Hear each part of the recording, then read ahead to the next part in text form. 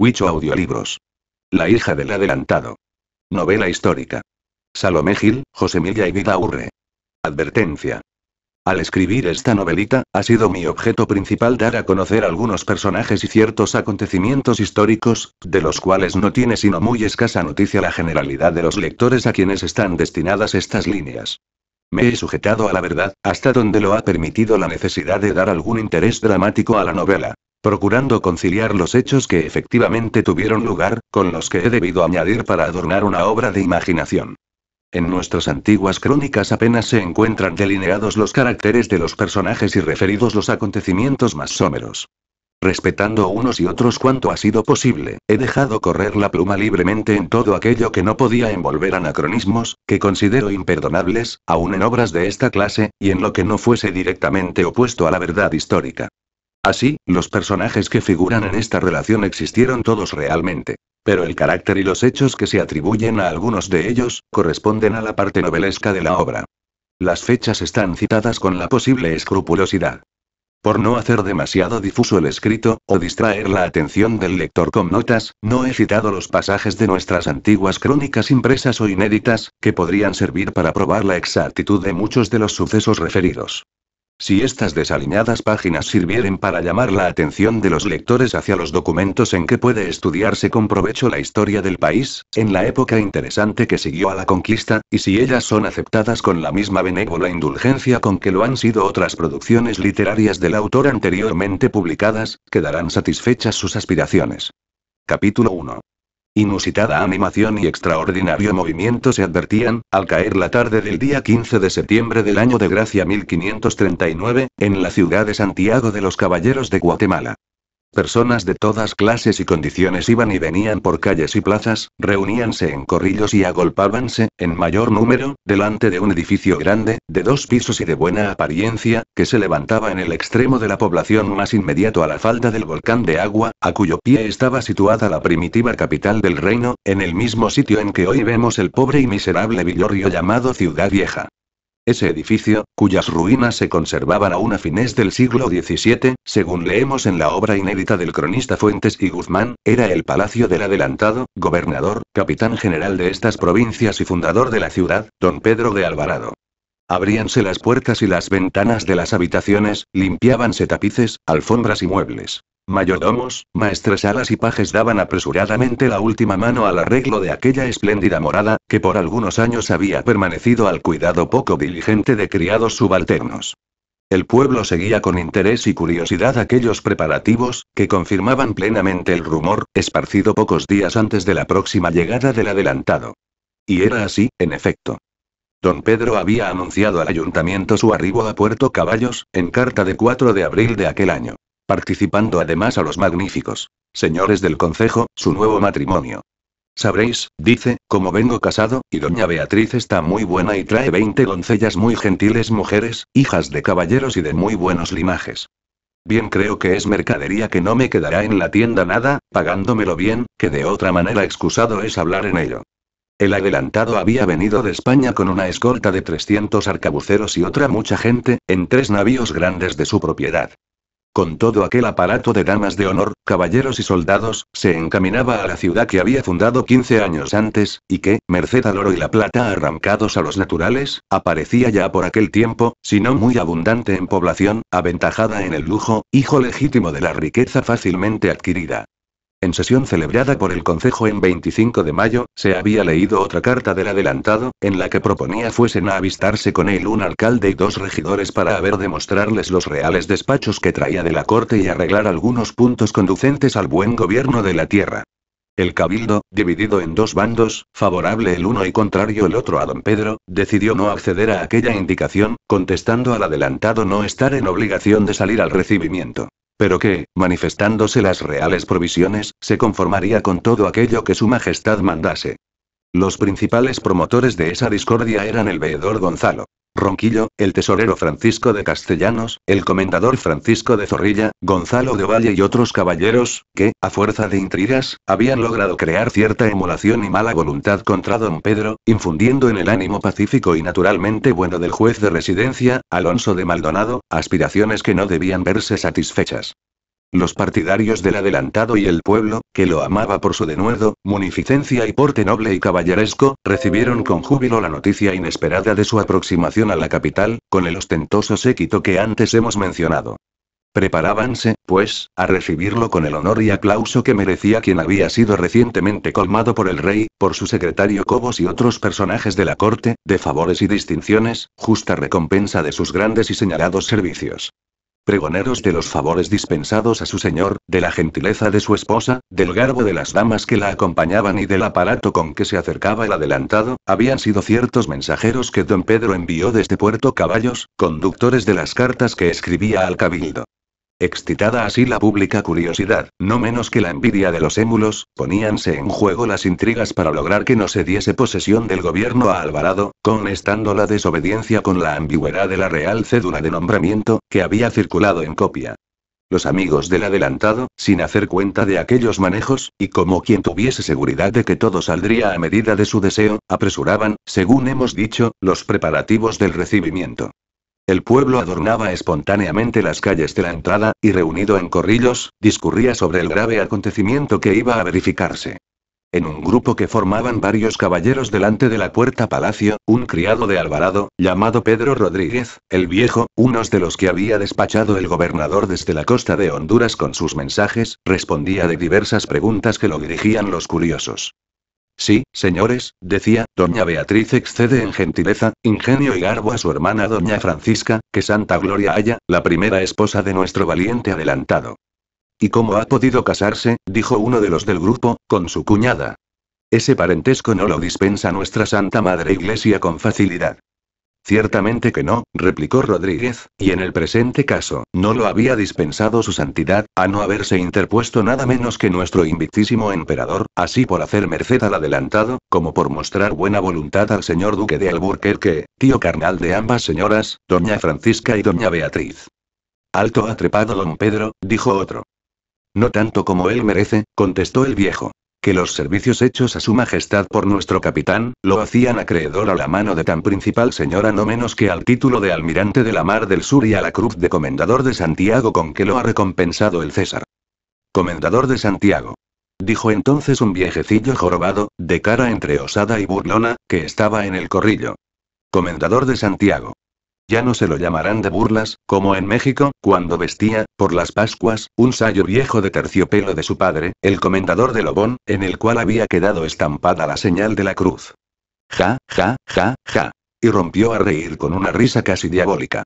Nadie contestó aquella burla impertinente, no obstante, la expresión de disgusto que se pintó en los semblantes de todos los demás caballeros. Habláis, continuó el burlón, de los méritos y servicios de don Pedro, y hace que lleváis razón en vuestros encomios.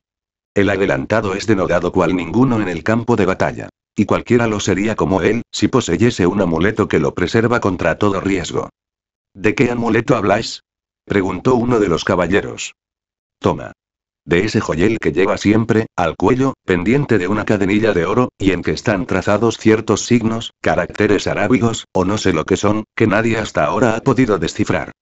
Y que algo hubierais dado vos por poseer en la batalla de Quetzaltenango, señor veedor Gonzalo Ronquillo, dijo a la sazón un caballero de noble porte y elevada estatura, embozado en una capa de paño oscuro, cubierta la cabeza con una gorra con pluma blanca, y que sin ser percibido de los del corrillo, se había acercado y puesto la mano derecha en el hombro del contrahecho viejecillo. Al escuchar aquellas palabras, el burlón mudó de color. Y visiblemente azorado, notando la satisfacción con que el nuevo interlocutor había sido escuchado, dijo. Os agradezco el recuerdo, señor don Pedro de Portocarrero, no podía ser más oportuno. No he olvidado que en aquella sangrienta refriega debí la vida a vuestro valor, y que sin el oportuno golpe de lanza con que atravesasteis por los pechos a aquel perro cacique Rosbatit, yo no estaría hoy aquí, como lo estoy, pronto a serviros. No lo digo, por tanto, don Gonzalo, replicó Portocarrero. Cualquiera habría hecho lo que yo hice en aquella jornada. Únicamente he querido advertiros que el que ha huido cobardemente delante del enemigo, no es el mejor juez de los hechos militares de un capitán como Alvarado. No olvidaré la lección, don Pedro, contestó Ronquillo, y será un favor más que pondré en la cuenta que os llevo desde lo de Quetzaltenango. Y dio la vuelta lanzando una mirada amenazadora al caballero, que permaneció imperturbable y sereno. Miserable envidioso. Dijo uno de los presentes. Y, dirigiéndose a Portocarrero, agregó. Guardaos, don Pedro de Susaña. Ese hombre es implacable. Su odio ha causado ya graves disgustos al adelantado, por las relaciones que mantiene con Gonzalo Mexía, sujeto poderoso en la corte.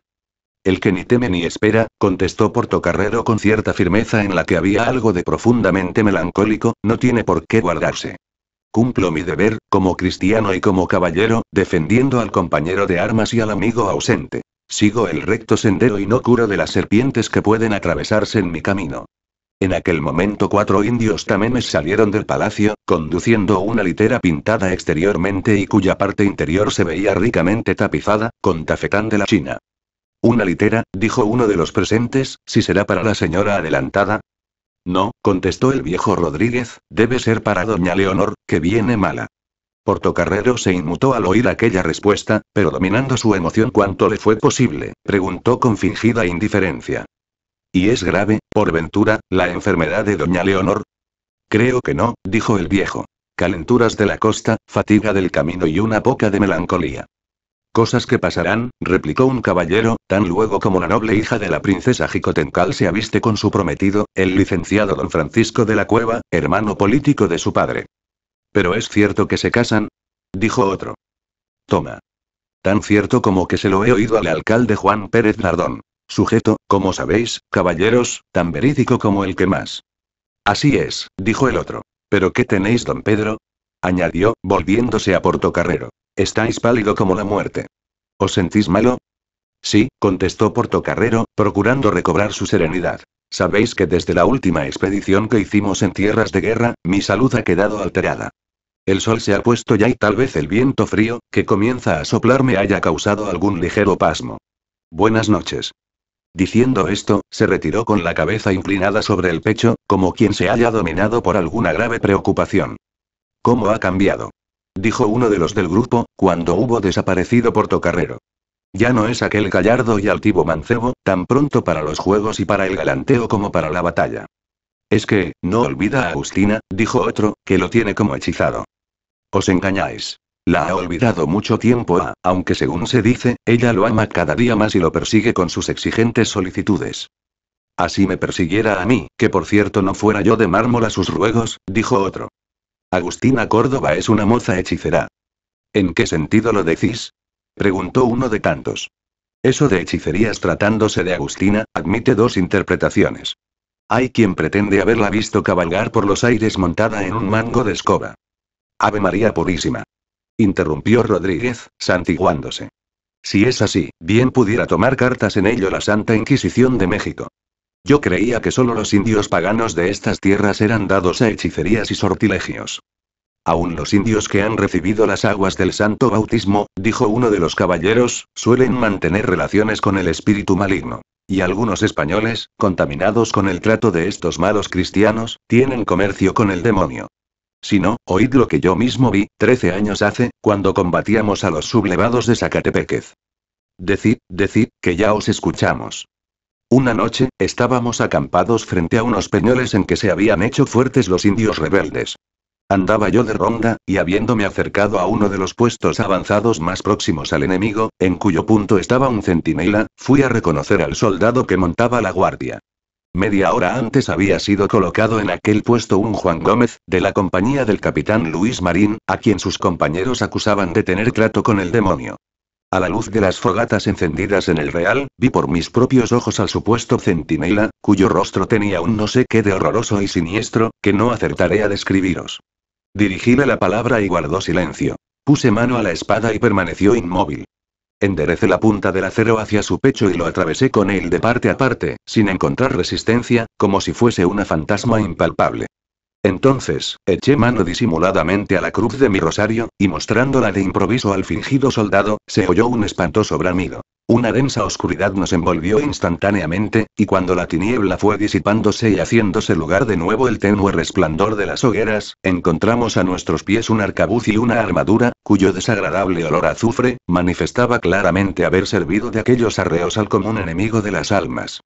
Esa misma noche, casi a la propia hora, otros de nuestros soldados aseguraron haber visto atravesar el Real, en un punto muy distante, a Juan Gómez, acompañado de una mala mujer, a quien solía visitar.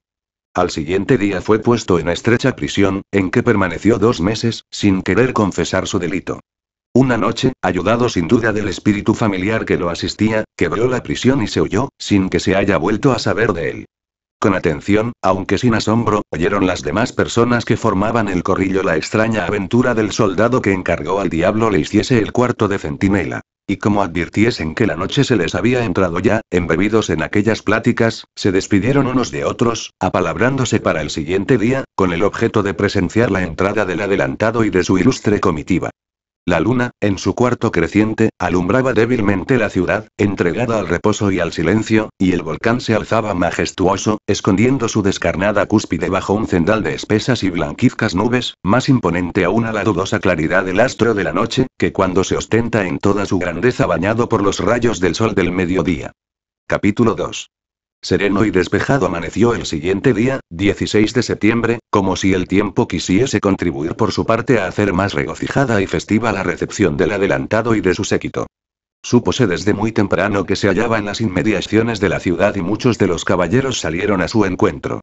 El ayuntamiento, con el juez de residencia, Maldonado, se reunió en las casas consistoriales, aguardando aquel grave congreso la presentación de las reales provisiones.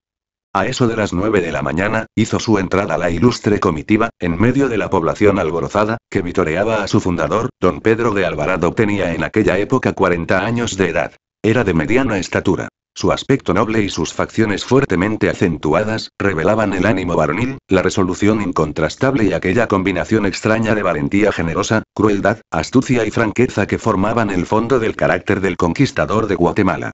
Su rostro, un poco tostado por el sol del trópico, conservaba aún el color rojizo. Como también la barba y el cabello rubio que habían dado ocasión a que los indios mexicanos designasen al valeroso teniente de Cortes con el poético sobrenombre de El Sol, Tonatiuh. Montaba con gallardía un fogoso corcel andaluz, vestía una luciente armadura de acero, ostentando sobre el pecho la roja cruz de Santiago. Cubríale la cabeza la celata, ondeando al viento la garzota de plumas blancas y encarnadas, que coronaba el yelmo. Pintábase en su rostro la emoción del ánimo, por las muestras de afecto con que lo acogía su bien amada Guatemala. A su lado derecho se veía de doña Beatriz, que tendría unos 28 años, y cuyas facciones, perfectamente delineadas, revelaban desde luego todo lo que había de altivo y desdeñosos en el carácter de la noble dama, por cuyas venas corría la sangre de una de las más ilustres familias de España, la de los duques de Alburquerque. Doña Beatriz era hija de don Pedro de la Cueva, comendador mayor de Alcántara y almirante de Santo Domingo, hermano legítimo del duque. En grupo animado y bullicioso, seguían las veinte señoras principales que traía don Pedro para las casar, como dicen candorosamente, nuestras viejas crónicas. Siendo la más notable entre ellas, así por su linaje, como por su ingenio y gentileza, una cuyo nombre han conservado las historias, doña Juana de Artiaga. Con los caballeros de la ciudad, iba confundida la numerosa servidumbre del adelantado y de su esposa. Enseguida marchaban más de 200 indios tamemes, o cargadores, que conducían los equipajes, y cerraban la comitiva los 300 arcabuceros de don Pedro. Al lado izquierdo del capitán general, veíase a don Pedro de Portocarrero, armado de todas armas y montando el magnífico caballo de que se apeó en la batalla de Quetzaltenango, para pelear cuerpo a cuerpo con Rosbatit, en cuyo encuentro hizo maravillas con la lanza, según el manuscrito quiché citado por el cronista Fuentes. Conversaban familiarmente los dos ilustres capitanes, respondiendo Portocarrero a las preguntas que el adelantado le dirigía sobre la situación de las cosas. Llegados a la plaza mayor, y habiendo pasado delante de la casa del ayuntamiento, sobre la cual ondeaba el estandarte de Castilla, los caballeros y las damas se detuvieron a la puerta de la catedral, en donde los recibió el venerable obispo don Francisco Marroquín, que abrazó al adelantado con el afecto profundo y sincero que siempre le profesó, y de que dio pruebas aún después de la vida del caudillo. Acompañaban al prelado, el deán don Juan Godínez, el arcediano don Francisco Gutiérrez de Peralta, y el canónigo don Pedro Rodríguez, con los cuales se había organizado el primer cabildo eclesiástico en 1537. Después de la misa, que celebró el deán Godínez, como lo había hecho 15 años antes, siendo capellán del ejército, el día de la fundación de la ciudad, se retiraron el adelantado y su comitiva. Y luego que don Pedro hubo cambiado de traje, vistiendo un jubón acuchillado de terciopelo color de cereza, gorguera de encaje de malinas, gregescos, espada y estoque con empuñadura de brillantes, capa de igual tela y color del jubón, y sombrero adornado con plumas blancas, entró en la sala capitular y tomó asiento a la derecha del juez de residencia, Alonso de Maldonado. Larga y acalorada fue la discusión sobre la inteligencia de la Real Cédula de 9 de agosto de 1538, que presentó don Pedro. El juez, apoyado con tesón por el tesorero Castellanos, el veedor Ronquillo, el comendador Zorrilla, el regidor Valle y otros, insistía en que, con arreglo al texto de la provisión, no se debía dar posesión del gobierno al adelantado, en tanto estuviese pendiente la residencia de su anterior gobierno. Y en efecto debe convenirse en que a los que esto sostenían, no les faltaba razón, visto el contenido del despacho real. El astuto don Pedro prolongó intencionadamente la discusión, para que sus enemigos se declarasen y poderlos conocer mejor. Así dio todo el rencor y miserable emulación que se encerraba en aquellos corazones, y logrado su objeto, sacó un pliego, que guardaba en el seno, cerrado y sellado con las armas reales. Era una sobrecédula, expedida en 22 de octubre de 1538, en la que el rey prevenía a Maldonado pusiese inmediatamente en posesión del gobierno a don Pedro. Un rayo habría hecho menos efecto que la lectura de aquella carta, que pasó de mano en mano de unos a otros de los presentes, que examinaron el sello real, la firma de su majestad y la del secretario, Juan de Sámano. Cediendo a la evidencia de la voluntad soberana, Maldonado recibió juramento a don Pedro y puso en sus manos la vara mayor, símbolo de la autoridad. Numeroso concurso de pueblo, agolpado en las galerías del edificio y en la plaza, aguardaba impaciente el resultado de la sesión proclamóse por el pregonero de Cabildo y la multitud rompió en aclamaciones entusiastas. Los cañones, situados en la plaza, y los arcabuceros de Alvarado, hicieron repetidas salvas y las campanas de las tres o cuatro iglesias que tenía la ciudad, saludaron con estrepitosos repiques el plausible suceso. Los enemigos del gobernador, corridos y amilanados, procuraban ocultar su vergüenza, manteniéndose aparte, en un extremo del salón, en tanto que un lúcido concurso de caballeros rodeaba y felicitaba al capitán general. Las miradas del adelantado se dirigieron al grupo de los descontentos, y después de haberse fijado en ellos un momento, acercóseles con grave y digno continente, y dijo. Vuesas mercedes han cumplido como buenos y leales vasallos, interpretando conforme a su conciencia y obedeciendo con pronta prestación las órdenes de su majestad depositario de la confianza de mi rey para gobernar estos pueblos en justicia, procuraré, como antes, proveer al bien común y recompensar en nombre de nuestra augusta César los servicios de todos y principalmente los de aquellos que, como vuesas mercedes, han derramado su sangre en la alta empresa de ganar estos reinos. Dichas estas palabras, el adelantado, abrió los brazos a sus enemigos y estrechó uno en pos de otro a Maldonado, Castellanos, Ovalle, Zorrilla y aún al envidioso e implacable Ronquillo. Resonó el salón con las más entusiastas aclamaciones, y don Pedro se retiró a su palacio, llevando consigo el amor y la admiración de nobles y plebeyos. La ciudad se ocupó desde aquel momento, en disponer los festejos con que debía celebrar el plausible acontecimiento, encargando de preparar las fiestas al alcalde Dardón y a uno de los regidores. Previniéronse diversos regocijos públicos. Cañas, encamisada, fuegos artificiales, estafermo, saraos y un torneo para el último día. Mientras, tenía lugar aquella escena en las casas del ayuntamiento, doña Beatriz, rodeada de sus damas, recibía en su palacio los homenajes de las señoras principales de la ciudad, con atención cortesana, aunque con semblante visiblemente inquieto y alterado. Próxima a la gobernadora, estaba una joven, como de 18 años, de mediana estatura, y en cuyas facciones se combinaban los rasgos distintivos de las dos razas que por aquellos tiempos se encontraban en pugna en estos países, la española y la indígena. Su rostro era moreno y su cabello poblado y negro. Había en aquella frente serena, aunque no espaciosa, en aquellos ojos grandes y animados, en la nariz exactamente modelada, en la boca pequeña y ligeramente desdeñosa, en el conjunto todo de las facciones, un sello de majestad tranquila y un tanto melancólica, que arrebataba y al mismo tiempo imponía cierto respeto a cuantos la miraban. Tenía el perfil de aquella joven algo del tipo correcto y severo y de las antiguas estatuas griegas, unido al ideal y sobrehumano de la Virgen con que algunos años después, debía asombrar al mundo Bartolomé Murillo. Tal era doña Leonor de Alvarado, hija de don Pedro y de doña Luisa Jicotencalte Cubalsín, hija del rey de Tlaxcala y Zempoala. Ojerosa y pálida, doña Leonor, que parecía sufrir física y moralmente, se apoyaba en el hombro de su fiel amiga, doña Juana de Artiaga. Las otras damas que habían venido en compañía de doña Beatriz, conversaban en corrillos alegremente, comunicándose las observaciones que les ocurrían sobre la ciudad que acababan de atravesar. Aprovechando la oportunidad que les ofrecía la conversación de las otras señoras, doña Leonor y doña Juana hablaban de manera que sus palabras no pudiesen ser escuchadas por las personas que se hallaban en el salón. ¿Y pudiste verlo? preguntaba doña Leonor. Perfectamente, contestó doña Juana. Pedí a un caballero que cabalgaba junto a mí, que me lo mostrase. Venía al lado del gobernador tu padre y pude conocerlo. Es apuesto y bizarro como su primo el conde de Medellín. Parece gozar de toda la confianza y amistad del adelantado. Y nadie más acreedor que él a esa distinción, amiga mía, dijo doña Leonor. Pocos, si acaso alguno, le igualarán en lo ilustre del linaje, en lo despejado del ingenio, en el valor y en los servicios hechos al rey. Con esas prendas que todos lo reconocen, no sé por qué tu padre, que te quiere bien, habría de rehusar. No, Juana, interrumpió doña Leonor. Jamás saldrá de mis labios una palabra que pueda desagradar a doña Beatriz, que protege decididamente las pretensiones de su hermano don Francisco. He dicho ya a mi padre que mi único anhelo es volver a España y encerrarme para siempre en el retiro de mi claustro. Una lágrima rodó por la descolorida mejilla de la joven hija de la princesa Jicotencal. Y cuando doña Juana se preparaba a dirigirle algunas palabras de consuelo, llegó a sus oídos el estampido de los cañones y el eco de las aclamaciones del pueblo, que saludaba con entusiasmo la proclamación hecha por el pregonero del cabildo en la galería superior de las casas consistoriales que daba a la plaza.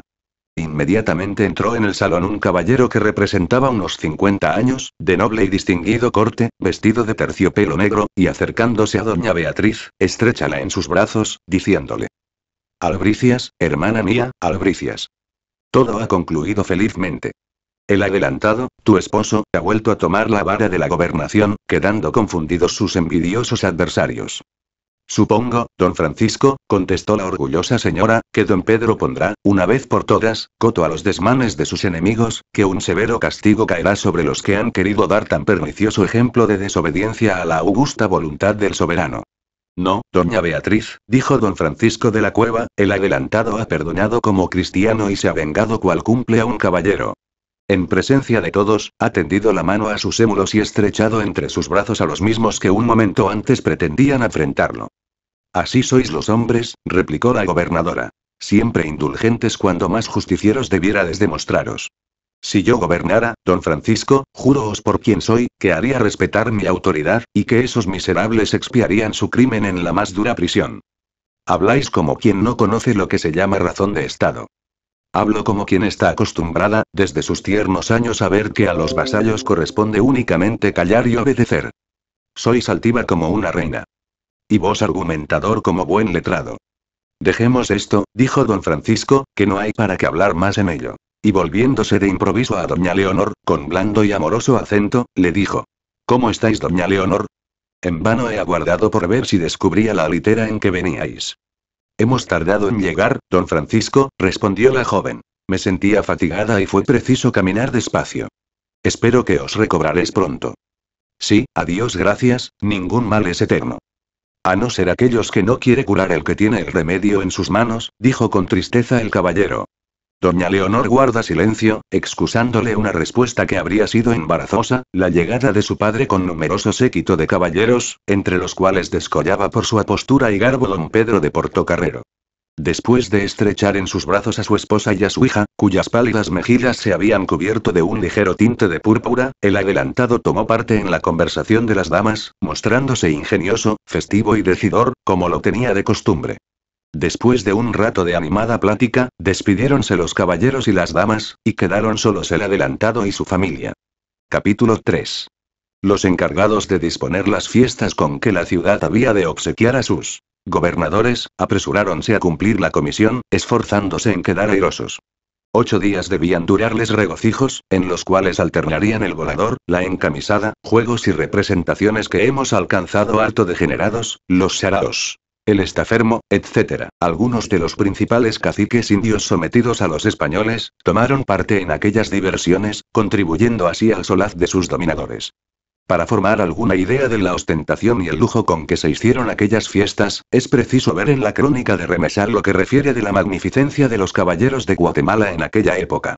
Abundaban los metales preciosos, las pedrerías, el terciopelo, la seda y los ricos paños. Y al carácter naturalmente ostentoso de los españoles, agregábase la circunstancia de la profusión de las riquezas en un país que aún no estaba esquilmado. No haremos una minuciosa descripción de aquellas funciones. Bastando decir respecto a la encamisada, que fue lucidísima, componiéndola unas 50 personas, entre damas y caballeros de la ciudad, que representaban personajes de diferentes naciones. Los trajes de lamas de oro y plata, los rasos de diversos colores, las puntas de oro de Milán, los joyeles de esmeraldas, las piedras preciosas y las vistosas plumas, adornaban con profusión mantos, sayos, sombreros y cinturones. Cada caballero llevaba cinco o seis lacayos, con lujosas libreas, los cuales conducían gruesas hachas de cuatro pábilos. Los caballos y sus jaeces correspondían al rico atavío de los amos. Precedía la brillante cabalgada multitud de indios vestidos con lujo, con cajas, clarines, atabales, trompetas, marimbas y otros instrumentos del país, y cerraban la marcha los mosqueteros y arcabuceros, con los cañones, o tiros como los llamaban entonces. Don Francisco de la Cueva vestía a la húngara, con peto dorado, mangas y calzón de encajes finos de celeste y plata sobre lama de oro, manto imperial de rengue verde con ramazón de oro sobre raso blanco y las vueltas de armiño con puntas volantes de plata. Montaba un magnífico overo de raza árabe, y la silla estaba bordada de oro sobre terciopelo carmesí. Pero el que entre todos los caballeros llamaba particularmente la atención, más por su gallarda figura que por lo brillante del traje, era don Pedro de Portocarrero, que vestía de lama de plata y llevaba un sombrero de castor con penacho blanco y presilla de diamantes. Montaba un fogoso bridón azulejo y se hacía acompañar por ocho lacayos lujosamente ataviados. La plaza estaba iluminada con teas, a cuya luz representó la encamisada un coloquio de circunstancias, dispuesto por el canónigo Rodríguez, hombre de letras y de ingenio. El adelantado, su esposa, su hija y las otras damas con el obispo marroquín, el juez Maldonado y los individuos del ayuntamiento, vieron la representación desde la galería de las casas consistoriales, en donde se había levantado un dosel de terciopelo carmesí con franjas de oro, ostentándose en la balaustrada el escudo de armas de la ciudad, en medio de los del adelantado y de su esposa. Los fuegos artificiales que se exhibieron en una de las noches, se componían de árboles, castillos y sierpes de pólvora. Diremos ahora lo que era el juego del estafermo, que tuvo lugar en una de las tardes destinadas a las fiestas. Llamábase estafermo una figura de bastidor, representando un caballero armado, que llevaba en el brazo izquierdo un broquel y en el derecho, levantado y extendido, unas correas largas, cuyas puntas remataban en bolas de madera. La figura estaba colocada en un mástil, de modo que pudiese girar en torno. Los caballeros corrían y daban en el broquel con la lanza, lo cual hacía girar al estafermo y sacudir las correas, que caían sobre el jinete, azotándolo con las bolas, si no excusaba el golpe con la presteza de sus movimientos. Lucieron muchos de los caballeros en aquel entretenimiento, escapando ilesos de los golpes que sacudía el estifermo. Portocarrero, entre otros, dio tan tremenda lanzada en el broquel de la figura, que, a ser menos firme, habría dado con ella en tierra. El estafermo sacudió sus disciplinas. Más cuando cayeron, ya el ligero don Pedro había evitado que su caballo apresurase la carrera. La multitud aplaudió el lance con gritos y palmadas, y el galante caballero saludó cortésmente, dirigiendo una mirada llena de expresión al balcón de las casas consistoriales. Después de la buena suerte ejecutada por tan diestro jinete, nadie se atrevía a correr un nuevo lance. Cuando se desprendió del grupo de caballeros un hombre pequeño de cuerpo, agobiado con el peso de las armas. Era nuestro antiguo conocido el veedor Gonzalo Ronquillo, que tuvo la desgraciada idea de rivalizar aquella tarde con Portocarrero. Enristró la lanza, afianzóse bien en los estribos, y aguijando su tordo rodado, desde un extremo de la plaza, partió a todo escape, y llegando delante del estafermo, hirió fuertemente el escudo con la lanza. La figura giró sobre su eje con velocidad, dando mil vueltas, las correas silbaron en el aire. Ronquillo quiso hacer volver ancas a su caballo con presteza pero estuvo a punto de perder los estribos, y por afianzarse en el arzón, retardó su movimiento y sufrió una fuerte y repetida tunda de latigazos. Resonó la plaza con los silbidos, y el veedor, bramando de coraje, salióse del palenque corrido y humillado. Desde aquel día, los burlones, que no querían bien al veedor, lo bautizaron con el apodo de Estifermo. Estaban tomadas las disposiciones para el torneo, con cuya función debían terminar las fiestas. Dividiéronse los justadores en dos cuadrillas, acaudillada la una por don Jorge de Alvarado, hermano del gobernador, y la otra por don Pedro de Portocarrero. Nombráronse jueces del campo al licenciado don Francisco de la Cueva y al tesorero real don Francisco de Castellanos. Señalóse por reina del torneo a la que por su clase y su belleza tenía derecho a aquella distinción, doña Leonor, la hija del adelantado. Levantáronse en la espaciosa plaza tiendas de campaña, adornadas con gallardetes, para los mantenedores del campo, y conforme al uso común en esos casos, depositáronse las armas de los combatientes la noche víspera de la función en la catedral. Permítanos ahora el lector que lo conduzcamos al gabinete del veedor Ronquillo, donde se tenía una conversación que conviene escuchar, para haber de seguir el hilo de esta historia. A eso de las nueve de la noche, dos hombres conversaban con animación, aunque en voz baja. El mismo veedor y el tesorero castellanos, hombre de torcidas intenciones, enemigo acérrimo del adelantado y de Portocarrero su favorito. Estáis ya inscrito, como lo deseabais, dijo Castellanos, entre los caballeros que han de justar mañana en la cuadrilla de don Francisco de la Cueva. Ahora, deseo saber, don Gonzalo, en qué puedo serviros, y con qué objeto me habéis citado a esta plática reservada. Don Francisco, respondió Ronquillo, no ignoráis el odio que tengo a ese portocarrero, hombre que ha suscitado el espíritu de las tinieblas para tormento mío. La aparente generosidad con que me salvó la vida en lo de Quetzaltenango, no ha hecho más que acrecentar mi encono contra es miserable. He meditado una venganza tan satisfactoria para mí, como humillante para mi enemigo. Pretendo justar con él mañana en el torneo, y requiero vuestra ayuda. Justo es vuestro enojo, don Gonzalo, replicó el tesorero, y estoy pronto a ayudaros en lo que desearéis. Pero advertid que Portocarrero es hombre a quien no es fácil vencer en la lucha. Medid vuestros pasos, no sea que proporcionéis una nueva ventaja a nuestro común enemigo. El lance de la otra tarde. Vive Dios. Don Francisco, interrumpió irritado el veedor, que no me recordéis lo del condenado estafermo, porque soy capaz de perder el juicio. Aquello fue originado únicamente por la torpeza de mi caballo, os juro que el proyecto que he meditado, acabará, si me ayudáis, con la soberbia de ese hombre. Decid, pues, y contad conmigo. ¿No están esta misma noche las armas de los combatientes depositadas en la catedral? dijo el veedor, bajando la voz. Sí, ¿y qué os importa eso?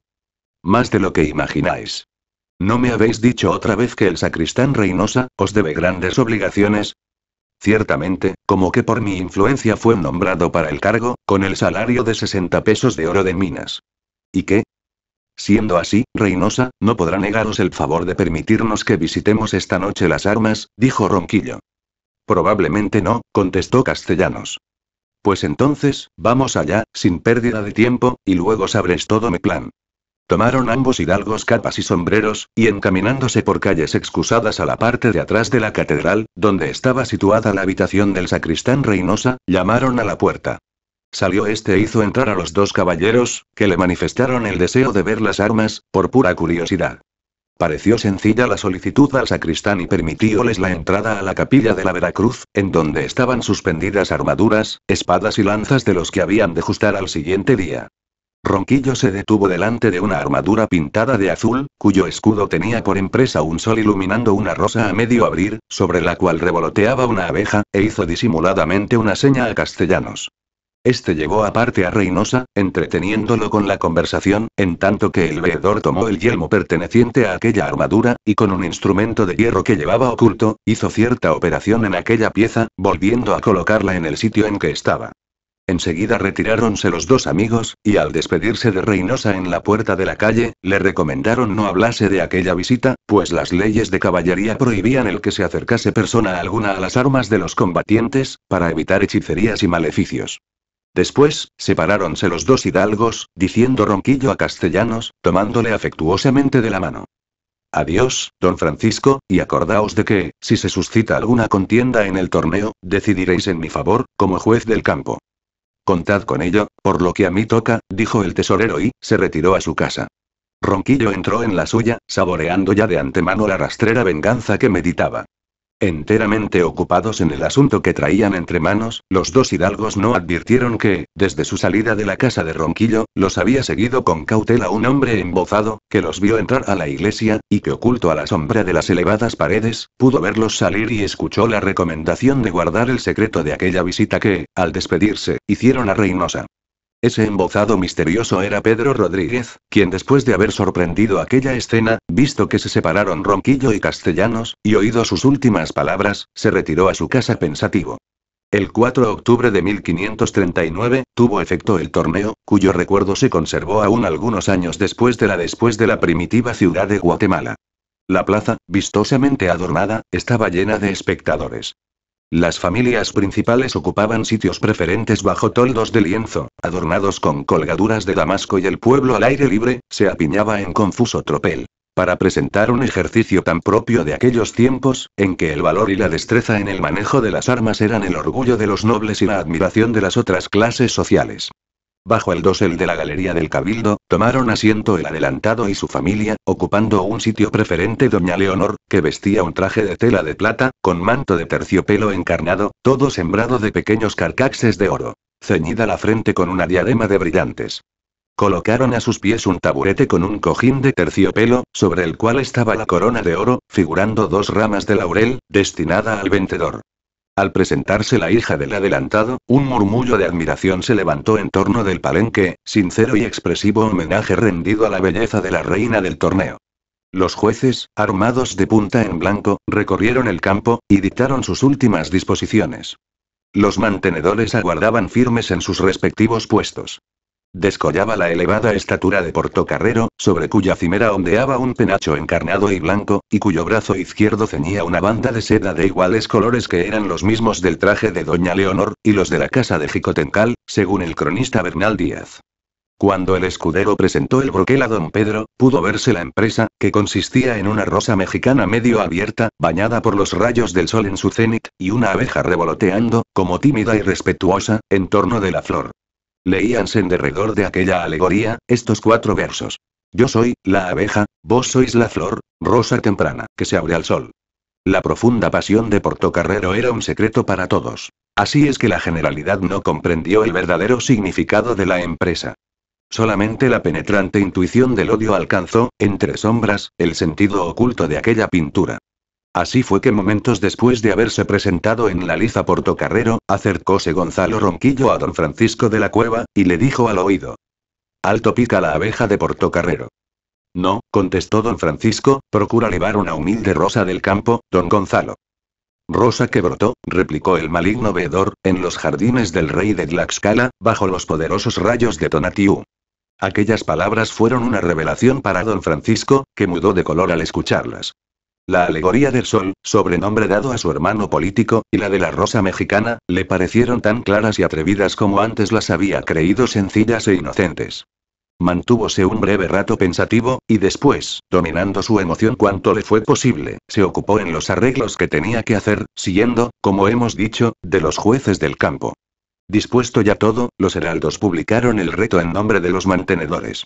Presentaron muchos caballeros, y habiendo hecho señal los clarines, comenzó el combate. Al principio, la cuadrilla que acaudillaba Jorge de Alvarado llevaba la mejor parte de la pelea.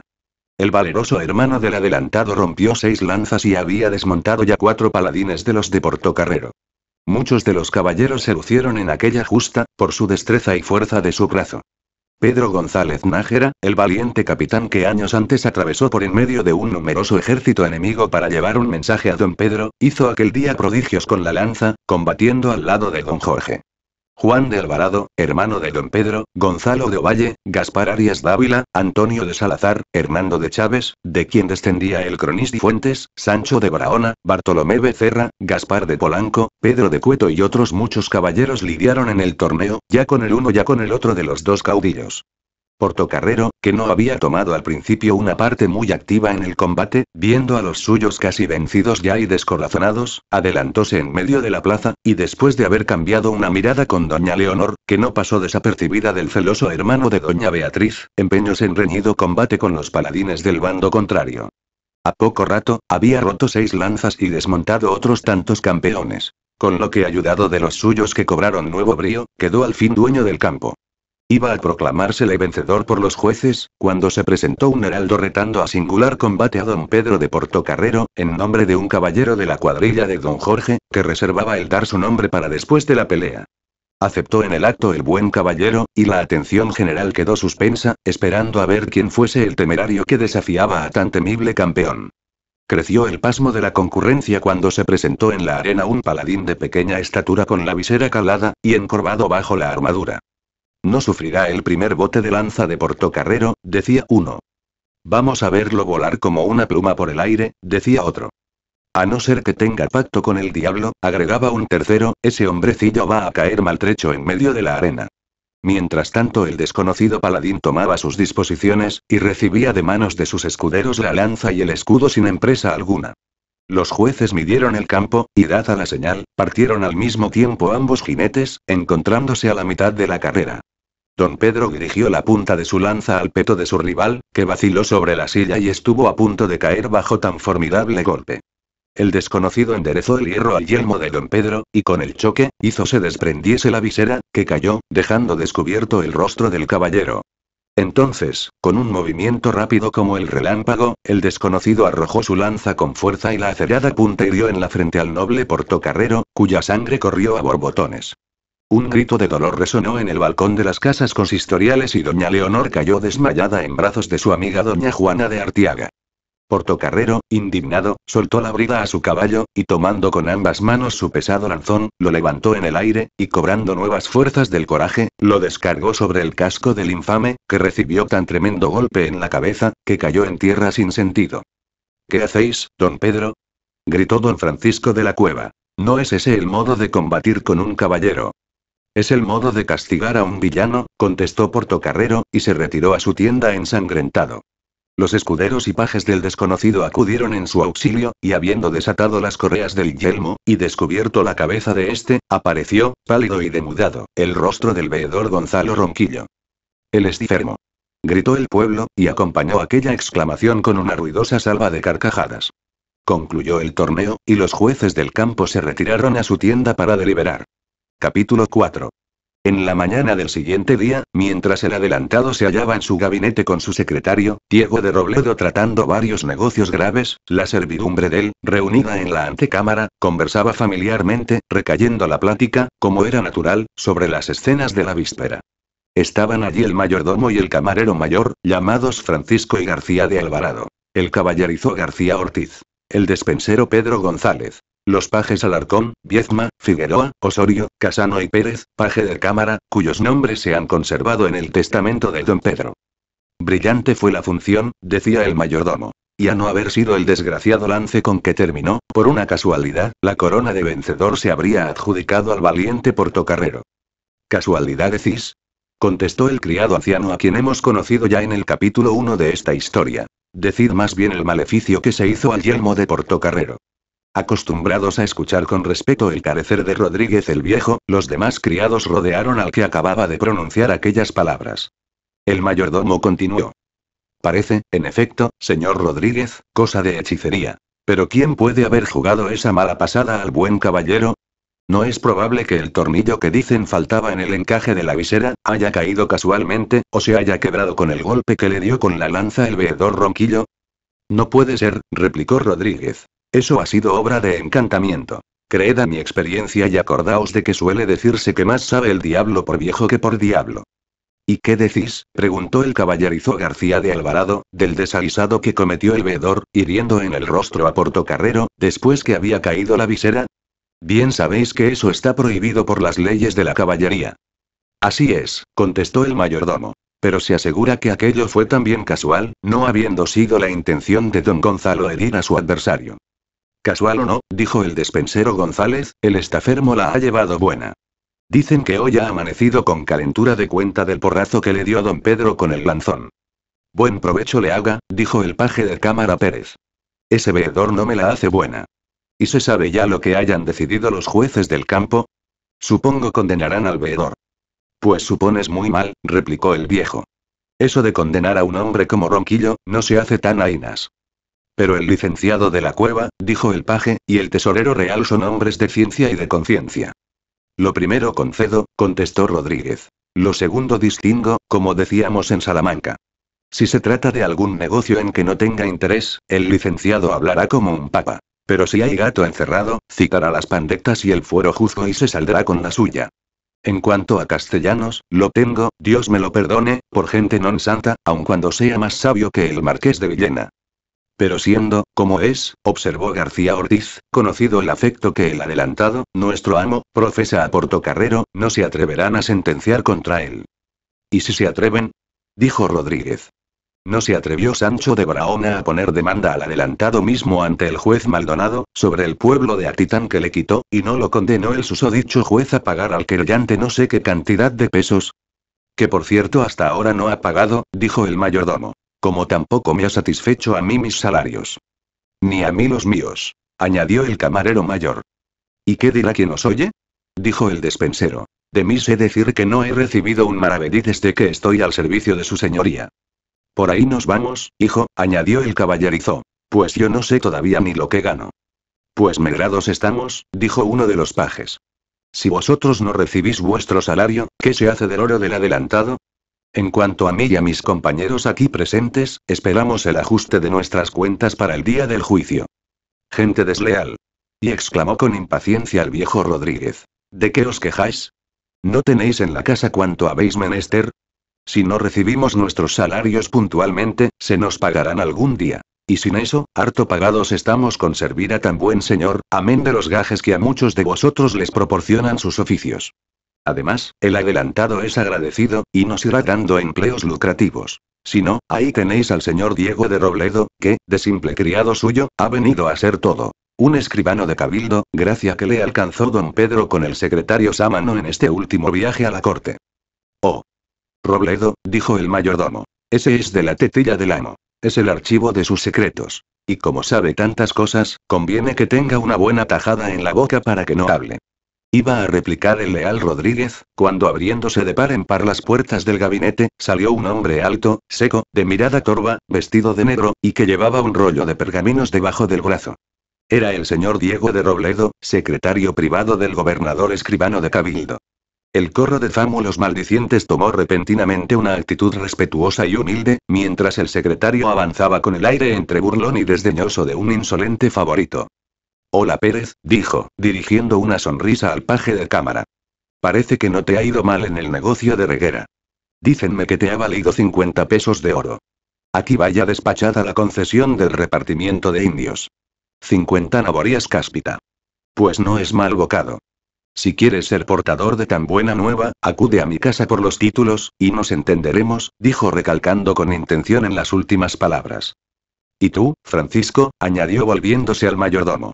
Puedes contar ya con que tu ahijado Becerra obtendrá su solicitud en lo del solar. ¿Cuánto te ha dado? Una bicoca, dijo el descarado mayordomo, diez vacas y seis caballos, y una mala cadena de oro.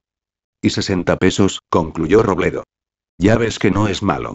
Y como estos negocillos ocurren a menudo, podrás dotar bien a tu sobrina, la bella Melchora Suárez, camarera de la señora doña Leonor. A propósito, escúchame, Francisco. Y llevando aparte al mayordomo, le habló el secretario de modo que no pudo ser escuchado por lo demás de la servidumbre. Necesito, dijo, hablar esta noche a tu sobrina. Iré a tu habitación a eso de las siete. Como mandaréis, don Diego, contestó el mayordomo. Pero digoos que toda porfía es excusada. Melchora ha instado en vano y nada, absolutamente nada ha podido obtener. Ha recibido la prohibición más absoluta de hablar del caso. Dime, Alvarado, contestó el secretario con trisca, ¿has leído la mitología? Un poco, ¿y qué queréis decir? Quiero decir que recordarás que Júpiter, para introducirse en una torre en que estaba guardada la hermosa Dánae, recurrió al ingenioso arbitrio de convertirse en lluvia de oro. Y bien. Y bien que, si hay en el mundo verdaderas Danaes, como aquella fingida de los paganos, hay también lluvias de oro que allanen las resistencias. Dicho esto, el secretario volvió la espalda al mayordomo y se salió de la antecámara, sin mirar siquiera la servidumbre, que le abrió paso respetuosamente. Redomado bribón. Dijo uno cuando Robledo hubo desaparecido. Sanguijuela insaciable. Exclamó otro. ¿Sabéis? preguntó el caballerizo, que está vendido al licenciado de la cueva, y ha abrazado su partido con alma, vida y corazón. ¿Y qué pretende don Francisco de ese hombre? Toma. ¿No veis que su influencia con el adelantado y con el ayuntamiento es grande, y habrá pronto que nombrar teniente de gobernador, cuando parta don Pedro a la expedición en busca de las condenadas islas de la especería? Además, dijo el paje de cámara, dándose aires de poseedor de secretos que los otros ignoraban. Hay otro negocio en que Robledo ayuda a don Francisco, aunque hasta ahora parece que el astuto secretario ha majado en hierro frío. Al decir estas palabras, entró en la antecámara don Francisco de la Cueva, y sin hacerse anunciar, pasó al gabinete del adelantado, por entre el grupo de familiares, que se inclinaron hasta el suelo. Buenos días, don Pedro, dijo don Francisco. Guardios Dios, don Francisco, contestó don Pedro, tendiendo la mano a su cuñado. Dícenme que vuestra consulta sobre lo del torneo ha sido larga tan larga, como si hubieseis estado tomando residencia a un buen gobernador, pues lo que es a los malos, ya se sabe que se les despacha pronto y bien. Por más que os chanceéis, don Pedro, el negocio ha sido grave y merecía un serio examen. Ya. Una nueva fechoría de Ronquillo no es cosa que deba asombrar a nadie.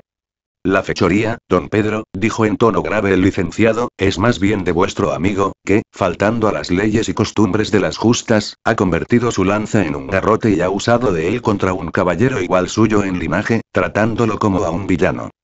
¿Y qué os parece, señor protector de truanes? contestó el gobernador, del desmán cometido por ese a quien vos llamáis caballero, hiriendo a un paladín a quien se había caído la visera? Oh. Replicó don Francisco, muy mal hecho, si hubiese sido intencionadamente. Pero eso no puede atribuirse sino a una casualidad. Llamadlo como queráis, hermano mío. Entre Portocarrero y ese hombre, nadie podrá dudar. Así espero que habréis condenado a Ronquillo, por haber infringido las leyes de la caballería. No, don Pedro, os engañáis. El tesorero y yo hemos decidido, de entero acuerdo, que Portocarrero debe dar una satisfacción pública a Ronquillo. El adelantado se puso pálido al oír aquellas palabras. El asombro y el coraje se pintaron en su semblante. Sus ojos centellantes se fijaron en don Francisco, y con voz entrecortada por la cólera dijo. Por el alma de mi padre que eso no puede ser y no será. Vive Dios que os engañáis en la mitad de la cuenta, señor licenciado, si creéis que yo habré de consentir en la humillación del primero de nuestros capitanes. No puede ser, os digo, y no será. Llevaré el asunto y si necesario fuere, ante el Consejo, apelaré al rey mismo como soberano y como caballero, y no habrá uno solo que se atreva a hacer que se ejecute esa inicua sentencia. Lo habrá, don Pedro, dijo a la sazón, abriendo la puerta del gabinete y entrando, con paso grave y semblante tranquilo, el mismo portocarrero, que había podido escuchar las últimas palabras del adelantado. Lo habrá, y soy yo, que agradeciéndoos en mi alma vuestra hidalga resolución, sea lo que me obligan las leyes de la caballería y estoy pronto a cumplirlas. Don Francisco, dijo, tendiendo la mano al licenciado, que la tomó, no sin ruborizarse. Creo que habéis juzgado conforme a vuestra conciencia, y conozco mi deber. Una lágrima rodó lentamente por la mejilla de Alvarado, quien después de una corta pausa, abrió los brazos a su amigo, y lo estrechó con efusión contra su pecho. Habéis vencido, noble portocarrero, dijo don Pedro. Os he admirado grande frente al enemigo, y os admiro más grande aún, cuando vuestro corazón derrama esos tesoros de olvido y de perdón. El triunfo más difícil, don Pedro, contestó Portocarrero, es el que alcanzamos sobre nosotros mismos. Y ese no lo obtiene el hombre, sin un auxilio superior. Don Francisco añadió, volviéndose al licenciado, de la cueva, disponed del día, el sitio, la hora y la forma de la satisfacción que debo dar a don Gonzalo. Todo está ya arreglado, dijo Francisco de la cueva. En la galería alta de las casas consistoriales lo reunirá la nobleza, y en presencia de ella y del pueblo, confesaréis vuestra falta y pediréis a Ronquillo que os perdone. Se hará como decís, contestó Portocarrero, con serenidad. Dicho esto, don Francisco saludó cortés, pero fríamente, y salió del gabinete. Y bien, Portocarrero, dijo don Pedro, después de un momento de silencio. ¿Cómo estáis hoy? Perfectamente, don Pedro, contestó Portocarrero. La lanza que arrojó Ronquillo, casual o intencionadamente, no me dio de lleno en la cara, por fortuna. Causándome tan solo un ligero rasguño en la frente.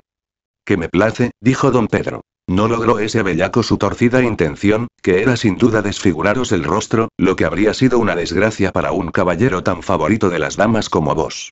Y a propósito, Portocarrero, sabéis que se dice en la ciudad que amáis a doña Leonor, mi hija, y que han atribuido a un afecto particular que ella os profesa, el desmayo que le causó vuestra herida. Portocarrero, quedó aturdido con aquel ataque franco e inesperado.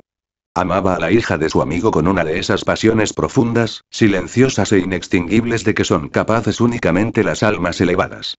Por desgracia, cuando don Pedro conoció y comenzó a amar, que todo fue uno, a doña Leonor, a quien había conocido en México, antes de que la joven viniese por primera vez a Guatemala, el adelantado tenía contraído un compromiso serio con don Francisco de la Cueva, hermano de doña Francisca, su primera esposa, ofreciéndole la mano de su hija. Muerta doña Francisca en Veracruz, Alvarado volvió a España, y el comendador mayor de Castilla y secretario del rey, don Francisco de los Cobos, protector decidido del adelantado y por cuya influencia se había enlazado don Pedro con doña Francisca, que pertenecía a la ilustre familia de los duques de Alburquerque, se empeñó en facilitar el matrimonio de Alvarado con la emperatriz, hermana de su difunta esposa. Verificóse aquel enlace, que estrechó aún más los lazos que existían ya entre el adelantado y don Francisco de la Cueva, hermano de sus dos mujeres. Amaba este a doña Leonor, habiéndola conocido en la Nueva España, y doña Beatriz protegía decididamente aquella inclinación, considerando el matrimonio de don Francisco con la hija de su marido y de la princesa Jicotencal, tan ventajoso al uno como a la otra. Sin atreverse doña Leonor a resistir abiertamente a la voluntad de su padre y de su madrastra, rehusaba el enlace proyectado, manifestando el deseo de tomar el velo en algún convento de monjas en Castilla. El verdadero motivo, empero, de aquella negativa, era la decidida inclinación que profesaba a Portocarrero, a quien había jurado amor eterno, aunque sin atreverse a declararlo a Alvarado, sabiendo, como sabía, su resolución, y temerosa, por otra parte, de disgustar a la imperiosa y altiva doña Beatriz. Tal era la situación de las cosas, cuando el incidente ocurrido en el torneo fue a descubrir lo que los desgraciados amantes habían logrado mantener oculto. El adelantado, cuya imaginación estaba en aquella época enteramente ocupada en el grandioso proyecto de la expedición en busca de las islas de la especería, concertada con el rey mismo y con el virrey de México, don Antonio de Mendoza, dio poca atención a aquel suceso, creyendo, equivocadamente, que la inclinación recíproca de su hija y de don Pedro sería un capricho pasajero. En esa persuasión, habló del asunto a Portocarrero en los términos que hemos indicado. ¿Cuál no sería, pues, su asombro y su disgusto, cuando éste, en respuesta a aquella brusca interpelación, le declaró, en tono comedido, pero resuelto, su profunda pasión a doña Leonor? Tenía que decidir entre su palabra empeñada solemnemente, y poderosas consideraciones de familia, por una parte, y el afecto casi de hermano que profesaba a Portocarrero, por otra. Para un hombre del carácter de Alvarado, que anteponía a todas las ideas de engrandecimiento personal, y que había sacrificado su inclinación a Cecilia Vázquez, la prima de Hernán Cortés, para casarse con la sobrina del duque de Alburquerque, para dar gusto al secretario del rey, no era de esperar quisiese desagradar a su esposa y a su cuñado, por afecto a un amigo. Así recibió la declaración de Portocarrero con visible disgusto y le dijo, Debéis, considerar, don Pedro, cuánta pena me causa lo que por desgracia viene a revelárseme demasiado tarde.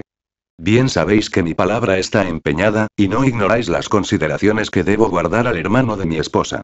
Doña Leonor obedecerá a mi voluntad, y a vos, amigo mío, el tiempo y las grandes empresas a que os llaman aún el servicio de Dios y del Rey, os harán olvidar ese afecto, al cual, en la situación en que se hallan las cosas, no debéis ya dar pábulo. Don Pedro, contestó Portocarrero. Yo nada os pido, me habéis hecho una pregunta y os he respondido como lo acostumbro, con sinceridad. Si vuestra hija ha de ser esposa de don Francisco de la Cueva, no será en un imposible olvido en donde busque mi alma un lenitivo a su dolor. Vos, haced lo que creáis justo. Exigidlo todo de mí. Tenéis derecho a ello. Todo os lo sacrificaré, menos un amor que nada pretende, a nada aspira y que perdurable en el fondo de mi corazón, jamás saldrá de él para servir de obstáculo al cumplimiento de vuestras promesas y a vuestras consideraciones de familia. Dicho esto, Portocarrero estrechó la mano al adelantado, y visiblemente conmovido, se salió del gabinete, dejando al gobernador en la mayor confusión. Después de haber paseado un momento por el gabinete, entregado a sus cavilaciones, don Pedro sacudió con fuerza una campanilla de plata con incrustaciones de oro, que estaba sobre la mesa. Presentóse el paje de servicio y el adelantado le provino llamase a Robledo, que trabajaba en otro gabinete. Acudió inmediatamente el secretario, no con el aire altanero con que lo hemos visto aparecer ante la servidumbre del gobernador, sino aparentemente humilde y esforzándose por dar a su semblante, habitualmente desagradable y torvo, cierta expresión de franqueza expansiva y de respetuosa jovialidad. Don Pedro, que parecía agitado por violentas emociones, se sentó junto a la mesa, y apoyando en ella los codos, hizo descansar la cabeza sobre sus dos manos. Capítulo 5. Mientras el gobernador repasaba en su imaginación los sucesos de aquellos días y maduraba los vastos proyectos que su espíritu audaz había concebido, y cuya realización aumentaría aún los inmensos dominios del monarca español y la gloria del que llevase a término tan alta empresa, otra escena de muy diferente carácter, aunque no extraña a los acontecimientos que hemos referido en los últimos capítulos, pasaba en otra pieza del palacio del adelantado. Doña Leonor, más triste y abatida, aunque de ordinario, estaba sentada en un sillón, tapizado de tafetán carmesí, como los demás muebles de la habitación, tan ricamente adornada casi, como podía haberlo estado la de cualquiera noble señora europea. Varios objetos de oro y plata y mosaicos de plumas traídos de México, como también diferentes adornos venidos de Castilla, decoraban el dormitorio de la joven, a quien su padre amaba con idolatría. Alvarado, como la generalidad de los conquistadores españoles, se mostraba, es verdad, ávido de riquezas. Pero, como casi todos ellos también, era generoso y espléndido hasta la prodigalidad. Cierto que sus inmediatos servidores no recibían sus salarios, como se lo hemos oído a ellos mismos y lo atestigua el testamento que otorgó, dos años después y muerto ya don Pedro, su fiel amigo y escrupuloso fideicomisario el señor obispo marroquín, de veneranda memoria. Pero aquel descuido en hombres de la clase de Alvarado, era harto común en aquellos tiempos y aún lo ha sido en épocas más recientes, sin que deba considerarse como prueba de ánimo mezquino y de un corazón apocado. Así, don Pedro que no pagaba su servidumbre, derramaba el oro entre sus deudos y entre sus mismos criados, proporcionando a aquellos todas las superfluidades de lujo y a estos cuanto puede tender a que muestre la magnificencia del servidor, la grandeza del amo. Nada faltaba, pues, a la hija de la princesa Jicotencal, de cuanto podía haber satisfecho los caprichos de una joven de 18 años. Nada, sino lo que no se compra con el oro, ni puede proporcionar el más afectuoso de los padres. La tranquilidad del corazón. Las seis indias que servían inmediatamente a doña Leonor, esclavas a pesar de las prohibiciones reales, y sus otras criadas españolas, aguardaban en una pieza inmediata las órdenes de señora, que, vestida con un ligero traje de muselina blanca, concluía su minucioso tocado, auxiliada del celo inteligente de su camarera Melchora Suárez, la sobrina del mayordomo Francisco de Alvarado. Te lo he dicho ya, y es inútil repetirlo, decía doña Leonor. Por más halagüeña que sea para mí la elección de un caballero como don Francisco, mi resolución es irrevocable. Pero señora, contestó respetuosamente la camarera, no podéis persistir en semejante idea. Encerraros en un claustro, a los 18 años, y renunciar al lisonjero porvenir que os aguarda, no puede hacerse sino por motivos muy graves.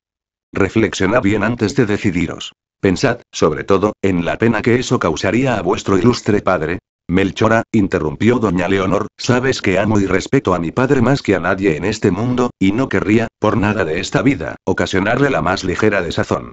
Pero no puedo, no debo dar la mano a un hombre a quien no amo.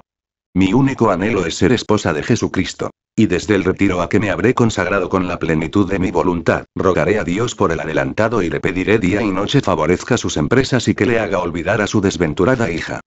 Señora, replicó la camareta, estáis aún muy joven, permitidme os lo diga, para tomar semejante partido. Y debierais oír los consejos de vuestra familia, de vuestro padre que tanto os ama y de doña Beatriz, en quien habéis encontrado una segunda madre. La hija del adelantado guardó un profundo silencio, visto lo cual, prosiguió así la camarera. Entre los señores que podrían aspirar a vuestra mano, nadie más digno que el hermano político de vuestro padre. Emparentado con una de las más ilustres familias de Castilla, animoso en la guerra y sabio en el consejo, don Francisco de la Cueva está llamado a los más altos empleos en servicio del rey. Desde luego, se le designa ya como la persona a quien el adelantado mi señor encomendará el gobierno del reino, cuando se verifique la expedición proyectada. Don Francisco ha desempeñado ya estas funciones a satisfacción de todos. Sí, dijo doña Leonor. En unión de otro caballero que tiene tantos derechos como él a esa distinción. De don Pedro de Portocarrero. Verdad es, contestó Melchora. Pero ser cierto el rumor que hoy circula en palacio, el señor de Portocarrero tiene que pasar ahora por una dura prueba, que acaso lo inhabilitará, humillando algún tanto su justa arrogancia. El orgullo y el amor herido acabaron de traicionar el mal guardado secreto de la joven. Con la altivez de una reina, se levantó de su asiento y con voz balbuciente dijo. ¿Humillar dices? ¿Y quién en este mundo es capaz de humillar a Portocarrero? ¿De qué rumor hablas? Señora, dijo con fingida indiferencia la camarera, es una cosa que no puede interesaros. Dime inmediatamente lo que hay, interrumpió doña Leonor, quiero y debo saberlo todo. Pues ya que lo ordenáis, contestó Melchora, os diré que los jueces del torneo han pronunciado su sentencia respecto al incidente ocurrido ayer entre don Pedro y el veedor Ronquillo. Y bien. Han condenado al señor de Portocarrero a dar satisfacción pública a don Gonzalo. La orgullosa joven dio un grito de indignación, y saliendo de su cuarto precipitadamente, se lanzó al gabinete del gobernador. Un momento antes había entrado en el despacho el secretario Robledo. Señor, dijo la joven dirigiéndose a su padre, mi camarera acaba de decirme que los jueces del campo han decidido la cuestión suscitada con motivo del incidente ocurrido ayer en el torneo entre don Pedro de Portocarrero y el veedor Gonzalo Ronquillo. ¿Sabéis cuál ha sido esta decisión? Sí, hija mía, contestó don Pedro, que se levantó para recibir a doña Leonor, a quien abrazó afectuosamente. Sí, con profunda pena he sabido que los jueces condenan a Portocarrero. ¿Y permitiréis que se ejecute esa sentencia? preguntó doña Leonor, en cuyas mejillas había sustituido el rojo encendido a la palidez habitual. Se humillará el primero de vuestros capitanes ante un Permitidme, señora, dijo a la sazón Robledo, que aventure mi humilde opinión en este negocio. Los jueces del campo han querido mostrar su imparcialidad, condenando al amigo de su señoría y decidiendo en favor del que parece enemigo suyo. ¿Y es esto cuanto tenéis que decir en apoyo de tan inicua sentencia, señor Robledo? dijo doña Leonor, mirando con arrogante y desdeñosa dignidad al secretario. Mala prueba dais de la habilidad que generalmente se os reconoce para los negocios. De cuando acá es un título a la consideración y a la indulgencia de la justicia, el ser enemigo de mi padre. Señora, replicó Robledo, la diferencia de nuestro modo de ver este asunto, es quizá que yo lo juzgo con la cabeza y vos con el corazón. Yo no os reconozco el derecho, dijo doña Leonor, de escudriñar el móvil de mis acciones. Os olvidáis de quién soy yo y quién sois vos, y se diría que pretendéis convertiros en mi acusador. Señor, añadió volviéndose al adelantado, perdonadme y permitid que me retire, había venido a hablaros e ignoraba que estuvieseis ocupado con gente extraña. Dicho esto, doña Leonor besó la mano a don Pedro y se disponía a retirarse, sin dirigir una mirada al secretario. Pero el gobernador la detuvo y dijo sonriendo. Comprendo que reclamas lo que crees te pertenece de derecho. Fuiste la reina del torneo, y cuando menos, debió haberse consultado tu opinión sobre el incidente con que terminó. Vamos a discutir el punto. Robledo, añadió volviéndose al secretario, ya te llamaré si acaso necesito de tu auxilio en el debate con esta bella argumentadora. Señor, dijo el secretario, mi presencia aquí. Basta. Déjanos. Replicó el adelantado con autoridad y dando a su semblante el aspecto casi feroz que tomaba algunas veces. Robledo hizo una profunda cortesía y se retiró con el corazón henchido de hiel. Y bien, dijo don Pedro, dulcificando su fisonomía. Robledo ha sido quizá atrevido, pero acertado. No es simplemente el interés de la justicia el que te mueve, Leonor. Lo veo, aunque me sea conocida la rectitud de tu carácter. Tu corazón se interesa por Portocarrero más de lo que debiera. Doña Leonor guardó silencio por un momento, y luego, como quien se hace violencia, dijo. Sí, padre mío, ¿por qué ocultároslo ya? Amo a don Pedro, lo he amado tiempo hace y lo amaré mientras viviere. Jamás mi pobre corazón que ha sufrido en silencio, ha alimentado la esperanza lisonjera de ver satisfecha su única ilusión. Conozco vuestros proyectos, y sin fuerza para secundarlos, he resuelto, como ya os lo he dicho, abrazar el estado religioso. Mi doloroso secreto se habría sepultado conmigo en la soledad del claustro, si no se me obligase hoy a revelároslo. Porque yo, que todo lo sufro, que nada pido, no puedo sobrellevar la idea de la humillación y el vilipendio del hombre al que amo. Prefiero mil vidas de tormento, a ver por un instante descender un solo escalón de su elevado pedestal al que es el ídolo de mi alma. No permitáis que los enemigos de Portocarrero, que son también los vuestros, ejecuten sus insidiosos proyectos. Evitadle esa mancha y después permitid que, ya que vuestra palabra empeñada es un muro entre él y yo, lleve adelante mi resolución. No fue poco lo que se sorprendió, don Pedro al escuchar aquellas palabras, pronunciadas en tono respetuoso, pero firme. Doña Leonor había heredado el carácter incontrastable de su padre. Y delicada hasta el último extremo en materia de honor, como debía serlo una dama de aquel siglo caballeresco, no toleraba la idea de que se pretendiese humillar la altivez de su amante. Don Pedro reflexionó un momento, y luego con mucha calma y acento bondadoso, dijo.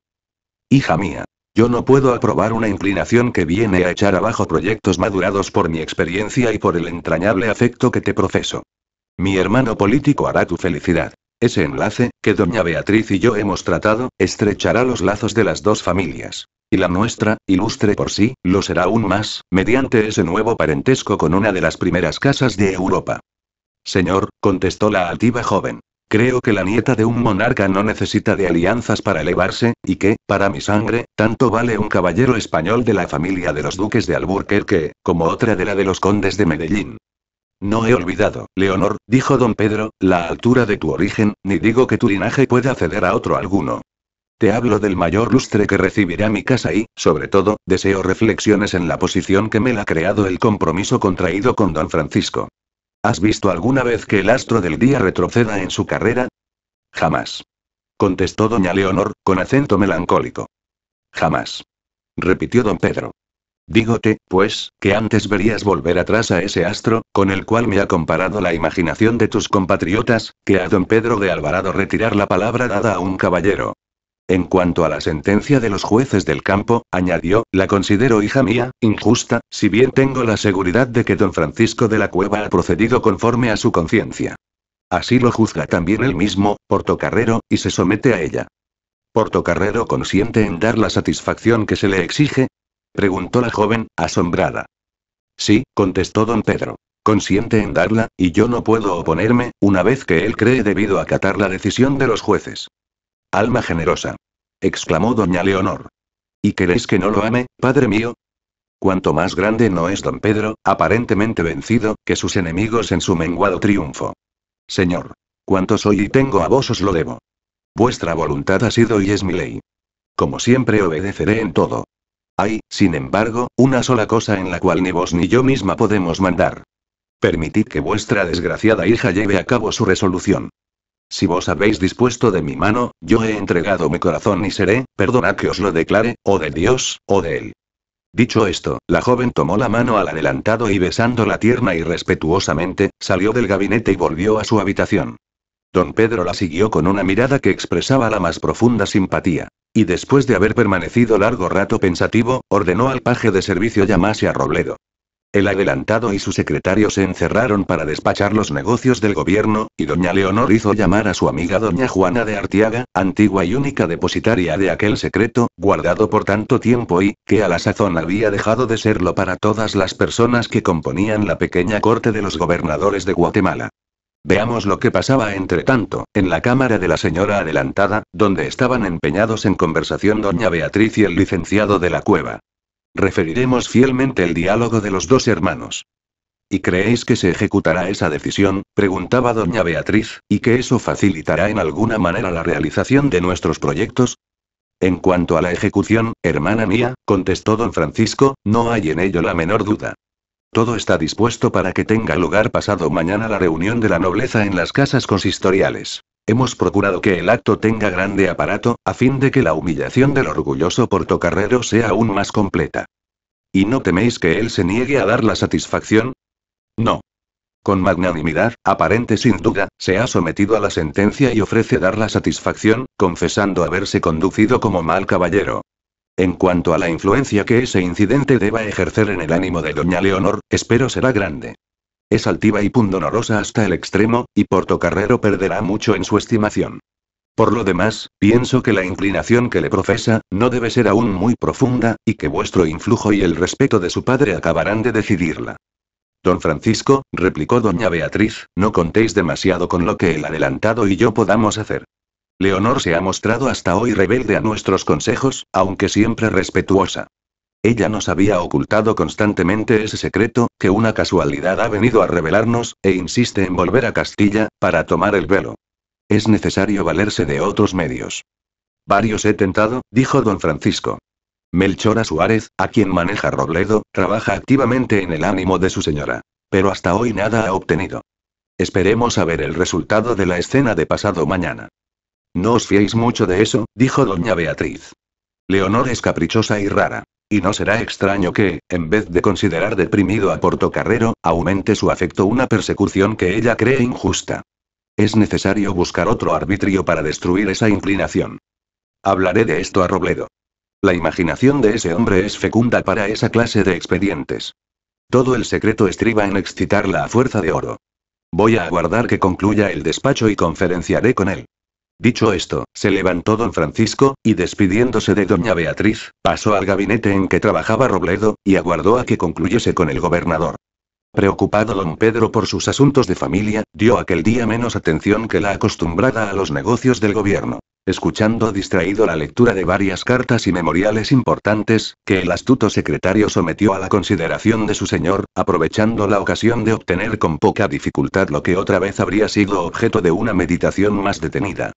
Obtuvo para diversas solicitudes un buen despacho, que sabía iba a ser generosamente retribuido por los interesados. Y satisfecho con aquel triunfo, que dulcificaba en parte la amargura del desprecio con que lo había tratado un momento antes la hija del adelantado, salió del gabinete del gobernador y se dirigió al suyo, en donde tuvo con don Francisco de la Cueva la conversación de que daremos cuenta a nuestros lectores en el siguiente capítulo. Capítulo 6. Antes de referir la conversación entre el licenciado, don Francisco de la Cueva, hermano político del gobernador, y el escribano de Cabildo y secretario privado de don Pedro, Diego Robledo, conviene dar a los lectores una idea más completa de este personaje y de las relaciones que existían entre él y el licenciado de la Cueva. Como ya lo hemos indicado, Robledo, de simple criado de don Pedro, había ascendido a un puesto importante, obteniendo, a fuerza de astucia, la confianza del gobernador y la de los principales miembros del ayuntamiento. Hábil, con esa especie de habilidad incapaz de elevarse a concepciones grandes, Robledo era un palaciego intrigante, que pensaba más en su propio adelanto, que en el buen servicio del rey. Pródigo y disipado, cuanto adquiría era poco para satisfacer sus pasiones. Insensible y calculador, su voluntad de hierro no retrocedía ante los obstáculos, y sin pretender atacarlos de frente, procuraba llegar a su objeto por caminos indirectos y casi siempre por medios reprobados. Incapaz de comprender la grandeza de ánimo y la generosidad, incurría en la falta, harto común en los hombres de carácter igual al suyo, de juzgar a los demás por su propio corazón, suponiendo que todo podía obtenerse por medio del oro. Figurando en un tiempo en que la humildad del origen era una falta y viviendo en medio de hidalgos orgullosos, el menosprecio, más o menos disimulado, de estos, hería su amor propio y había petrificado en su corazón la hiel de la envidia y del odio hacia todo lo que le era superior por el nacimiento, por el valor, por la riqueza y por la posición social. Una de las personas que por su mérito se habían captado el odio de Robledo, era don Pedro de Portocarrero, viendo el maligno secretario con celosa emulación equilibrada su influencia por la amistad casi fraternal con que Alvarado distinguía a aquel caballero. Así, aunque procurando disfrazar su encono, trabajaba constantemente en el ánimo de su señor para desconceptuar al que era objeto de su saña vendido desde algún tiempo a don Francisco de la Cueva, que consideró oportuno aprovechar la influencia del secretario, disimulando el desprecio que le inspiraba, Robledo era recompensado generosamente por el hermano político del gobernador a quien ayudaba cuando podía en todos sus planes. Dos eran los que de preferencia ocupaban a la sazón el espíritu de don Francisco. El de ser nombrado teniente de gobernador, cuando el adelantado marchase a la expedición que traía entre manos y el de su matrimonio con doña Leonor. En uno y otro servía Robledo con empeñoso afán al ambicioso y enamorado Hidalgo. Aunque como ya hemos visto con ningún éxito respecto al segundo. Con el oro de don Francisco, había ganado el secretario una gran parte de la servidumbre de la hija del gobernador, consecuente en su sistema de que por aquel medio podía obtenerse todo. Cuando Robledo entró en su gabinete donde lo aguardaba el licenciado de la cueva, el mañoso secretario estaba no poco chasqueado, al ver que sus manejos escollaban en la firme decisión de doña Leonor. Después de haber saludado a Francisco, dijo. Parece cosa del diablo, señor licenciado, que cuanto más empeño se pone, tanto más se dificulta y aleja la consecución de vuestros deseos. Por lo que hace a la tenencia, veo alargarse los preparativos de la marcha más de lo que yo imaginaba, y creo pasará algún tiempo antes de que estén concluidos. En cuanto al otro asunto, mis trabajos más asiduos han escollado hasta ahora en la decisión de doña Leonor, que parece ha concebido una pasión algo seria por Portocarrero. He ganado toda la servidumbre a esa señora y nada adelantamos. Veo será preciso apelar a otros recursos. Pero para todo se necesita dinero. Bien, Robledo, contestó don Francisco con mal humor. Dinero y más dinero. Tendrás cuanto quieras. Pero es necesario vencer los obstáculos y encontrar algún medio de destruir la inclinación que yo supongo menos arraigada de lo que a ti te parece. ¿Qué dice Melchora Suárez? Señor, la camarera nada ha adelantado, y según acaba de decirme, unas pocas palabras que aventuró contra Portocarrero, sirvieron únicamente para irritar a su señora y provocaron una escena, de que yo mismo he sido testigo y víctima, en parte. Pero ya sabéis, don Francisco, que no hay nada que yo no haga en vuestro servicio. Sí, con tal de que te siga pagando como hasta ahora. Dijo para sí el licenciado, y luego contestó. Gracias, Robledo. Estoy plenamente satisfecho de tu celo, por más que el resultado no haya coronado aún mis deseos. Es necesario que continúes sin descanso, y que no pares, hasta obtener lo que anhelo ardientemente y que asegurará tu fortuna. Señor, dijo el secretario. Eso es lo menos para mí, que estoy bastante pagado con el gusto de serviros. ¿Y sabéis que hace un momento me ha ocurrido una idea que pienso será de seguro resultado? Di. ¿Cuál es?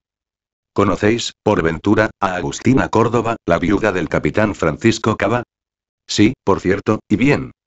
¿Ignoráis, acaso, las relaciones, un tanto escandalosas, que tuvo con Portocarrero? Algo he oído de eso.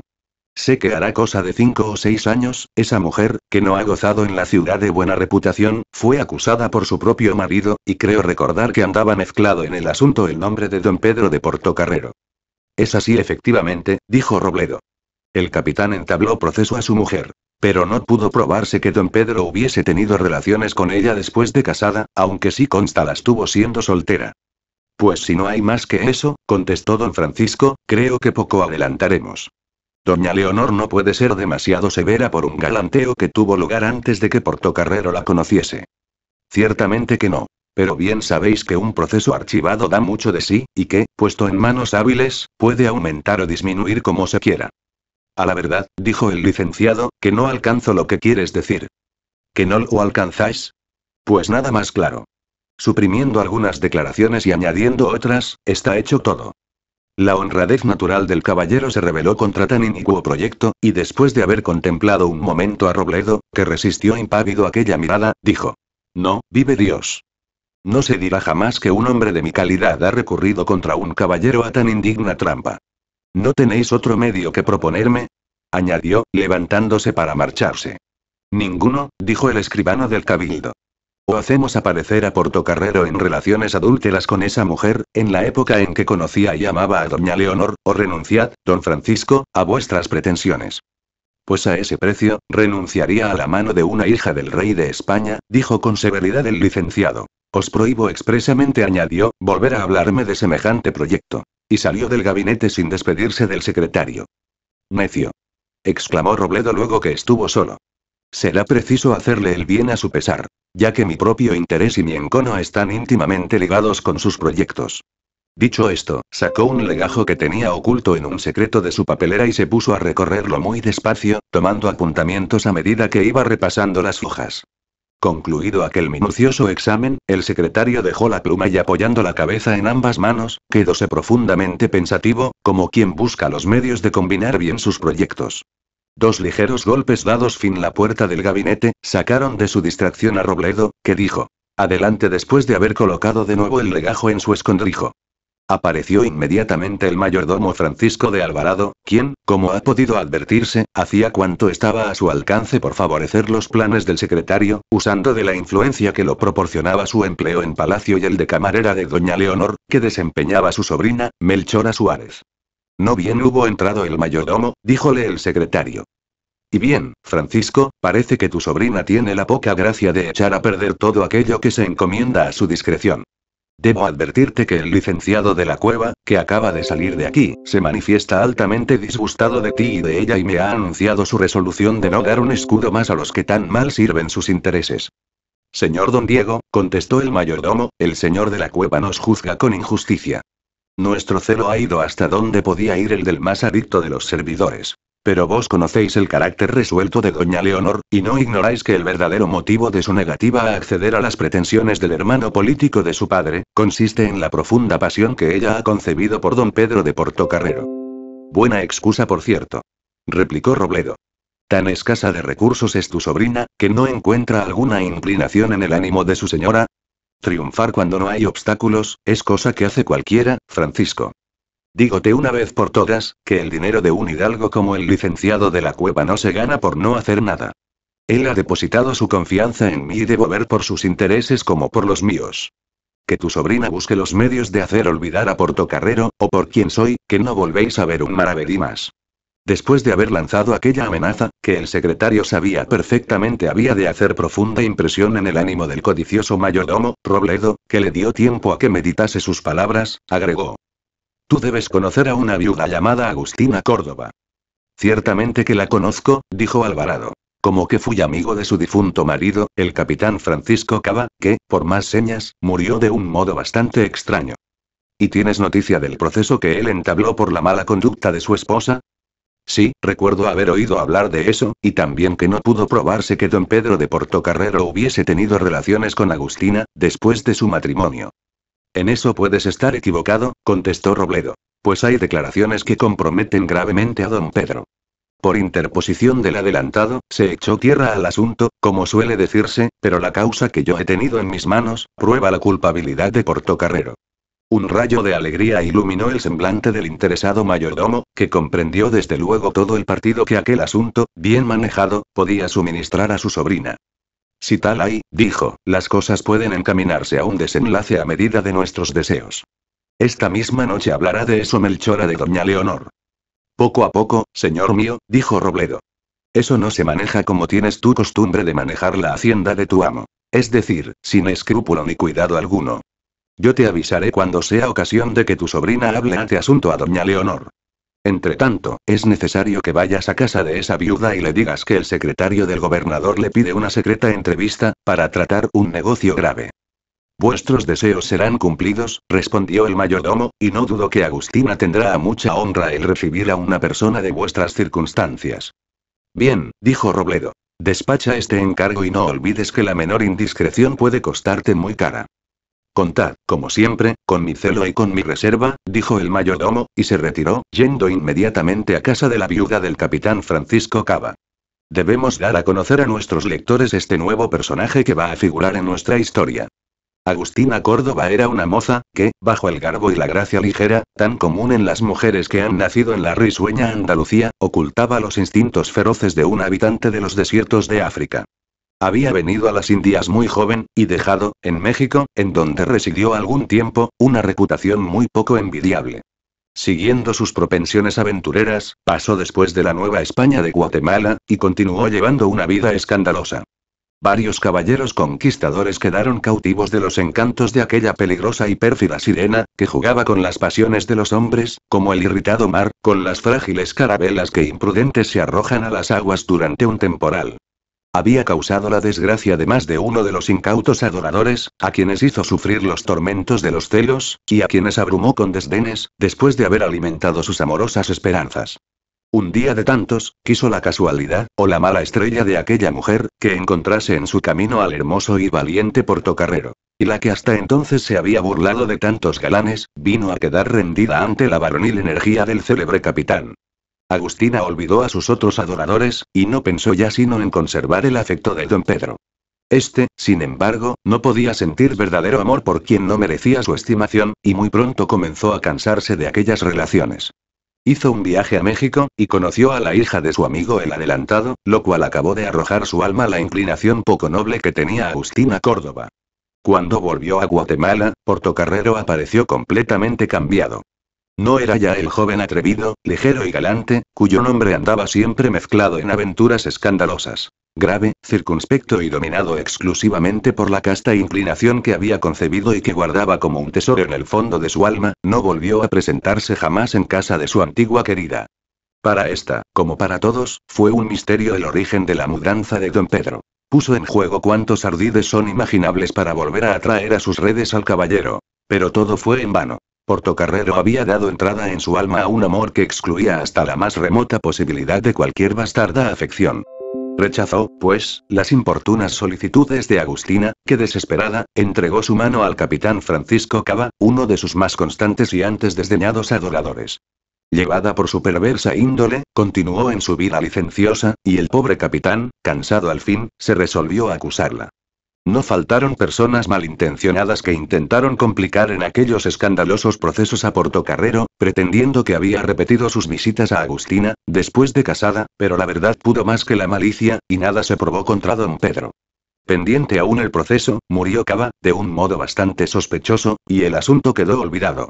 Agustina no perdía de vista a Portocarrero. Su pasión parecía aumentar en proporción de la indiferencia y la frialdad de don Pedro, a quien había llegado a hacerse odioso el nombre de aquella mujer.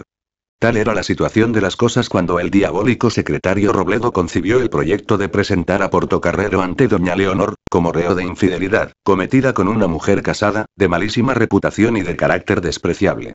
No ignoraba la herida mortal que aquel dardo, astutamente asestado, debía causar en el corazón de la orgullosa y apasionada hija del adelantado, y con el objeto de llevar a cabo sus planes, había comenzado a urdir la indigna trama, como ya hemos podido advertirlo por su conversación con don Francisco de la Cueva y con el mayordomo del gobernador. Robledo consideró que conduciría a su propósito una conversación con Agustina, a quien no conocía personalmente, pues vivía muy retirada, después de la muerte de su marido. El secretario quedó, pues, aguardando con impaciencia que le avisase el mayordomo, para pasar a casa de Agustina. esperando con plena confianza, hallar en ella un activo y celoso auxiliar para la realización de sus miras. Veremos más adelante cuál fue el resultado de aquella entrevista y el nuevo giro que ella dio a los sucesos que prestan asunto a esta narración. Capítulo 7.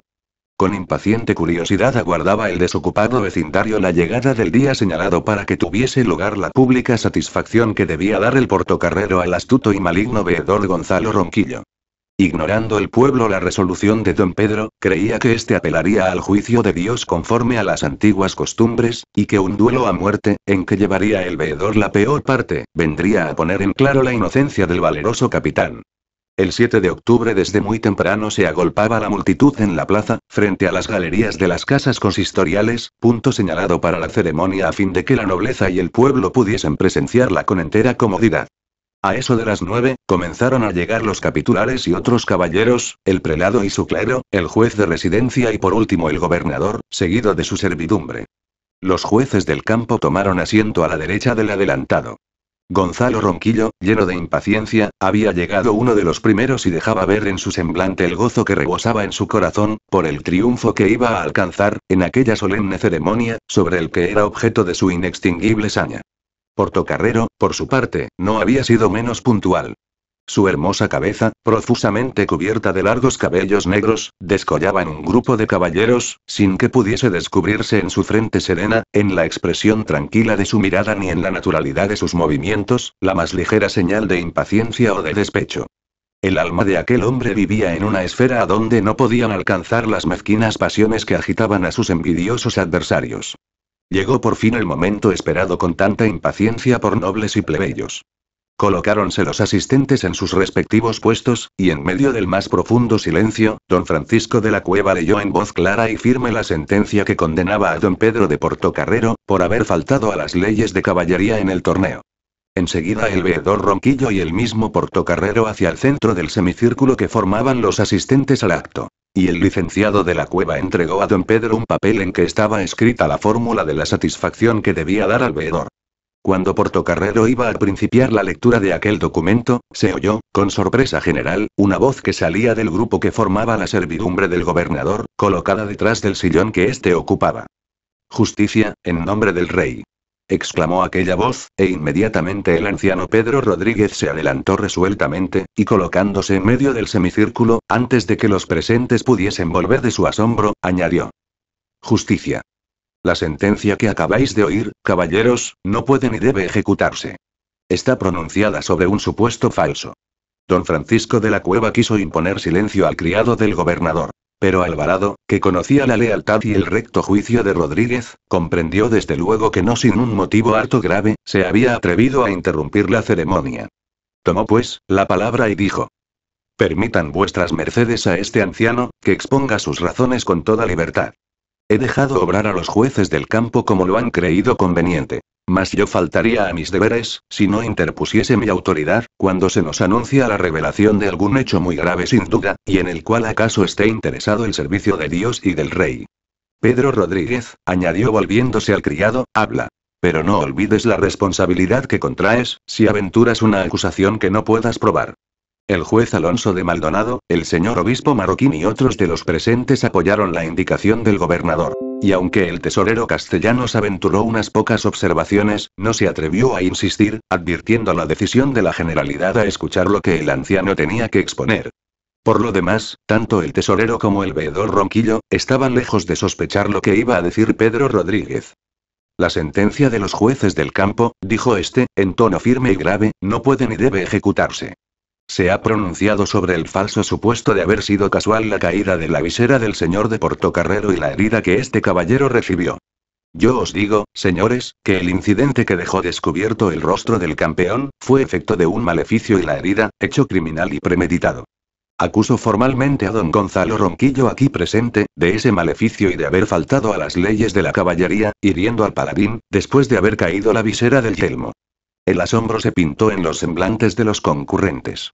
La acusación era harto grave y nada extraña en una época en que la creencia en hechicerías estaba demasiado arraigada, aún entre las personas de calidad. Ronquillo se puso pálido al escuchar aquellas palabras y el tesorero real se mostró también visiblemente azorado. Hace cuatro noches, prosiguió Rodríguez, sin desconcertarse, dos hombres embozados se dirigieron con cautela a la catedral y lograron penetrar hasta la capilla de la Veracruz, en donde, como sabéis, estaban depositadas las armas de los que debían justar al siguiente día.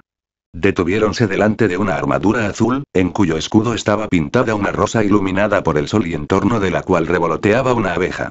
Uno de los hombres se acercó a aquellas armas, mientras el otro conversaba con el único testigo de aquella escena misteriosa. Lo que aquel hombre hizo en el yelmo, yo, señores, no sabré deciroslo. Sé que los dos embozados salieron inmediatamente de la iglesia y recomendaron el más profundo secreto al que les había proporcionado acercarse a las armas. ¿Y podréis decir, preguntó el adelantado, el nombre a esas dos personas? Sí, contestó Rodríguez. Esos hombres eran el veedor Gonzalo Ronquillo y el tesorero Francisco de Castellanos. Un sordo rumor se levantó entre los asistentes, cuyas miradas se dirigieron a los dos sujetos designados por Rodríguez. Castellanos, dominando cuanto le era dable su inquietud y desazón, dijo. Una acusación semejante no puede hacerse sin pruebas concluyentes. Yo espero, señores, que vosotros desecharéis con desprecio y que ninguno de los presentes dará crédito al testimonio aislado de un lacayo atrevido. Mi palabra, contestó el anciano con dignidad, vale tanto como la de un hidalgo, sea cual fuere mi condición. La mentira no ha manchado jamás mis labios. Y en apoyo de mi acusación, pido se oiga, bajo la religión del juramento, al sacristán Andrés Reynosa. Dispúsose llamar inmediatamente a este individuo. Y habiéndose presentado y tomado se le declaración en el acto, no pudo negar lo que había confesado ya al astuto Rodríguez. Habiendo visto este, como dijimos a su tiempo, entrar en la catedral a Castellanos y a Ronquillo, y oído sus últimas palabras, entró en sospecha, abocóse con el sacristán y haciendo uso con maña de lo que sabía, logró que lo impusiese perfectamente de lo que ignoraba. La acusación de sortilegio contra Gonzalo Ronquillo y la de complicidad contra Castellanos, quedó, pues, formalmente entablada, encargándose la autoridad eclesiástica del proceso. La reunión se disolvió, y Portocarrero, que durante aquella escena había permanecido con la cabeza inclinada, para no acabar de confundir a sus enemigos, se retiró pensativo y silencioso, abriéndole paso la multitud, con ese respeto que inspira siempre al pueblo la superioridad moral. Durante el día no se habló de otra cosa en la ciudad que del suceso inesperado que había interrumpido la ceremonia que iba a tener lugar en el ayuntamiento. Los enemigos de Portocarrero, llenos de despecho, protestaban la inocencia de los acusados y suponían había sido preparada la escena de antemano por el adelantado mismo, sin cuyo beneplácito, decían, no se habría atrevido Rodríguez a acusar de hechicería a dos sujetos tan principales, como lo eran el tesorero del rey y el veedor Ronquillo. El licenciado de la cueva, aunque contrariado en sus planes, guardaba silencio y no parecía abrigar sospechas de la conducta de su hermano político. Doña Leonor, instruida de lo que había sucedido por uno de los pajes de su servidumbre, que fue al ayuntamiento con el objeto de darle cuenta de lo que ocurriese, llamó inmediatamente a doña Juana de Artiaga y arrojándose en sus brazos, le refirió, con la más viva alegría, el desenlace inesperado de aquella astuta intriga tramada contra su amante. Las dos damas creyeron, sin la menor vacilación, el dicho del viejo Rodríguez y conferenciaron largamente sobre los medios que podrían adoptar para preservar a Portocarrero de un nuevo maleficio. Poseía doña Leonor un Agnus Dei, encerrado en un hermoso relicario de oro, pendiente de una cadena del mismo metal, bendito por el pontífice Paulo III, regalo del señor obispo marroquín, y que tenía grabada la siguiente inscripción. Eps, Quatem, abreviatura de las dos palabras latinas Episcopus Guatemalensis, con las cuales firmaba el venerable fundador de la Iglesia de Guatemala. Atribuíase a aquella santa reliquia la milagrosa virtud, entre otras, de preservar al que la llevase de cualquier hechizo o maleficio, motivo por el cual, así como ser presente del ilustre prelado, la guardaba la joven con la mayor veneración, sin desprenderla de su cuello ni de día ni de noche. Convínose por las dos amigas en que aquella santa reliquia sería remitida a Portocarrero, dando de esa manera a doña Leonor a su amante una prueba del entrañable afecto que le profesaba. La joven imprimió sus labios en el Agnus, y lo guardó cuidadosamente en una cajita de ébano, con un papel que contenía estas pocas palabras. Conservadlo siempre en memoria mía. El paje que había sido encargado de ir a las casas consistoriales, lo fue también para poner aquella caja en manos de don Pedro, quien la recibió transportado de júbilo. Colocó inmediatamente el relicario sobre su corazón e hizo el firme propósito de no separarse de él mientras viviese. Dejemos al enamorado Portocarrero entregado a la alegría que le causó aquel presente de la hija del adelantado y permítanos el lector lo conduzcamos a presenciar una escena de muy diverso carácter, si bien ligada íntimamente con los sucesos que venimos refiriendo. A las nueve de la noche, dos hombres embozados hasta los ojos, se acercaban a la puerta de una casa de pobre apariencia, situada a la espalda de la iglesia de San Francisco, iglesia que se conserva hasta hoy, sirviendo de parroquia al pueblo de Ciudad Vieja. Llamaron a la puerta con cautela y se presentó una anciana, que, habiendo reconocido a uno de los dos sujetos, les dio entrada, precediéndolos con un candil por el oscuro y estrecho zaguán que conducía al interior. Entraron en una sala, en la que se advertía cierto lujo, siendo los muebles ricos, aunque antiguos. La anciana dijo que avisaría a su señora, y desapareció, dejando solos a los dos caballeros, que tales parecían por sus trajes. A poco rato, abrióse una puerta que conducía a una pieza interior y salió una mujer, que representaba 30 años de edad. Su estatura era un poco más que mediana. Su cabeza, profusamente cubierta de cabellos negros. Los ojos de igual color, regularmente apacibles, se iluminaban de vez en cuando con un brillo que tenía algo de salvaje. La nariz era recta y bien dibujada, y la boca, un poco grande, dejaba ver dos hileras de menudas perlas, al entreabrirse los labios de coral. Si los ojos de aquella mujer imponían miedo, su sonrisa, graciosa y atractiva, contrastaba con la expresión cuasi amenazadora de su mirada. Vestía un traje muy sencillo de tela de seda oscura, color que parecía haber sido elegido expresamente para hacer resaltar la blancura de la tez de aquella mujer, realmente encantadora. Nuestros lectores habrán sospechado sin duda, que esa dama no era otra que la viuda del desgraciado capitán Francisco Cava. Era así en efecto. Agustina se adelantó para saludar con gravedad y cortesanía al mayordomo y al secretario del gobernador, quien, como hemos dicho, no conocía a aquella señora y quedó visiblemente sorprendido de su hermosura. Veo que la fama no ha exagerado, dijo Robledo, esforzándose en mostrarse galante, cuando ha pregonado vuestra gentileza y declarado que sois la más bella de las españolas que han venido hasta ahora a las Indias. Don Diego, contestó Agustina con desembarazo. Eso no ha podido decirse nunca con justicia, y menos aún de un mes a esta parte. ¿Quién puede hablar de hermosura donde están doña Beatriz de la Cueva, la hija del adelantado y las señoras que las acompañan? El secretario era demasiado astuto para no aprovechar la oportunidad que le ofrecía aquella respuesta, para encaminar la conversación al terreno en que deseaba colocarla. Así, respondió con aparente candor. En cuanto a doña Beatriz, no diré yo que no sea muy gallarda señora. Pero por lo que hace a la hija del adelantado, las opiniones son harto diferentes. Pero ¿quién puede negar, replicó Agustina, lo que basta tener ojos para verlo? Yo he conocido a doña Leonor en México y la vi después aquí, antes de que acompañase al gobernador en su último viaje, y aunque no la he visto desde su llegada, pues vivo en absoluto retiro, el tiempo que ha pasado es demasiado corto para que haya causado una alteración notable en el semblante de una persona tan joven. Pues ahí tenéis, dijo Robledo, en el poco tiempo que ha transcurrido desde que visteis a doña Leonor, ha cambiado notablemente. Sufrimientos morales que hasta ahora poco eran un misterio para todo el mundo y que una casualidad ha venido a revelar, han bajado la belleza de la hija del adelantado, que tal vez no es hoy una sombra de lo que fue. Perdonad mi curiosidad, contestó Agustina. Es una de las debilidades de nuestro sexo. Ignoro completamente lo que pasa y me holgaría de saberlo. No deseaba otra cosa Robledo. Así, refirió punto por punto, y en todos sus detalles, la escena del torneo y la conversación entre el adelantado y doña Leonor, de que había sido testigo, y en la cual la joven dejó ver su decidida inclinación a Portocarrero. El secretario cuidó de agregar que esas relaciones eran ya antiguas, como que habían comenzado cuando Portocarrero conoció en México a doña Leonor. Aquello fue una completa revelación para Agustina, que encontró el clavo del enigma del repentino desvío de su antiguo amante. Herida en lo más vivo, hizo, sin embargo, cuanto le fue posible, por disimular su enojo, y cuando Robledo hubo terminado su relación, dijo con fingida indiferencia. No hay duda, señor don Diego, que la historia que me referís pudiera, por lo peregrino, figurar en un libro de caballerías. Y a todo esto, ¿qué dice don Francisco de la Cueva? Pues he oído que doña Leonor le había sido prometida en matrimonio por el adelantado. Es así, en efecto, contestó Robledo.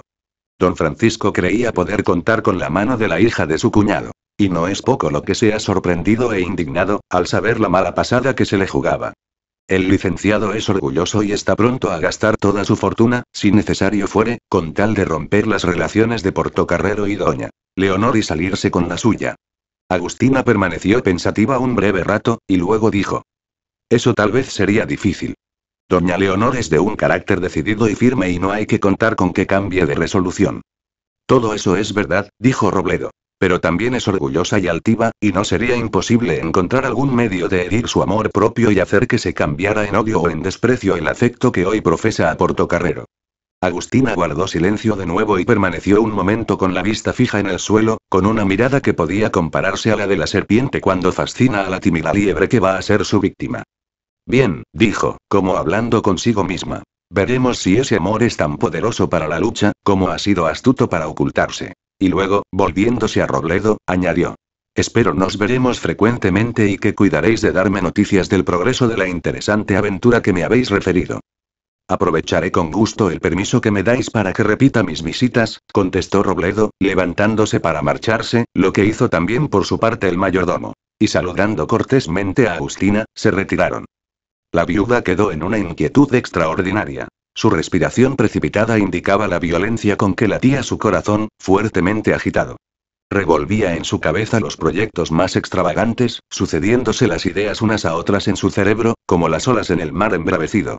Media hora había pasado en aquella situación, cuando se oyeron los pasos lentos y pausados de un caballo, que se acercaba muy despacio a la puerta de la calle.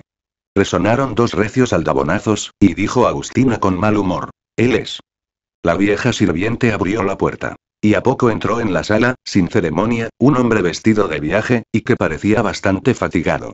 Capítulo 8. El hombre que acababa de entrar en la sala de Agustina, podría tener unos 40 años, aunque su rostro surcado por las arrugas, su cabello y barba encanecidos y su cuerpo ligeramente agobiado, revelaban una vejez prematura, resultado quizá de una vida agitada.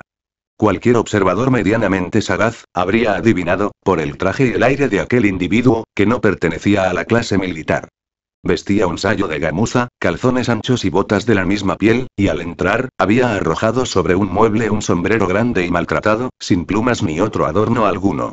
No traía espada, sin embargo, de que parecía venir de un largo viaje, y el único objeto por el cual mostraba una atención especial, era una bolsa o saco de cuero, que llevaba a la espalda, pendiente de unas correas, y que colocó cuidadosamente en una mesa.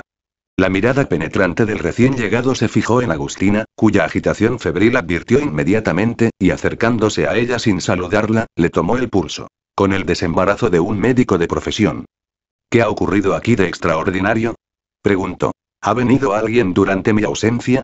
La viuda no contestó una palabra a aquellas preguntas y continuó entregada a sus cavilaciones. Sin hacer, aparentemente, el menor caso del sujeto que acababa de interrogarla. Este se echó en un sillón frente al que ocupaba Agustina, extendiendo las piernas como para descansar y apoyando la cabeza en el respaldo. ¿Sabéis, don Juan, dijo la viuda, que el adelantado está en la ciudad? Sí, contestó el individuo, bostezando. Me lo han dicho en un pueblo de las inmediaciones. ¿Sabréis también que ha venido con él doña Leonor su hija? Es natural, contestó el otro, acompañando aquellas dos palabras con otro bostezo. Pero lo que no es natural, dijo Agustina, y os sorprenderá sin duda, es que la hija del adelantado está locamente enamorada de... Sí, interrumpió don Juan, del licenciado de la cueva, ¿y qué? No me interrumpáis, vive Dios. Dijo Agustina, o no concluiremos jamás. Doña Leonor ama a Portocarrero. A Portocarrero. exclamó el otro asombrado. Es raro. Y luego añadió. Ahora ya comprendo por qué estáis esta noche con calentura.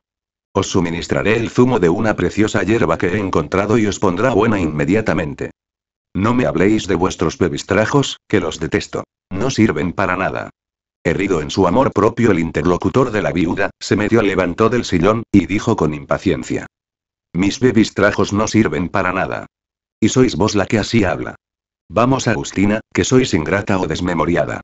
Ninguno mejor que la viuda del capitán Cava puede darse de la virtud de las medicinas del médico herbolario Juan de Peraza. Al escuchar aquellas palabras, cuyo oculto sentido no era sin duda un enigma para Agustina, ésta perdió el color y cubriéndose el rostro con ambas manos, dijo en voz ahogada. Oh. Para eso no niego la eficacia de vuestras hierbas, don Juan. Pero por Dios no hablemos ahora de esto. Y perdonad si en la situación en que me hallo, he herido vuestro amor propio. Sé que sois un sabio, por tal os tiene la ciudad y a mí menos que a cualquiera me correspondía poner en duda vuestra consumada habilidad. Aquellas palabras apaciguaron al irritable médico, botánico, o lo que fuese, y cambiando de estilo, dijo a Agustina. ¿Pero estáis cierta de lo que me decís?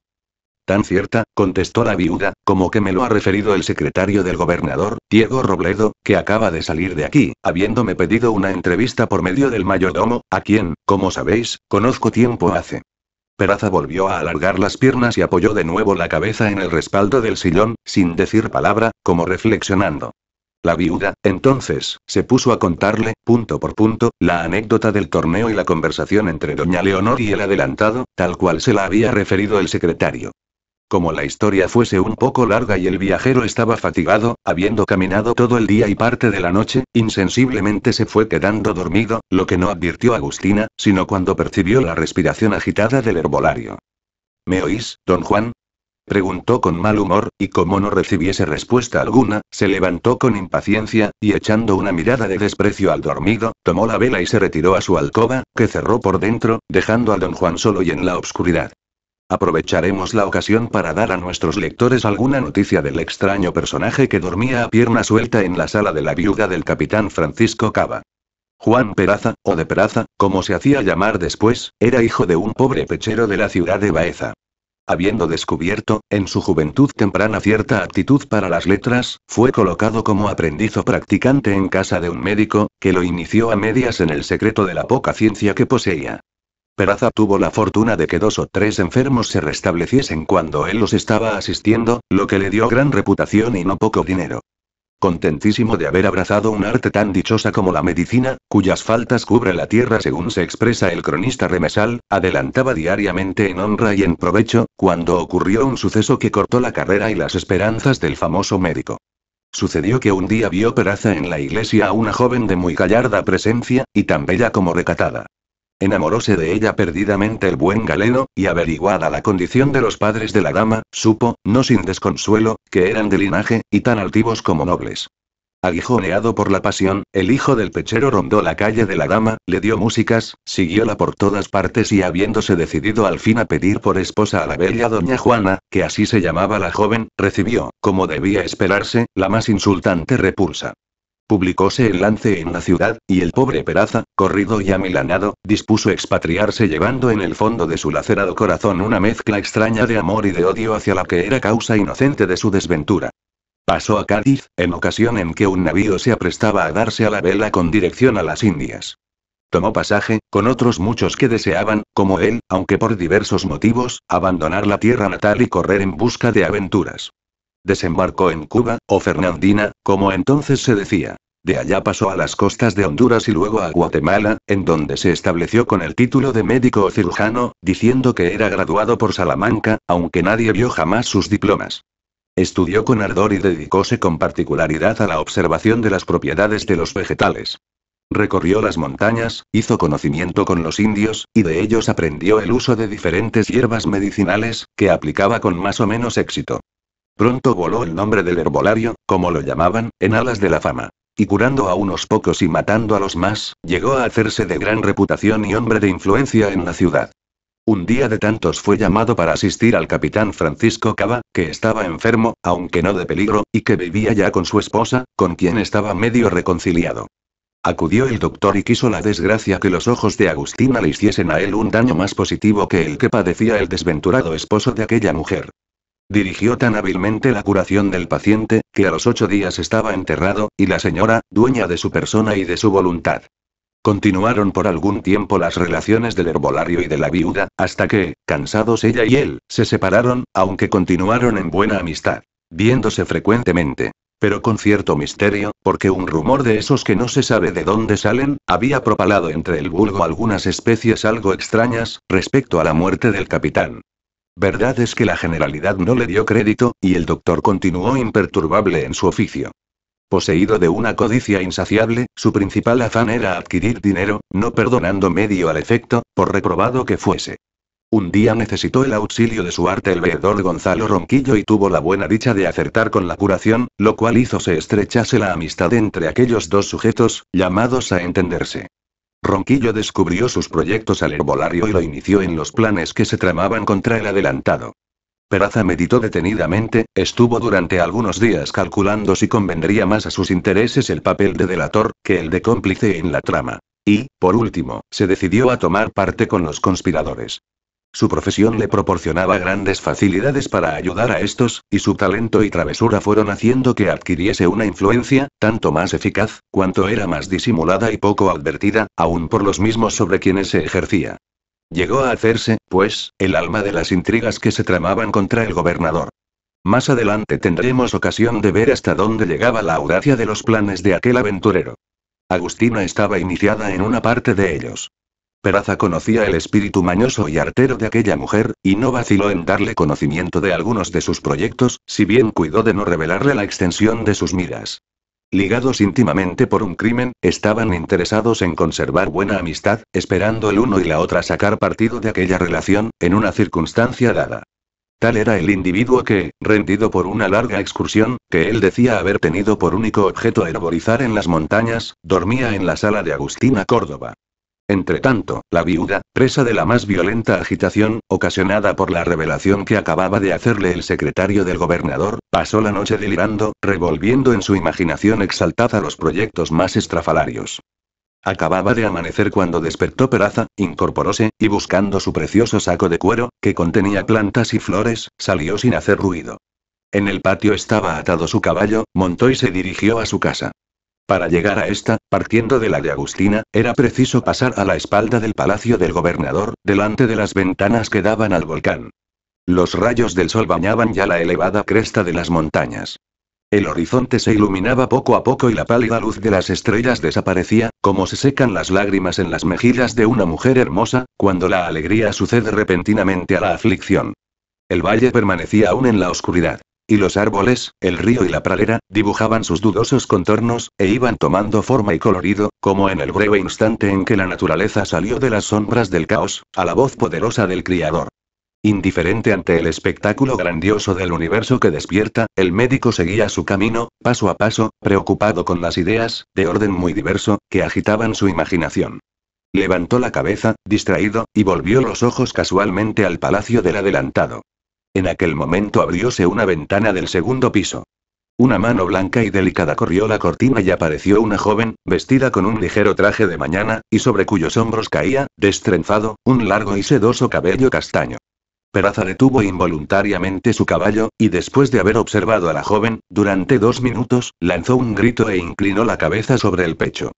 Cuando alzó otra vez los ojos, después de un breve instante y buscó ansioso a la encantadora maga, la joven había desaparecido, la ventana estaba cerrada y el médico ni aún pudo determinar en cuál de las varias que tenía en aquella parte del edificio, había aparecido la fantástica figura que despertaba en su alma los más punzantes y dolorosos recuerdos. Dudaba si era sueño o realidad lo que acababa de ver, y no creía el testimonio de sus propios sentidos. Sin embargo, aquella figura estaba trazada en caracteres de fuego en el corazón del desdichado, y la indefinible sensación que experimentó, al ver a aquella mujer, no le dejaba lugar a la más ligera duda. Buscando con ojos extraviados la misteriosa ventana, Peraza permaneció un rato, repitiendo en voz ahogada y doliente. Ella es, ella es. Doña Juana. El destino implacable vuelve a arrojarla en mi camino. Y dos lágrimas, ardientes como lava volcánica, rodaron por sus mejillas. El médico, siguió su marcha, profundamente abatido. Se encerró en su casa y permaneció dos o tres horas entregado a sus cavilaciones. No acertaba a comprender cómo se hallaba en Guatemala y en el palacio del gobernador, aquella misma doña Juana a quien él había conocido en Baeza, seis años antes y de quien no volvió a oír hablar jamás después de su salida de España. Él ignoraba, por supuesto, que la joven había obtenido una colocación en la corte, como dama de la reina y que, muertos sus padres, y habiendo conocido íntimamente a doña Beatriz y doña Leonor, resolvió, por instancias de estas, venir a Guatemala. Si algún resto de duda podía quedar aún en el ánimo de Peraza, no tardó en disiparse don Gonzalo Ronquillo, ansiosísimo de conferenciar con su amigo y confidente, había acudido varias veces a casa del médico a ver si estaba ya de vuelta. Aquella mañana ocurrió temprano, y habiéndosele dicho que don Juan estaba en su gabinete, se dirigió apresuradamente a aquella pieza y entró sin anunciarse. El gabinete del médico cirujano herbolario era pequeño y se veía completamente ocupado con redomas y vasijas de diferentes tamaños, que servían para la preparación de las medicinas, pues él mismo componía las pócimas que administraba a sus enfermos. Veíanse también en las mesas y pendientes de las paredes plantas y flores, calaveras y otros huesos de hombres y de bestias, pieles de fieras y esqueletos de aves. Un estante con libros completaba el ajuar de aquel santuario de la ciencia, en el que no penetraban los profanos, estando abierta la entrada únicamente a los amigos íntimos como el veedor. Al fin estáis de vuelta, dijo don Gonzalo, estrechando la mano a su amigo, sin advertir el abatimiento de este, preocupado él mismo con sus ideas. Sucesos muy importantes han ocurrido durante vuestra ausencia. Sí, contestó Peraza, sé que el adelantado está de vuelta y que ha tomado nuevamente la vara de la gobernación. Nuestros esfuerzos han sido inútiles, dijo Ronquillo con mal humor. Ese hombre tiene algún demonio familiar que lo ayuda y hace que todo le salga bien. Enseguida el veedor refirió a su amigo los principales acontecimientos de aquellos días, sin exceptuar el lance del torneo, el descubrimiento de los amores de doña Leonor y Portocarrero, callando únicamente, por prudencia, lo que había de ridículo y deshonroso para él en aquellos sucesos. ¿Decís, preguntó Peraza, que han venido varias señoras de Castilla en compañía de doña Beatriz? Sí, contestó don Gonzalo. Unas veinte, que forman la corte de esa mujer, que se cree ya una reina. ¿Y podríais decirme los nombres de algunas de esas damas? Dijo el médico, dominado exclusivamente por una sola idea. ¿Y qué interés podéis tener en eso? Preguntó Ronquillo, extrañando la pregunta de don Juan. Sé, añadió que la principal de ellas, así por su clase, como por la confianza que lo dispensan en palacio, es una doña Juana de Artiaga, que se dice natural de Baeza. Las otras. Basta ya, interrumpió el médico. Es inútil me digáis los nombres de las demás. Y guardó silencio, mostrando la más viva agitación. Ronquillo, que ignoraba la historia de Peraza, no acertó a comprender por qué aquel nombre producía semejante sensación en el ánimo de su amigo. El médico, después de un momento de silencio, dijo. Don Gonzalo, no extrañéis la importancia que doy al nombre a esa dama. Es un secreto de mi juventud, que acaso podré revelaros algún día. El orgulloso pechero no quería mostrar su herida a aquel hidalgo. Conociendo que, por más que estuviesen unidos en intereses, las preocupaciones de que participaba Ronquillo, como cualquier otro caballero de su clase, harían que calificase desfavorablemente el atrevimiento con que se había lanzado a solicitar la mano de una dama de encumbrado linaje. Encerróse, pues, en la más absoluta reserva, y sabiendo ya respecto a la joven que había visto pocas horas antes cuánto le importaba saber, procuró dominar su emoción, e hizo a Ronquillo una relación detallada de la excursión que acababa de practicar y cuyo objeto aparente había sido recoger plantas medicinales en las montañas. Capítulo 9. Todo camina perfectamente, dijo el médico. He recorrido los pueblos. Me he abocado con los principales caciques y arden en deseos de venganza. Puede contarse con unos 50.000, no lo dudéis, don Gonzalo, la sublevación será mucho más formidable que la del año 26. Muy bien, don Juan, contestó Ronquillo. Ya que tan desgraciados hemos sido en la ciudad, preciso es fiar únicamente en lo que pueda venir de fuera. Es necesario incendiar el país, promover una sublevación general y acabar una vez por todas con nuestros enemigos. Castellanos, Ovalle, Zorrilla y los demás están prontos y todos tienen la mayor confianza en el éxito de los proyectos que hemos combinado. Quizá no está distante la hora en que han de verse realizados. Entre tanto, decidme, don Gonzalo, ¿cómo sigue el enfermo? Nada podemos hacer mientras no se restablezca. Según se me ha dicho, contestó Ronquillo, el mal ha presentado en los últimos días síntomas algo alarmantes. Está muy abatido, tiene frecuentemente calentura y se lo han escuchado algunas expresiones inconexas. ¿En castellano? preguntó Peraza algo alarmado. No, don Juan, contestó el veedor. Tranquilizaos, en esos accesos de delirio, el rey, por fortuna, usa únicamente de su propio idioma. Y sabéis que podemos contar con la fidelidad y la reserva de su guardián. Bien, replicó el médico. Pero es necesario procurar que desaparezca ese síntoma peligroso. Creo que he encontrado un seguro específico para la enfermedad de ese desgraciado, cuya causa principal es, a no dudarlo, la larga prisión que ha sufrido. Su compañero debe a su juventud únicamente el no estar en la misma situación. Hoy iré a verlos. Entre tanto, vos anunciad mi regreso a los amigos, informadlos de lo que os he referido acerca de mi excursión y que todos estén prontos al primer aviso. Lo haré como decís, contestó don Gonzalo. Y despidiéndose de Peraza, se marchó a buscar a los demás conspiradores. El médico, luego que estuvo solo, volvió a entregarse a sus cavilaciones. Seguro ya de que era doña Juana de Artiaga la joven a quien había visto al amanecer en una ventana del palacio del gobernador, se abrió de nuevo la mortal herida que el tiempo y la ausencia no habían podido cicatrizar. Don Juan era hombre de pasiones violentas, y el amor desgraciado que concibió por aquella dama, había sido el primero y el último a que dio entrada su corazón, pues no merecía un nombre semejante el pasajero capricho que concibió por Agustina Córdoba. Peraza se encontraba a la sazón en situación bien diferente de aquella en que estaba en Baeza, cuando solicitó la mano de doña Juana. Su reputación de sabio médico era grande y poseía además una fortuna algo considerable. Sin embargo, era bastante sagaz para comprender que aquellas ventajas no alcanzaban a allanar el verdadero y poderoso obstáculo que se levantaba como una montaña entre él y el objeto de su amor, la diferencia del limaje. Fijándose en esta consideración, don Juan sentía rebozar en su alma el más acerbo despecho. Y su odio contra las clases elevadas que gobernaban la naciente colonia cobraba nuevo impulso. Así, el amor fue a alentar los rencores de que el médico se sentía poseído. Y la presencia de doña Juana, lejos de cambiar la corriente de las ideas que lo dominaban, lo hizo desear aún más vivamente la ejecución de los osados proyectos que su espíritu audaz había madurado. Repasaba con orgullo y complacencia en su imaginación las probabilidades con que creía contar. Y tomando sus ilusiones por realidades, como sucede frecuentemente a los hombres que se encuentran en la posición en que se hallaba Peraza, contaba con la corteza de ejecutar sus planes, que llevarían su nombre en alas de la fama, del otro lado de los mares. Dos golpes dados en la puerta del gabinete, interrumpieron aquellas graves meditaciones. ¿Quién es?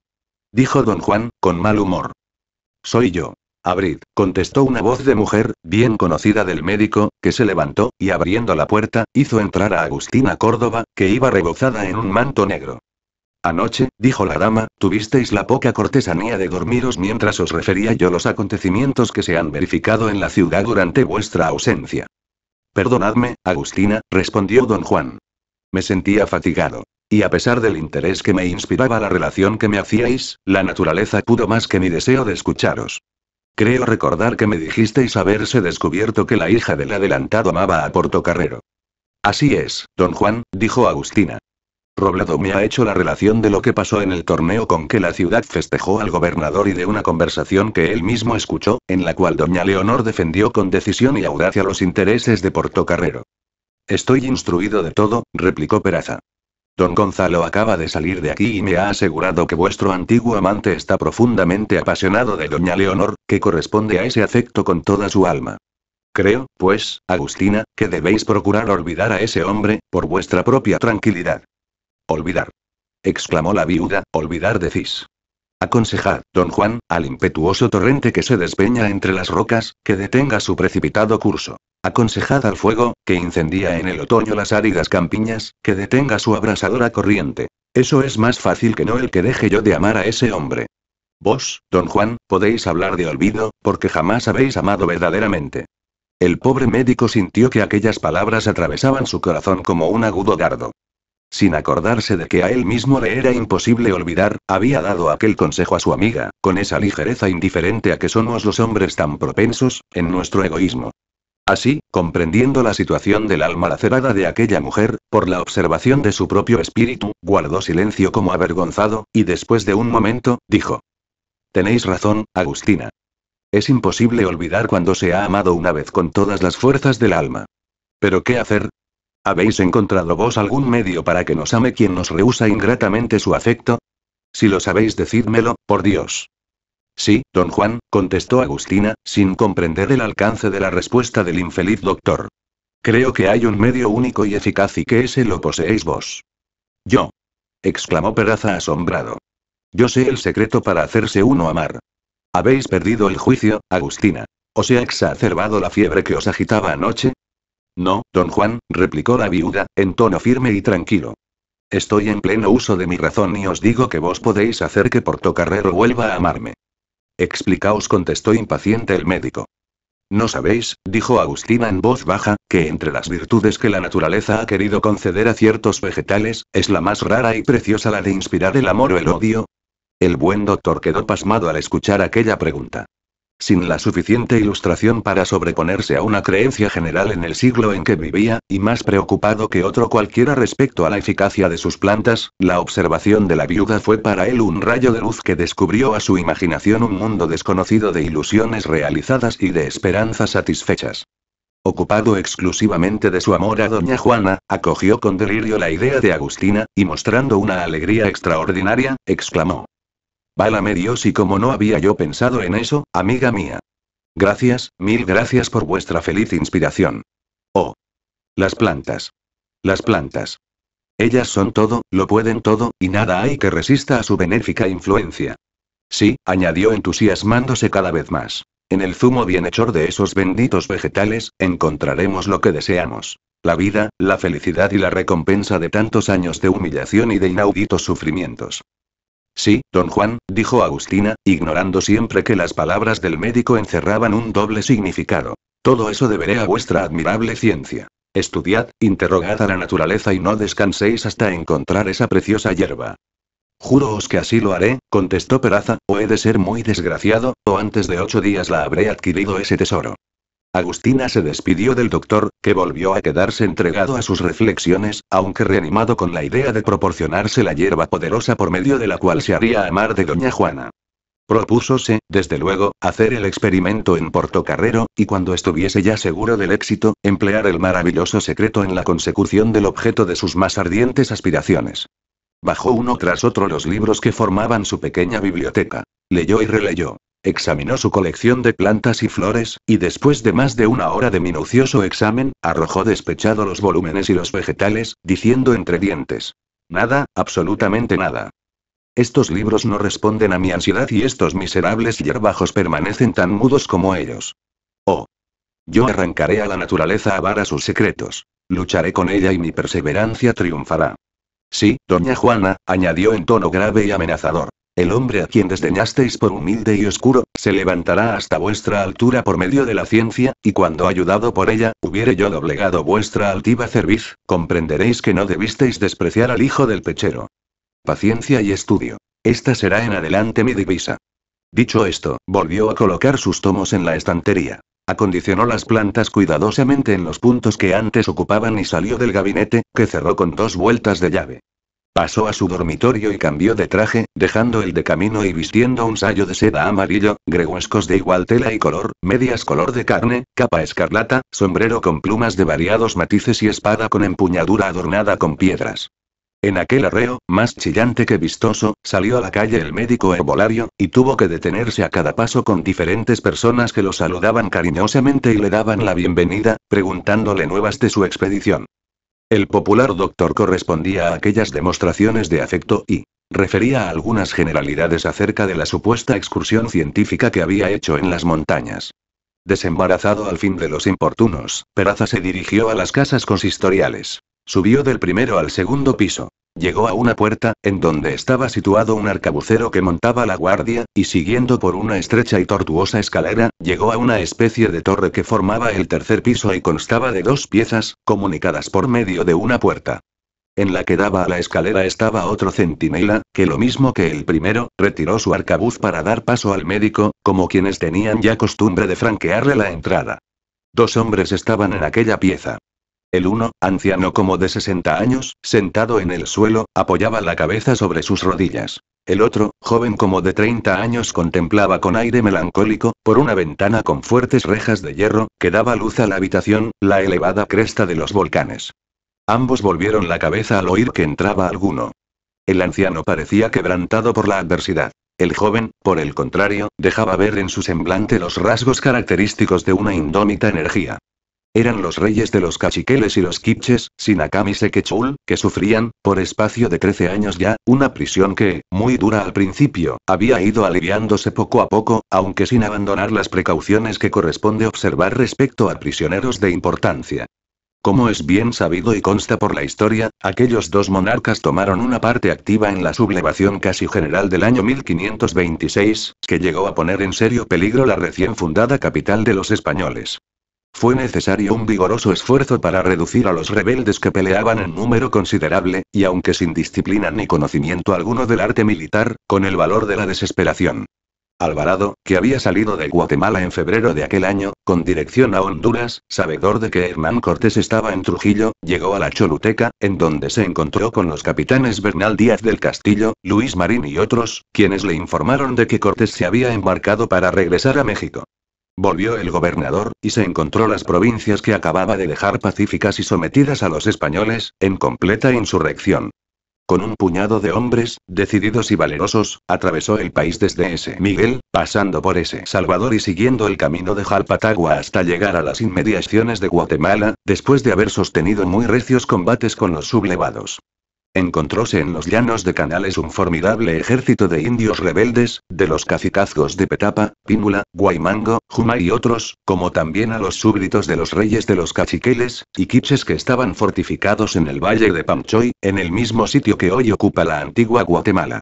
Alvarado tenía urgencia de partir para México, debiendo después pasar a España, con el fin de sincerarse de graves cargos que se le habían hecho. Y deseando dejar reducido el país a la obediencia de los españoles, convidó con la paz a Sinacam y a Sequechul.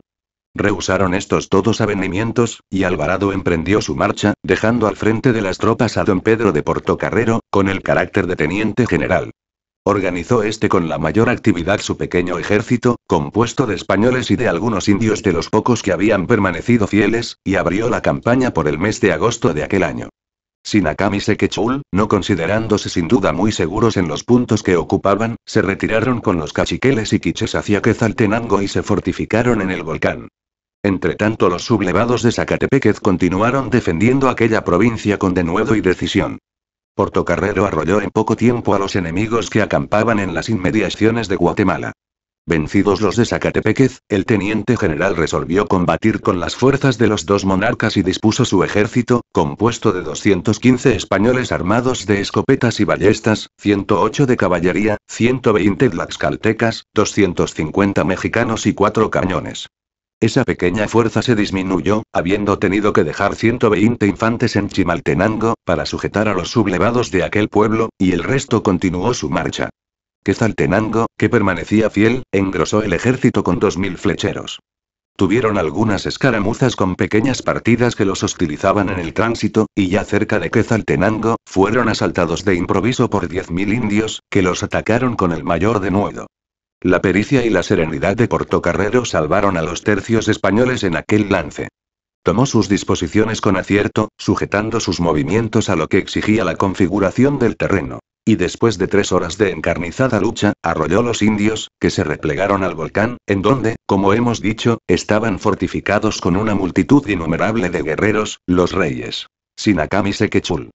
Reforzado el ejército español con más gente de Quetzaltenango y con los soldados que había sido preciso dejar atrás y que se incorporaron luego, Portocarrero embistió con denuedo los atrincheramientos y formando alrededor del volcán una figura triangular, fue subiendo la montaña, bajo una lluvia de flechas, piedras y otros proyectiles que arrojaban los indios. Al fin llegaron los españoles a la eminencia, quedando muertos muchos de los valerosos guerreros cachiqueles y quiches, escapando otros y rindiéndose los demás, entre estos últimos los dos monarcas. Alcanzase aquella señalada victoria el día 22 de noviembre de 1526, y con ella quedó definitivamente establecida la dominación española en estas provincias. El teniente general regresó a Guatemala con los prisioneros, encerrándose en la torre de las casas consistoriales, bajo segura custodia, a Sinacam y a Sequechul. En la época a que se refiere nuestra historia, hacía pues, trece años que aquellos dos desgraciados aguardaban que se dispusiera de su suerte. Los sufrimientos habían quebrantado la energía y la salud del anciano rey de los cachiqueles. Pero su joven compañero, lejos de dejarse abatir por el infortunio, cobraba cada día nuevo vigor, y oyendo solo la voz del patriotismo, sin atender a los dictámenes de la prudencia, soñaba con el exterminio de los teules, como llamaban ellos a los españoles. Sequechul recibió con viva alegría al conspirador herbolario. Pero Sinacam, sin moverse de su rincón, apenas levantó la cabeza para saludarlo. Dejaremos para otro capítulo la conversación de aquellos personajes. Capítulo 10. Lo primero que hizo Peraza al entrar en la prisión de los reyes, fue acercarse al anciano Sinakam y tomarle el pulso. A la cuenta no hubo de quedar muy satisfecho del resultado de su examen, pues arqueó las cejas y movió ligeramente la cabeza de un lado a otro. ¿Duerme? preguntó a Sekechul. Muy poco, dijo este. Sinakam, añadió el doctor, dirigiendo la palabra en voz baja al anciano. Acabo de recorrer vuestros dominios y los de Sekechul. Vuestros antiguos vasallos esperan únicamente la voz de sus reyes para levantarse contra sus opresores. Recobrad el ánimo, haced un esfuerzo y preparaos, pues va acercándose el momento en que quebrantaré vuestras prisiones y entonces necesitaréis de todo vuestro valor. El viejo cacique levantó la cabeza al escuchar aquellas palabras y fijando en el médico sus ojos, cuya mirada vaga y extraviada indicaba el estado de su ánimo, dijo.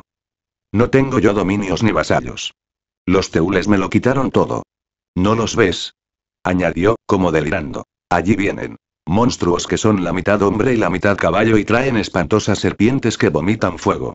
Padecen de un mal de corazón que se cura con el oro. Dales oro y más oro, con tal de que me deje mi reino y no hagan daño a nuestro dios, Chamalcan. El infeliz indio, atormentado con aquellos dolorosos recuerdos, se puso a derramar lágrimas como un niño. El doctor sacó del bolsillo una redómita que contenía un licor amarillo color de oro. Destiló cuidadosamente tres gotas en medio vaso de agua y lo dio a beber a Sinakam. Tomólo el rey sin repugnancia, y Peraza, aguardando a que aquella medicina comenzase a producir su efecto, se retiró al otro extremo de la habitación, con Sekechul. Así pasa los días y muchas noches, dijo el joven con tristeza. Es necesario no omitir esfuerzo hasta lograr reanimarlo, contestó Peraza. Su nombre y su prestigio son indispensables para llevar a cabo la empresa. Su presencia levantará a los guerreros de su nación, que están prontos a morir por él. Las numerosas tribus del Quiché cuentan con vos, Sekechul. Y todos están ansiosos de vengar los sangrientos ultrajes que han sufrido por espacio de 15 años. ¿Cuál es vuestra resolución? La de morir, contestó el joven con tranquila energía, al frente de los míos. Bien, dijo el doctor, la fortuna, adversa hasta ahora, os ayudará al fin. He hablado con los caciques, quienes han consultado los sentimientos de los mercebales, y creo que a vuestra voz y a la de Sinacam, se reunirán unos 50.000 guerreros decididos.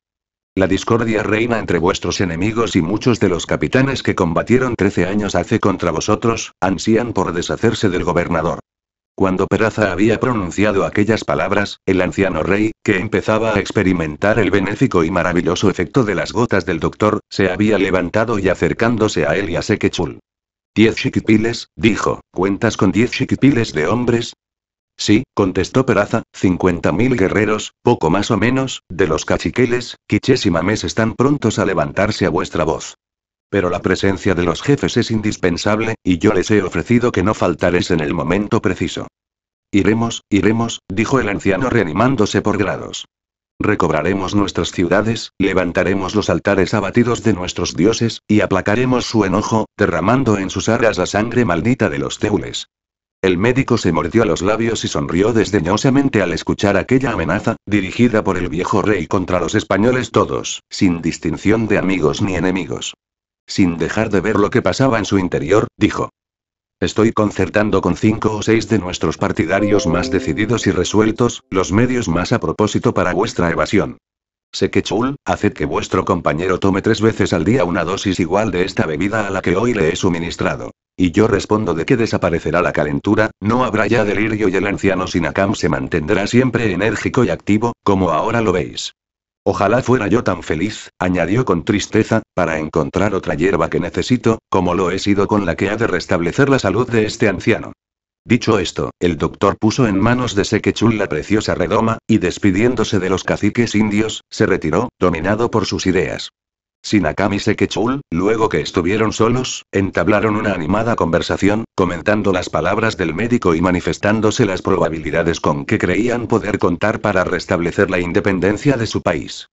Los desdichados no advertían que iban a luchar con un poder inmenso, superior al suyo en todos conceptos. Y que, si ellos tenían de su parte la ventaja del número, sus adversarios les sobrepujaban en el arte de la guerra y sabían explotar hábilmente las rivalidades que dividían a las naciones aborígenes que poblaban esta parte del continente americano. Con esa división contaba precisamente Peraza que, si bien intentaba deshacerse del gobernador y de los suyos, no era ciertamente para volver a poner el país bajo el dominio de aquellos a quienes despreciaba como bárbaros.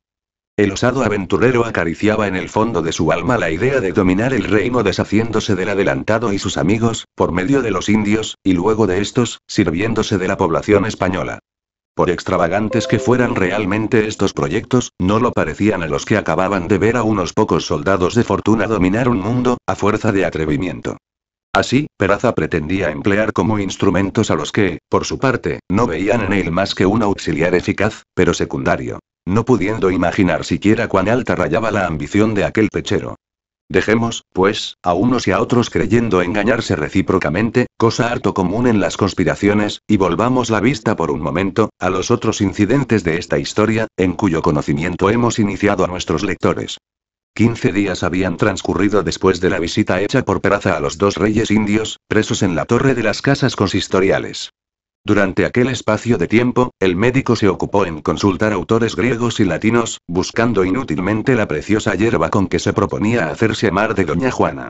Robledo, por su parte, no había permanecido ocioso. Y en aquellas dos semanas, arregló a su satisfacción el archivado proceso que siguió el capitán Cava contra su mujer, desglosando las declaraciones favorables a Portocarrero y sustituyéndola con otras que él forjó, firmándolas con los nombres de personas ya muertas, o ausentes. Hecho esto, aguardaba únicamente una ocasión favorable para hacer uso de su satánica invención. Agustina Córdoba esperaba con impaciencia el hallazgo de la planta que creía buscaba el doctor por ella únicamente, y confiando recobrar por aquel medio el afecto de Portocarrero, había prescindido por lo pronto del empeño de urdir otras intrigas.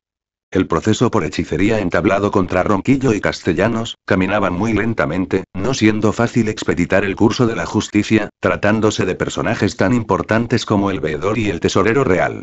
Los reyes indios ardían en deseos de verse libres. Pero los conspiradores no estaban de acuerdo en algunos puntos, indispensables para poder llevar a cabo la evasión de los prisioneros. Portocarrero y doña Leonor se amaban cada día más, y el licenciado de la cueva se desesperaba al ver que sus más finos obsequios encontraban siempre una repulsa cortés, pero decidida, por parte de la hija del adelantado. Tal era la situación de las cosas, cuando una noche, regresando don Pedro de Portocarrero a su casa, después de haber visitado el cuartel de los arcabuceros, en una calle estrecha y excusada, oyó ruido de espadas que chocaban como si estuviesen riñendo varias personas. Apretó el paso el valiente capitán, y vio un grupo de cuatro hombres, de los cuales tres atacaban con vigor a uno solo, que se defendía con desesperación. Otro individuo, embozado hasta los ojos, animaba a los agresores, disfrazando la voz como para no ser conocido. Cuando se acercó Portocarrero, el sujeto que sostenía aquella lucha desigual, cubierto de heridas y extenuado por la pérdida de la sangre, había caído en tierra, impotente ya para defenderse. El embozado gritaba. Acabadlo, acabadlo, y los asesinos se disponían a ejecutar aquella orden, cuando la espada de don Pedro brilló en la oscuridad como un relámpago, descargando un terrible golpe sobre la cabeza a uno de los tres malvados, que iba a sepultar su daga en el pecho del caído. Sobrecogidos los asesinos con aquella aparición, quisieron huir, pero animados por el embozado y viendo que un solo hombre los acometía, cobraron ánimo y entraron en lucha con él. Pronto advirtieron que se las había con un hombre tan vigoroso como ágil y tan ágil como valiente. Paraba los golpes con la capa, que había enrollado en su brazo izquierdo, y acometía a los tres simultáneamente, tan sereno, como si luchase con un solo agresor. Portocarrero había herido ya ligeramente a dos de los asesinos. El tercero, más osado que sus compañeros, se lanzó con rabia sobre don Pedro, y logró alcanzarlo con la daga, que penetró en el costado izquierdo, cosa de tres pulgadas. Pero el aleve no quedó impune. La espada de Portocarrero atravesó de parte a parte el pecho de aquel hombre, que cayó en tierra moribundo. Visto esto por los otros, no pensaron ya sino en ponerse en cobro, y huyeron, dejando abandonado a su compañero, que expiró pocos momentos después. Portocarrero, aunque herido, acudió inmediatamente al hombre que yacía tendido a pocos pasos, y cuya vida acababa de salvar. Levantóle la cabeza y habiendo examinado sus facciones a la pálida luz de las estrellas, quedó asombrado, al reconocer al anciano Pedro Rodríguez. Graves sospechas se despertaron en el ánimo de don Pedro e instruida de lo ocurrido, dio providencias para conducir al herido, como también al cadáver del asesino. Hecho esto, Portocarrero se embozó en su capa, y caminando con trabajo, llegó a su casa y se encerró en su habitación. La servidumbre del caballero observó el rastro de sangre que había dejado desde la puerta de la calle, y alarmada, acudió, encontrando a don Pedro tendido en el suelo y sin conocimiento, en medio del dormitorio. Apresuróse a prestarle auxilios, y uno de los criados fue a llamar al cirujano. Pocos momentos después entraba en la habitación el célebre herbolario Juan de Peraza, a quien se encargó la curación de don Pedro de Portocarrero. Examinada la herida, declaró que no era mortal, pero sí de alguna gravedad, y que el enfermo requería el empeño más esmerado. Hizo la primera curación y ofreció volver frecuentemente. De la casa de Portocarrero, Peraza se dirigió al palacio del adelantado, de donde se le había llamado también para que asistiese al anciano Rodríguez. Las heridas de este eran mucho más peligrosas que las de don Pedro. El doctor lo conoció desde luego, sin pérdida de tiempo, comenzó la curación con actividad. Desde esa misma noche se tomaron medidas para averiguar los autores de aquel atentado. Pero todo fue inútil. El hombre cuyo cadáver se había encontrado en la calle, era desconocido. Rodríguez no estaba en actitud de declarar cosa alguna, y Portocarrero dijo que no conocía a los asesinos. La mayor angustia causó a doña Leonor la noticia de la herida de don Pedro. Pasó la noche en grande agitación y hasta la mañana siguiente, cuando fue informada de que no presentaba síntoma mortal, recobró algún tanto la tranquilidad. Interesándose, además, por la vida del fiel servidor de su padre, a quien Portocarrero era deudor de un señalado servicio, dispuso pasar personalmente a la habitación del buen anciano, con su amiga doña Juana.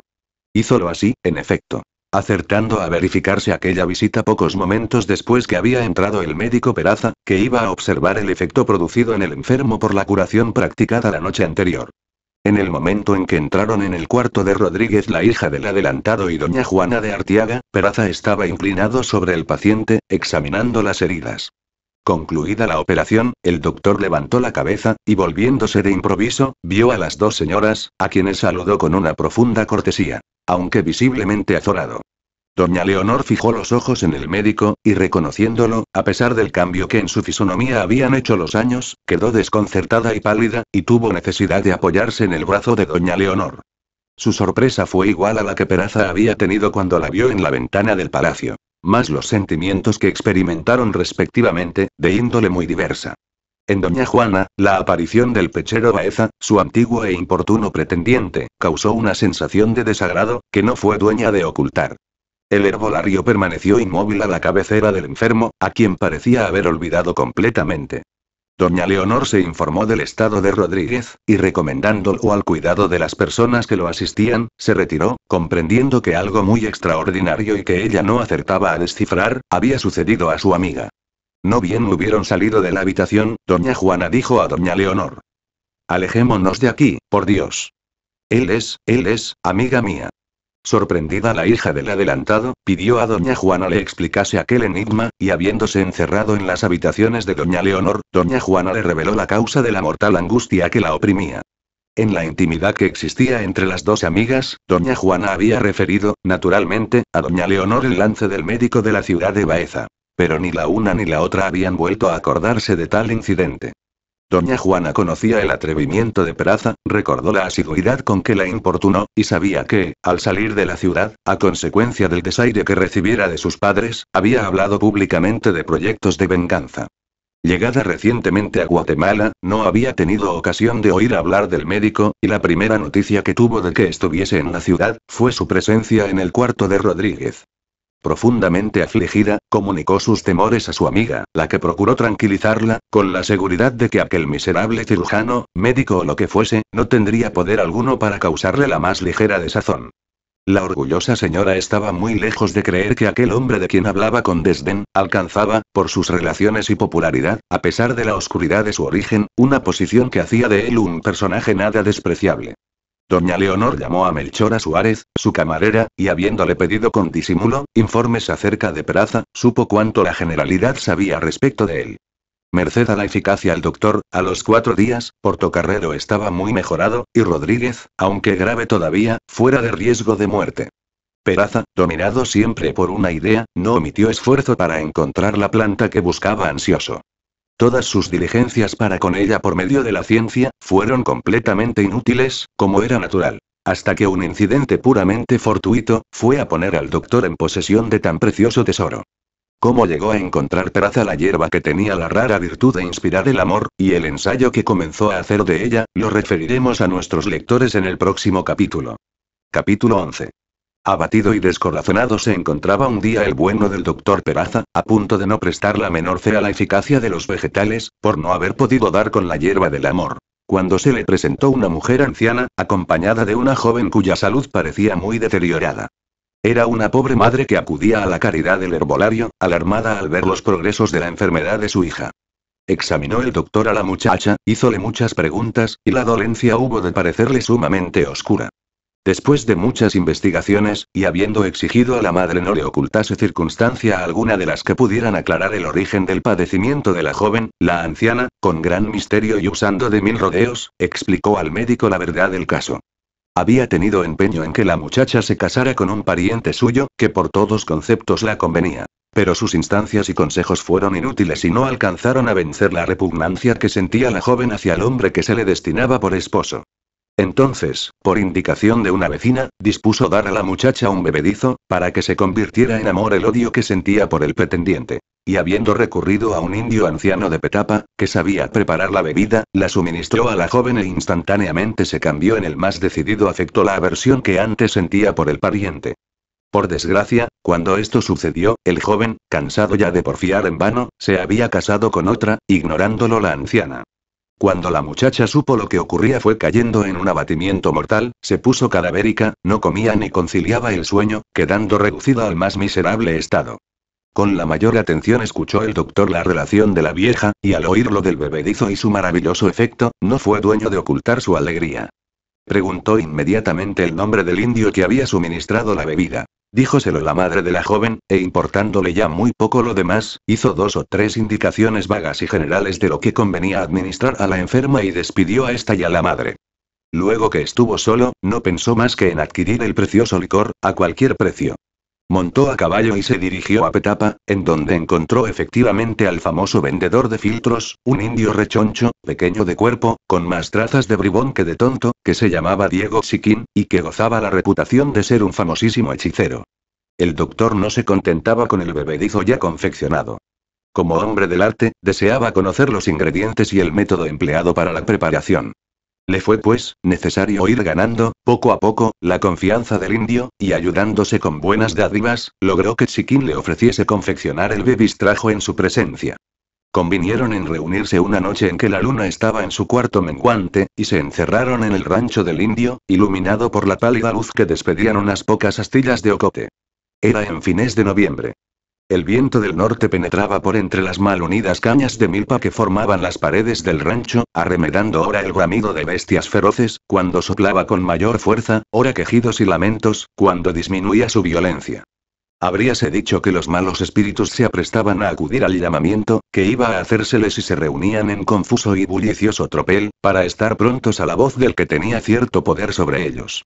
Siquina prestó sus hierbas, que examinó Peraza y reconoció ser venenosas. Hizo fuego con huesos de muerto, y colocó una olla pequeña con agua, encima de las brasas. Pronunció algunas palabras en su propio idioma y fue poniendo en la marmita los vegetales y algunas sustancias orgánicas. Sentáronse junto al fuego el herbolario y el fabricante de filtros y ambos permanecieron en profundo silencio, por largo rato, con los ojos fijos en la olla, esperando el cocimiento. Cuando comenzó el hervor, Sikin se puso en pie, con la cara hacia el oriente y pronunció conjuros y maldiciones, invocando, siempre en su idioma, el nombre de Caxtok. Retiró la olla, coló el líquido, sirviéndose de un lienzo negro con manchas rojas, y luego que hubo destilado un licor verdoso, llenó una pequeña redoma que puso en manos del doctor. Cuidó de advertirle que era indispensable que la persona que deseaba hacerse amar, vertiese por sí misma dos gotas del bebedizo en medio vaso de agua, la que se había de administrar, pronunciando ciertas imprecaciones que el crédulo herbolario tomó bien en la memoria, lo mismo que los otros conjuros empleados por el embustero Siquín. Peraza, recompensó generosamente al indio y volvió a la ciudad, tan contento como si hubiese encontrado la piedra filosofal. Lo primero que hizo fue buscar a Agustina Córdoba, a quien dio parte del famoso descubrimiento del filtro. La viuda, transportada de júbilo, instó al doctor para que cuanto antes diese el bebedizo a Portocarrero, lo cual era tanto más fácil, cuanto que don Pedro necesitaba aún, por su herida, los auxilios del médico. Llenó este una redoma de plata con agua, y habiendo hecho que Agustina aprendiese bien las palabras del conjuro, vertió ella misma, pronunciando aquellas palabras, dos gotas del verdoso licor en el agua de la redoma. Peraza se dirigió a casa de Portocarrero, y después de haberle tomado el pulso, dijo que, para apresurar la convalecencia, convenía tomase la bebida que contenía aquella redoma. Hízolo así don Pedro y el doctor se despidió ofreciendo volver, para observar los efectos de la medicina. La vigorosa constitución de Portocarrero no se resintió desde luego de la influencia nociva de aquel bebistrajo, que como hemos dicho, contenía sustancias venenosas, aunque en dosis sumamente cortas. Al siguiente día, cuando llegó Peraza, el enfermo no presentaba alteración notable. El doctor entabló conversación con él, y con astucia fue haciendo rotase de modo la plática que hubo ocasión de nombrar a Agustina Córdoba. Portocarrero guardó profundo silencio, lo que chasqueó al doctor, no permitiéndole averiguar si la bebida iba o no produciendo algún efecto. Continuó suministrándosela durante tres días, y el único resultado fue que el enfermo fuese cayendo en cierto entorpecimiento. El pulso era débil, la mirada indecisa y vaga y parecía coordinar las ideas con alguna dificultad. Entonces volvió Peraza a pronunciar el nombre de Agustina. Pero fue para que don Pedro mostrase el más profundo disgusto, y suplicase cortés pero seriamente al doctor, no volviese a nombrar en su presencia a aquella mujer. Esto, como debe suponerse, disgustó mucho al herbolario, que desde luego atribuyó la falta de éxito a la cortera de la dosis en que había sido suministrada la bebida. Proponíase, pues, duplicarla, a pesar de que no se le ocultaba el abatimiento físico y moral en que había comenzado a caer el enfermo. Pero antes de hacerlo, creyó oportuno volver a conferenciar con Chiquín, sospechando pudiese haberle ocultado alguna circunstancia esencial para que el filtro produjese efecto. Decidido a arrancar al indio todo su secreto, de grado o por fuerza, llenóse los bolsillos de oro y se armó con una daga. Chiquín, dijo al indio con aire severo. Me has engañado. Cuatro días hace que empleo el bebedizo, sin resultado alguno. Tú debes haber reservado alguna circunstancia que es indispensable para que esa bebida haga nacer el amor. Y no saldré de aquí sin que me hayas dicho todo lo que debe hacerse. ¿Quieres más dinero? Estoy pronto a dártelo. Pero también he resuelto emplear la fuerza para arrancarte ese secreto, que es necesario a mi felicidad. Señor padre, contestó el anciano con humildad. La bebida que te di es la misma que he dado a otras muchas personas y siempre ha producido buen efecto. ¿Cuidaste de hacerlo todo como yo lo dije? Todo se ha hecho con la mayor exactitud, replicó el doctor. El indio permaneció un rato pensativo. Y de repente, como si hubiese tenido una súbita inspiración, preguntó a Peraza. ¿No has visto si por casualidad tiene la persona a quien se ha dado la bebida alguna santa reliquia sobre su cuerpo? El doctor recapacitó, y dándose una palmada en la frente, dijo. Cierto. Un Agnus Dei de oro. Al examinar la herida de don Pedro, el doctor había visto el relicario remitido por doña Leonor. Pues no preguntes ya, dijo el indio con seguridad, en qué consiste que la bebida no produzca su efecto. Es necesario quitar esa reliquia a la persona y luego volver a darle la medicina. Entonces, con mi cabeza te respondo del resultado. Lleno de gozo el herbolario por haber desatado el nudo de la dificultad, recompensó generosamente al indio, y sin pérdida de tiempo volvió a la ciudad, combinando los medios de que había de valerse para despojar a Portocarrero del relicario. Acudió inmediatamente a visitarlo y lo encontró con calentura y abatido física y moralmente. La servidumbre del caballero estaba en el dormitorio, y así el médico no pudo ejecutar su proyecto. Al despedirse, recomendó un absoluto reposo y tranquilidad que se dejase solo a don Pedro el mayor tiempo que fuese posible. Alarmados los criados de Portocarrero, cumplieron aquellas disposiciones al pie de la letra y dejaron al enfermo solo una gran parte del día. En uno de esos ratos llegó el doctor y acertó a entrar hasta la cámara de Portocarrero, sin encontrar a persona alguna. Don Pedro, pálido, extenuado, parecía dormir, con ese sueño agitado que produce la fiebre. Escapábansele frases entrecortadas y palabras sin sentido, tales como torneo, asesinos, ronquillo, el maleficio, Leonor. Sonriendo con tristeza al pronunciar este nombre. Peraza se acercó a la cama sin hacer el más ligero ruido. Descubrió el pecho a don Pedro y vio que allí estaba el relicario. Con mucho cuidado fue levantándolo poco a poco la cabeza, y quitándole la cadena de la cual pendía el agnus. El enfermo parecía sufrir mucho en aquel momento, como si hubiese podido alcanzar intuitivamente lo que hacía el pérfido herbolario. Con voz lenta y apagada, dijo: Agnus, Leo, Nor. Y levantó la mano hacia el pecho, como buscando la santa reliquia. Tal fue la impresión que experimentó al no encontrarla, que despertó sobresaltado, y recorrió con ojos extraviados toda la habitación. Estaba completamente solo. Pues el médico había desaparecido. Don Pedro, aunque muy débil, se lanzó fuera de la cama, y saliendo del dormitorio, llamó a la servidumbre. Acudió esta alarmada, al ver aquel semblante cadavérico, en el cual luchaban la expresión del abatimiento con la de la desesperación. El relicario. El relicario. Gritó Portocarrero. ¿Qué se ha hecho del relicario? Los criados se veían unos a otros sin comprender lo que decía su amo, y tomando Aquellas palabras como hijas del delirio de la calentura. ¿Quién ha entrado, aquí? Dijo don Pedro con voz temblorosa. Nadie, contestaron los criados. Dormíais y aguardábamos que llamaseis. Permaneciendo lejos, por no molestaros. Desgraciados. exclamó Portocarrero, me habéis abandonado y Satanás se ha apoderado de mi tesoro, de mi felicidad, de mi única defensa. Maldición. Y diciendo esto, no pudiendo resistir aquel violento esfuerzo, cayó en el suelo sin sentido. Acudieron en el acto a casa del doctor, quien muy tranquilo, aguardaba aquel llamamiento, seguro de la impresión que causaría al enfermo la pérdida del relicario. Tomó la redoma de plata que contenía el malhadado filtro, y siguió al criado de Portocarrero. Encontró la calentura muy exacerbada. sin embargo, de lo cual, impaciente por ver el resultado del bebedizo, removido ya el obstáculo a que atribuía en su credulidad, el ningún éxito de la pócima, le presentó la redoma. Don Pedro la apartó de sí con disgusto y dijo al doctor, de la manera más terminante, que deseaba morir y no tomaría ya medicina alguna. Peraza instó repetidas veces, pero todo fue en vano. Nadie pudo hacerle tomar una sola gota de aquel licor. Desesperado el médico, fuese a casa de Agustina Córdoba y le refirió lo que pasaba. Esta, después de haber reflexionado un momento, dijo al doctor le entregase el relicario y que quizá por medio de aquella alhaja ella lograría lo que no había podido obtenerse antes.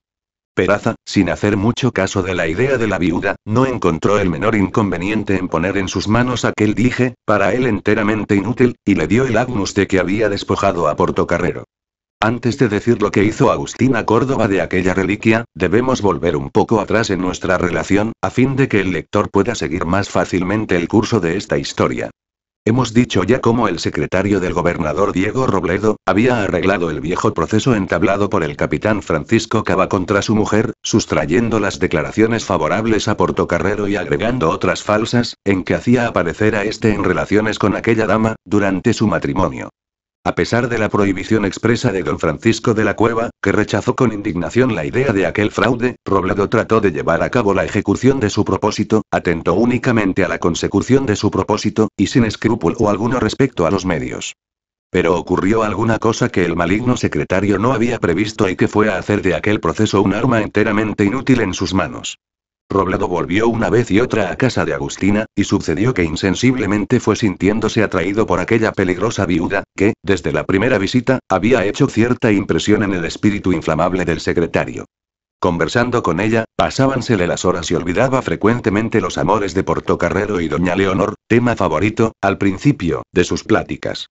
Agustina conoció desde luego el efecto que causaron sus gracias en el corazón de don Diego, y desplegó todos los recursos de la más refinada coquetería, con el secretario del gobernador, ya por un instinto de su índole perversa, ya por cálculo, visto el provecho que podía sacar de un galán tan importante como Robledo.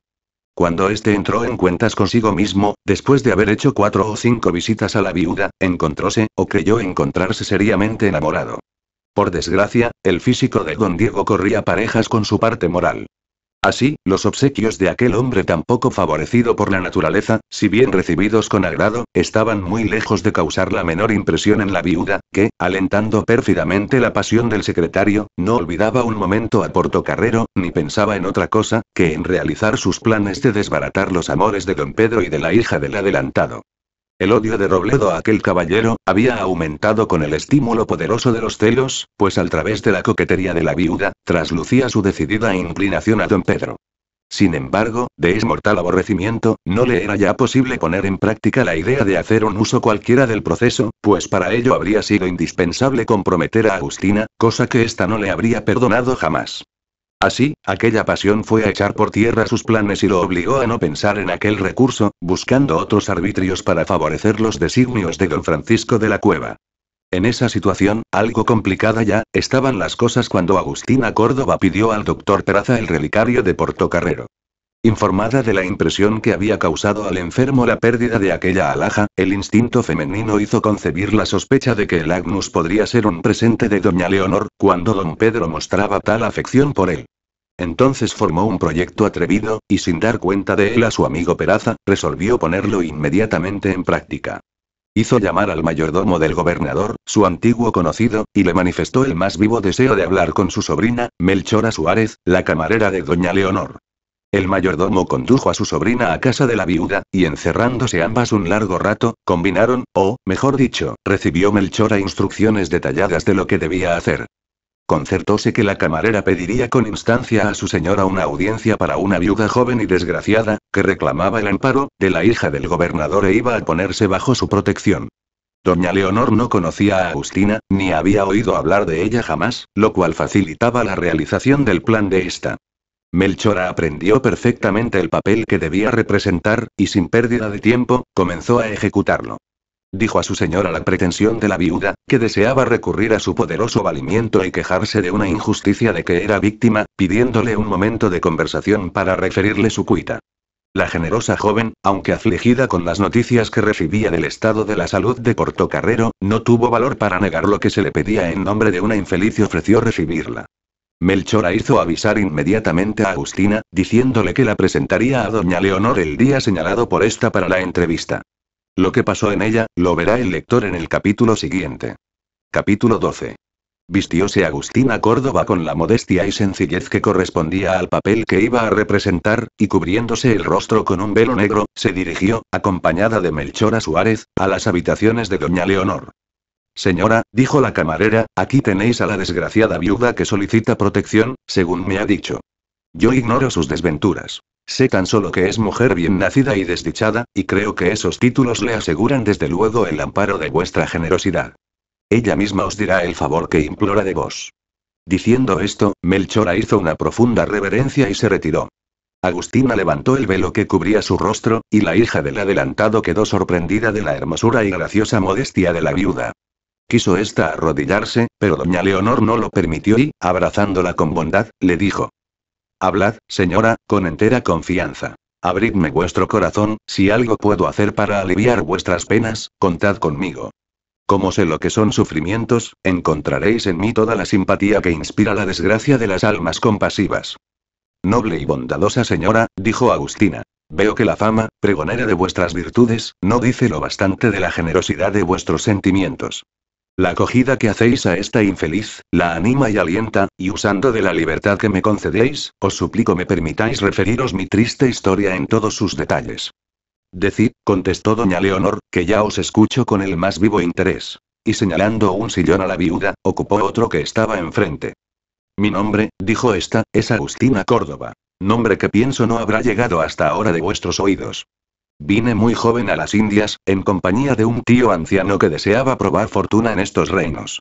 Desgraciadamente, aquel hombre, que después de Dios, era mi único apoyo en este mundo, no pudo resistir lo recio del clima de las costas, donde nos establecimos, y murió a poco tiempo de nuestra llegada, dejándome sola y desamparada en tierra extraña. Al decir aquellas palabras, la astuta viuda hizo como que enjugaba una lágrima, y luego prosiguió. Entonces yo era joven y las desventuras no habían marchitado mi rostro como hoy. Varios caballeros solicitaron mi mano. Mi corazón prefirió al capitán Francisco Cava, uno de los campeones que ayudaron a vuestro ilustre padre a ganar estos reinos. En efecto, dijo doña Leonor, he oído en otro tiempo hablar del capitán Cava como de uno de los más fieles y valerosos tenientes de mi padre. Mas cuando yo vine por primera vez a Guatemala, pienso que no estaba casado. No lo estaba ciertamente, contestó Agustina. Estabais vos en México cuando vine a ser esposa del capitán. El cielo no quiso que yo gozara por mucho tiempo la felicidad, a que sin duda no era acreedora. Y a poco de estar casada, mi marido fue atacado de una calentura perniciosa, de la cual murió.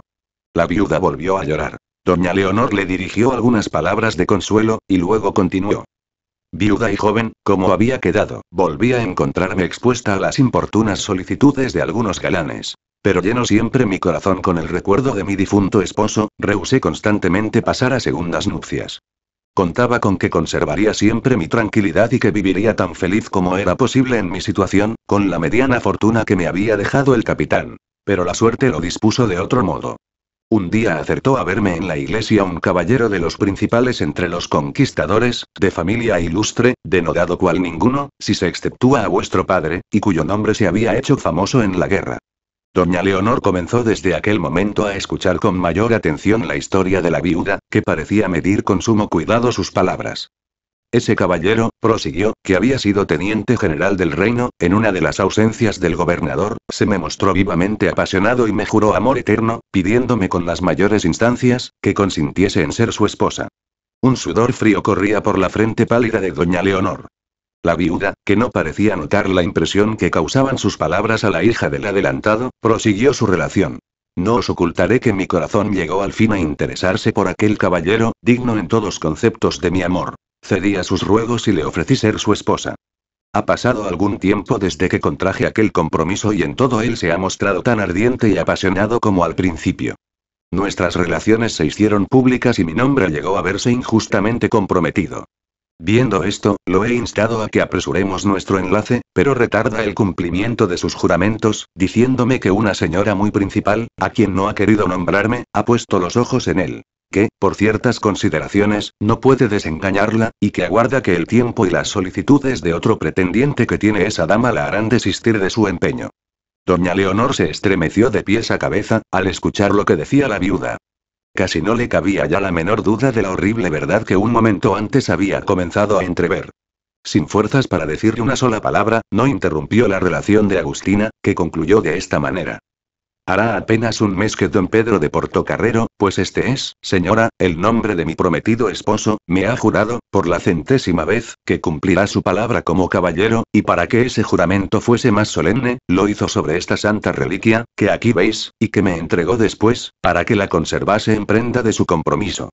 Al decir esto, Agustina sacó del seno el Agnus Dei que le había entregado el médico Peraza, y agregó, mi solicitud, señora, es que inclinéis a vuestro ilustre padre, a que interponga su influencia, a fin de que se me cumpla lo ofrecido.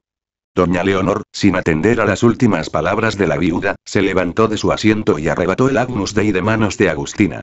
Temblando como la hoja de árbol que agita el vendaval, examinó la reliquia, y cuando estuvo plenamente convencida de que era efectivamente la que ella había enviado a Portocarrero, lanzó un grito penetrante y cayó en el sillón sin conocimiento.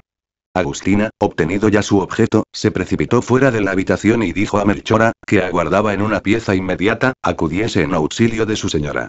La viuda volvió a cubrirse con su velo y salió del palacio, en tanto que Melchora llamaba a las otras criadas de doña Leonor. Cuando ésta volvió en sí, lo primero que hizo fue dar orden de que avisaran a doña Juana, que acudió inmediatamente y se sorprendió mucho al ver la situación en que se hallaba su amiga. Doña Leonor dijo a sus criadas que se retirasen, y luego que estuvo sola con doña Juana, la hija del adelantado dio rienda suelta a su dolor y su aflicción, refiriendo, entre sollozos y lágrimas, la conversación que acababa de tener con Agustina Córdoba. Estupefacta doña Juana, apenas podía creer tanta perfidia, y solo tocando con sus manos y viendo con sus ojos el relicario, se convencía de la traición de Portocarrero. En su inocente sencillez, las dos jóvenes ni sospecharon aún que todo aquello fuese una intriga pérfida. Una y otra creyeron sin reflexión la historia de la viuda, y resolvieron no decir a nadie una sola palabra de aquel incidente, proponiéndose la desgraciada y altiva doña Leonor devorar en silencio su pena y olvidar si le era posible, al ingrato portocarrero. Su delicada organización no pudo resistir tan violentas emociones, y al caer la tarde, la infeliz doncella era presa de una aguda fiebre. El adelantado, doña Beatriz y don Francisco de la Cueva, acudieron inmediatamente a la habitación de doña Leonor, y se dispuso llamar sin pérdida de tiempo al doctor Peraza que pasaba por ser el mejor médico de la ciudad. Acudió el herbolario, que ignoraba, como ya hemos dicho, el paso dado por Agustina. Después de haber examinado a la enferma, comprendió que el mal era de alguna gravedad. Administróle desde luego una copiosa sangría y prescribió el método que debía seguirse con la mayor exactitud. Doña Juana cuidó de mantenerse oculta tras la cortina de damasco que formaba el pabellón de la cama, y Peraza no pareció advertir su presencia en la habitación. Siete días pasó la familia del adelantado en la mayor angustia, pues doña Leonor se vio realmente a las puertas del sepulcro. Al séptimo, el mal hizo crisis y la naturaleza, ayudada por las medicinas, triunfó de la enfermedad. Durante aquella semana, la enferma cayó frecuentemente en el delirio. Pero, aunque nombró muchas veces a Portocarrero, no se le oyó una sola expresión de queja o de reproche. Así, el secreto de la verdadera causa de la dolencia continuó religiosamente guardado por las pocas personas que tenían conocimiento de él. Entretanto, Portocarrero, firme en su resolución de no tomar las pócimas del doctor, había ido restableciéndose, aunque sin dejar de experimentar las consecuencias del malhadado filtro. Estaba pálido y enjuto. Sus grandes ojos negros habían tomado una expresión extraña, y de vez en cuando agitaba toda su máquina un temblor nervioso. Llevábase la mano como distraído al cuello y al pecho, cual, si buscase algún objeto, y al dejarla caer con desaliento, dos gruesas lágrimas rodaban por sus mejillas, al mismo tiempo que una sonrisa vaga y triste entreabría sus cárdenos labios. El desdichado caballero había caído en una especie de monomanía. Peraza no dejó de conocer que las sustancias venenosas empleadas en la confección del filtro y la violenta emoción que había sufrido el ánimo de don Pedro, al encontrarse privado de la alhaja por la cual manifestaba tanta afección, eran la causa del estado en que éste se hallaba. Sin embargo, preocupado con la idea de la eficacia del bebedizo, escribió un apuntamiento o anotaciones en que hizo constar la historia de la muchacha en quien el filtro había producido el amor y consignó los resultados del ensayo hecho en Portocarrero, que atribuía al relicario y al no haber querido después don Pedro tomar la bebida. Escrito que, cerrado y sellado, guardó cuidadosamente en el fondo de su papelera. Peraza había procurado, en vano, ver a doña Juana en el palacio del gobernador, en las repetidas visitas que hacía a los dos enfermos puestos a su cuidado. La joven ponía particular estudio en no encontrarse en la habitación de doña Leonor cuando estaba allí el médico, que se desesperaba advirtiendo la tenacidad con que huía de él aquella dama. Doña Juana espiaba desde su habitación la salida del doctor, y luego que éste se retiraba, volvía a ocupar su puesto a la cabecera de la cama de la enferma. Cansado el herbolario de aguardar en vano, resolvió una noche ver y hablar a doña Juana, y para conseguirlo, se valió del más sencillo estratagema. A la hora en que acostumbraba a despedirse, salió de la cámara de doña Leonor, y se dirigió a la puerta que daba a la calle. Pero, repentinamente, y como si hubiese olvidado alguna advertencia importante respecto a la enferma, retrocedió con precipitación. Como lo había calculado al llegar a la puerta del dormitorio de doña Leonor, encontróse frente a frente de doña Juana, en una espaciosa galería, débilmente alumbrada por la luz de una lámpara, que ardía delante de una imagen de la Virgen, colocada en un nicho abierto en la pared. La joven, aterrorizada, quiso huir. Pero no tuvo fuerzas para moverse del sitio en que permaneció. Peraza contempló un momento aquella figura encantadora y le pareció más bella aún bajo la expresión del terror que revelaba su rostro. Doña Juana, dijo al fin, con voz entrecortada por la emoción. ¿Por qué os empeñáis en huir mi presencia? ¿No veis que no sin algún designio os ha traído el destino en pos de mí al través de los mares? Don Juan, contestó la joven un tanto recobrada ya de su primera impresión. Bien sabéis qué motivos poderosos me obligan a evitar vuestra presencia. Respetadlos y no insistáis en verme ni en hablarme. Diciendo esto, la joven quiso retirarse. Pero el herbolario, fuera de sí, la tomó por un brazo, y poseído de rabia, exclamó. No. No te marcharás sin escucharme.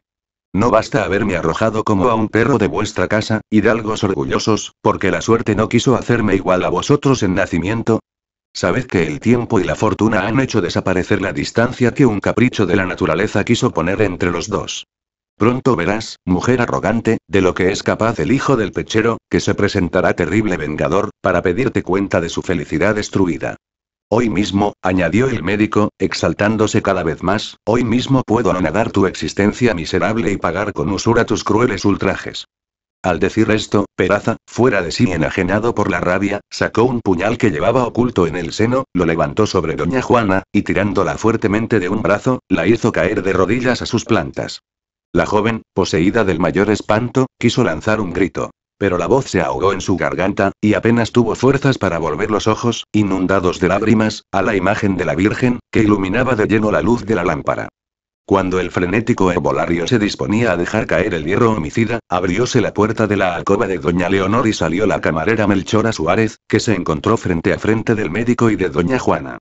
Peraza soltó a la joven y dirigiéndose a la camarera, con un movimiento rápido, le presentó el puñal con una mano y con la otra le alargó un bolsillo lleno de oro, diciéndole con voz terrible.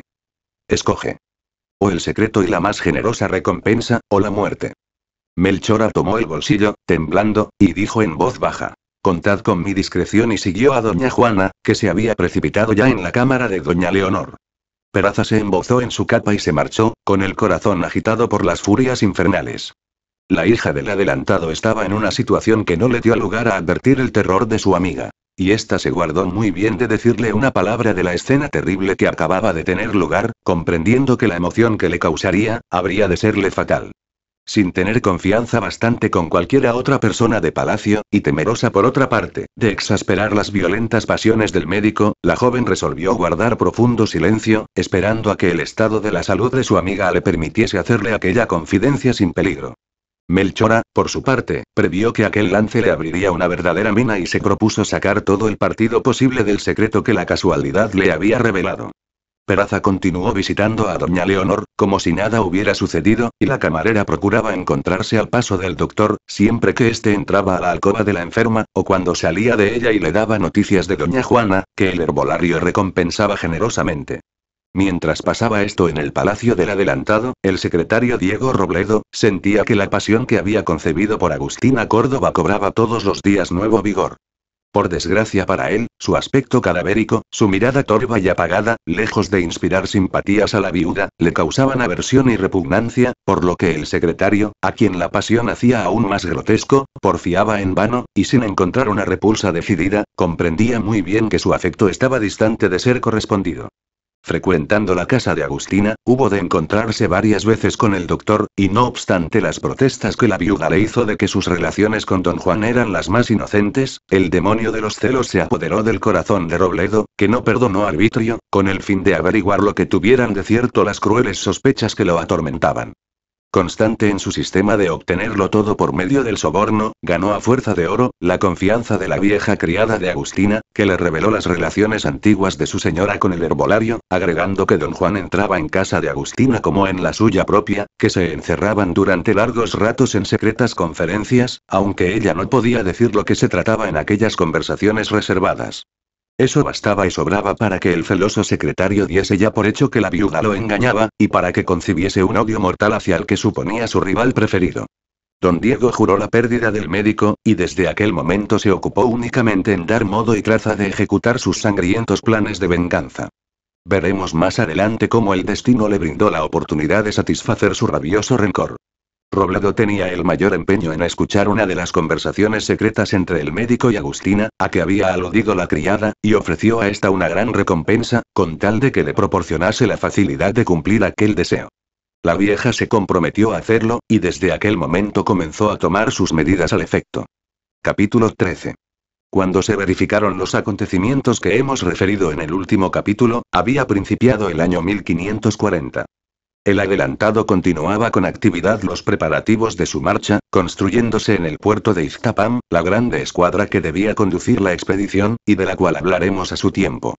Entretanto los enemigos del gobernador no descansaban activando sus planes, en los cuales estaban comprometidos, como hemos dicho, varios caballeros y funcionarios públicos. Los conspiradores se guardaban, por supuesto, de los allegados a don Pedro, y particularmente del secretario, a quien aborrecían y que tenía grande interés en la conservación del gobierno del adelantado, a quien debía su posición y con quien contaba para conservarla. Robledo, como todos los amigos de Alvarado, sabía perfectamente que el tesorero real, Francisco de Castellanos, el contador Zorrilla, el veedor Ronquillo y otros trabajaban activamente contra Alvarado pero ignoraba la existencia de una vasta y ramificada conspiración en la cual estaban comprometidos aquellos y otros sujetos, que contaban con 17 reyes o caciques indios, además los dos prisioneros Sinakam y Sekechul, que debían en el momento preciso, ponerse a la cabeza de la insurrección. El médico Peraza era, aunque sin parecerlo, el verdadero jefe de los conjurados.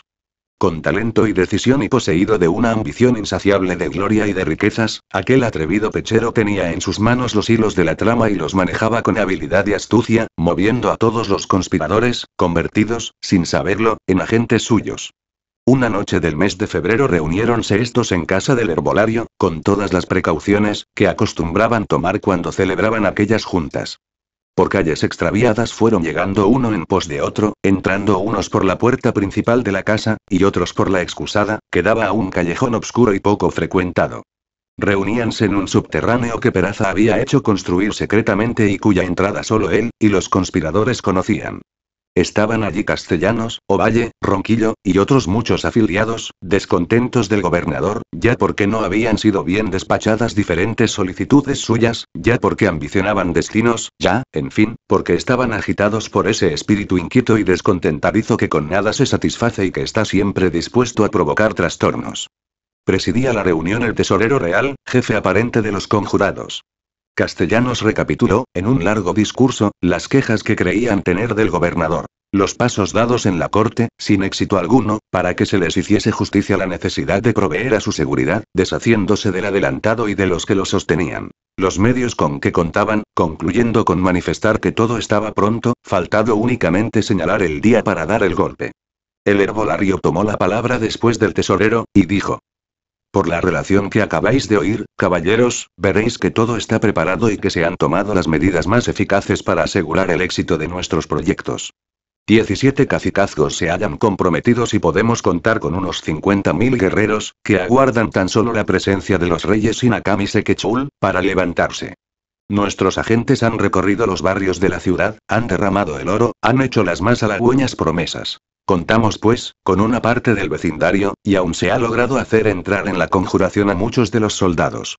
El gobernador está enteramente ocupado en el proyecto ambicioso y loco de organizar una expedición para emprender nuevas conquistas. Portocarrero ha quedado tan débil de cuerpo y de espíritu después de su última dolencia, que poco puede hacer en favor del adelantado. El licenciado de la cueva ambiciona la tenencia y trabaja activamente para obtenerla, sin pensar más que en esto y en su desgraciado proyecto de matrimonio con la hija del gobernador. Los demás capitanes que aún permanecen adictos a este, o lo abandonarán en el momento de la lucha, cansados como lo están de sus tiranías y rapiñas, o serán impotentes para defenderlo. La ocasión no puede ser tan favorable. Preciso es aprovecharla. Acordaos de que suele decirse que la fortuna ayuda a los audaces. Resolvámonos y combinemos desde luego el día y la manera de libertar a los dos monarcas prisioneros.